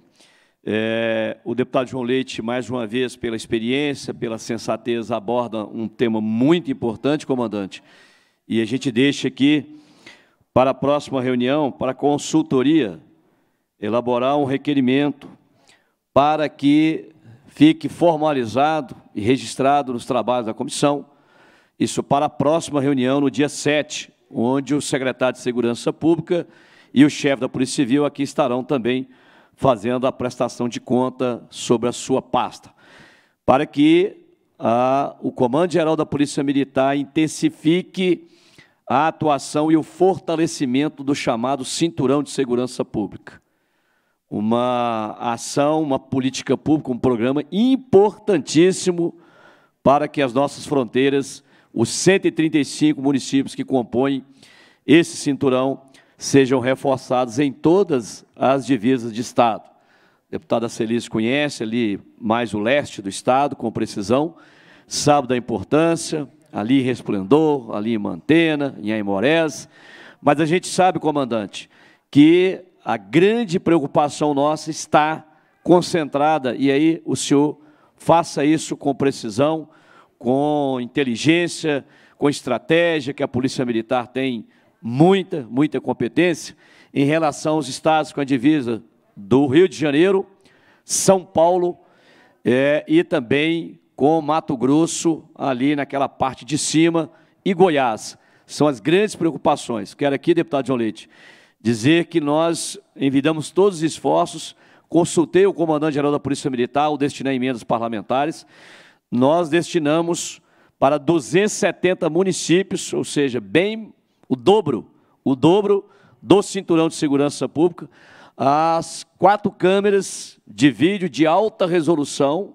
portanto, caras, é, mais um DVR e mais também um HD de 2 teras, para que todos os destacamentos da Polícia Militar pudessem ter essa proteção da instalação física e, principalmente, a proteção dos nossos policiais militares que estão atuando e necessita dessas imagens que poderão ser acompanhadas, inclusive, pelo celular, pelo o, notebook, pelo laptop é, de cada integrante da instituição.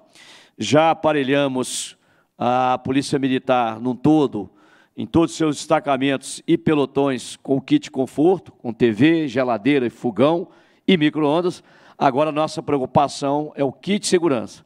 Nós tivemos aqui um episódio de dois episódios, deputado João Leite, que devem ser lembrados. O aqui de Pompéu, o comandante sabe, que aconteceu, os dois policiais militares que morreram, dois cabos, que se as câmeras de vídeo estivessem funcionando é, com a integração e, e, até mesmo transmissão via celular, como a gente tem aqui, o aplicativo, poderíamos ter evitado aquela tragédia. Tivemos o episódio de Tamonte, onde o comandante, entendendo a gravidade e a, a necessidade de reforçar aquela divisa, enviou esforços mandando duas viaturas. Então, comandante, é, quanto ao trabalho da Polícia Militar, quantas entregas, o senhor mesmo trouxe aqui, em todos os índices estamos em primeiro lugar. O reconhecimento da Assembleia à Polícia Militar de Minas Gerais, eu entendo que é, é, é de todos. O que falta agora é o governador do Estado reconhecer esse trabalho, é, deixar de fazer as intervenções na via rede rádio, como ele tem feito.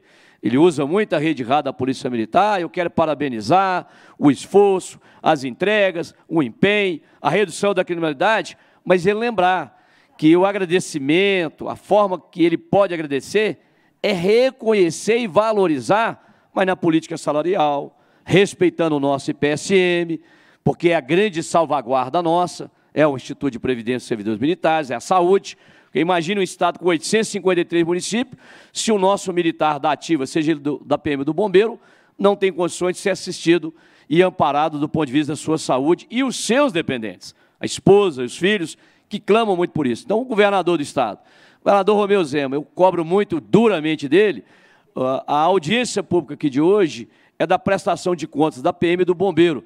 Que o senhor reconheça verdadeiramente, não com elogios de público, não com propagandas midiáticas no Instagram, no seu Facebook, ou na mesma cantilena de repetir que está botando milhas no trino, mas que o senhor reconheça valorizando pagando a recomposição da perda inflacionária e não permitindo né, o desvio de recursos do IPSM para a Caixa Única do Estado. É isso que a Polícia Militar, é isso que as Forças de Segurança Pública necessitam em termos de reconhecimento real, concreto, por parte do governador Romeu Zema.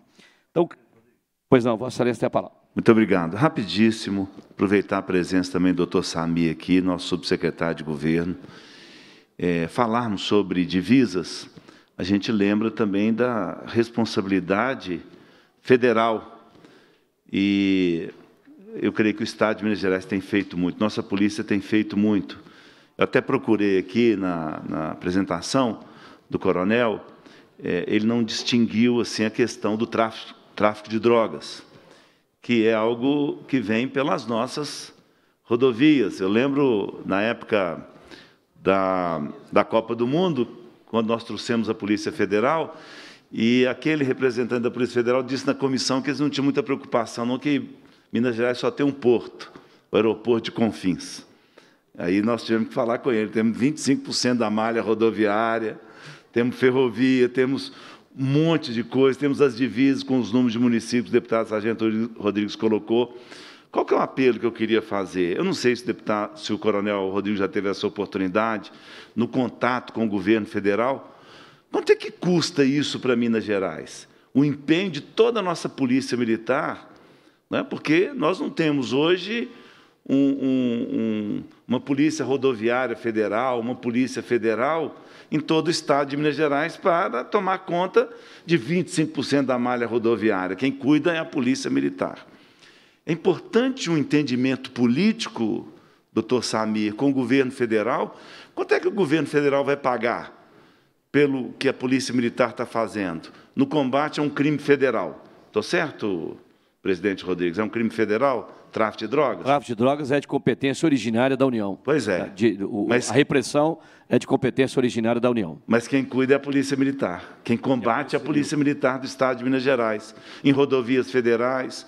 Precisa ter um entendimento. Eu sei que hoje, nós sabemos, né, Rodrigues, que o Rio de Janeiro recebe um recurso e São Paulo também. Mas Minas Gerais, que tem é, toda essa malha rodoviária e, e, que empenha a nossa polícia, não recebe absolutamente nada.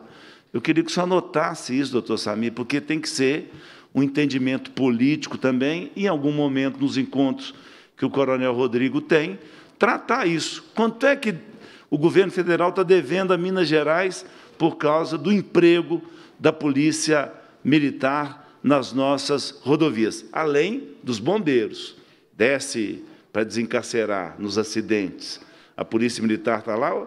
Eu passei pela 381 um tempo desse aí, tombou um caminhão de sandálias. Estava lá a Polícia Militar impedindo o roubo das sandálias. Um homem ensanguentado, sendo atendido pelos bombeiros, e a Polícia Militar lá, empenhada para não deixar roubar a carga de sandálias. Qual que é o custo disso para Minas Gerais? Muitas vezes nós estamos, ah, o governo do Estado tem que investir mais e tal, mas nós estamos trabalhando nas rodovias federais, a Polícia Militar nossa está trabalhando no combate, combate crime federal. Que crime era esse lá de Varginha? É crime estadual ou crime federal? Juntaram lá uma gangue. Eu fico imaginando que eles queriam roubar para comprar droga para alimentar o tráfico, não é? Quem é que se empenhou? Ah, tinha lá uns policiais rodoviários, ainda bem. Mas a polícia militar, com a sua competência, é quem impediu um dos maiores desastres para o sul de Minas, que era aqueles criminosos terem sucesso na operação que eles planejaram. De onde que eles eram? Teve um que gastaram 80 mil reais para levar o corpo dele lá para Rondônia, deputado Sargento Rodrigues. Crime federal, mas o, o, o gasto todo foi da Polícia Militar, foi do Estado de Minas Gerais, foi com o dinheiro do Estado de Minas Gerais que foi combatido um crime federal. Presidência lembra a todos os parlamentares, nós tivemos um requerimento homenageando os policiais que participaram da operação em Varginha, aos policiais do BOP, da Polícia Militar de Minas Gerais e aos policiais rodoviários federais, que a moção de aplauso requerida, assinada por 41 parlamentares dessa casa, será entregue no dia 14 de dezembro, às 9 horas da manhã, aqui na Comissão de Segurança Pública. De, de antemão, fazemos o um convite aqui presencialmente ao comandante-geral da Polícia Militar, ao coronel Olímpio Garcia, comandante do CPE, e ao tenente-coronel, comandante do BOP, para que possam estar presentes na reunião para a merecida entrega da moção de aplauso. Por fim, deputado João Leite, eu espero eu espero que o governador reconheça o que está sendo feito pelas forças de segurança pública. E antes de pegar um rádio da viatura da Polícia Militar, lembre de recompensá-la valorizando, pagando a recomposição e, de forma especial, não retirando os valiosos recursos do IPSM. Cumprida a finalidade da reunião, a presidência agradece a presença dos parlamentares e dos convidados, determina a lavatura da ata e encerra os trabalhos.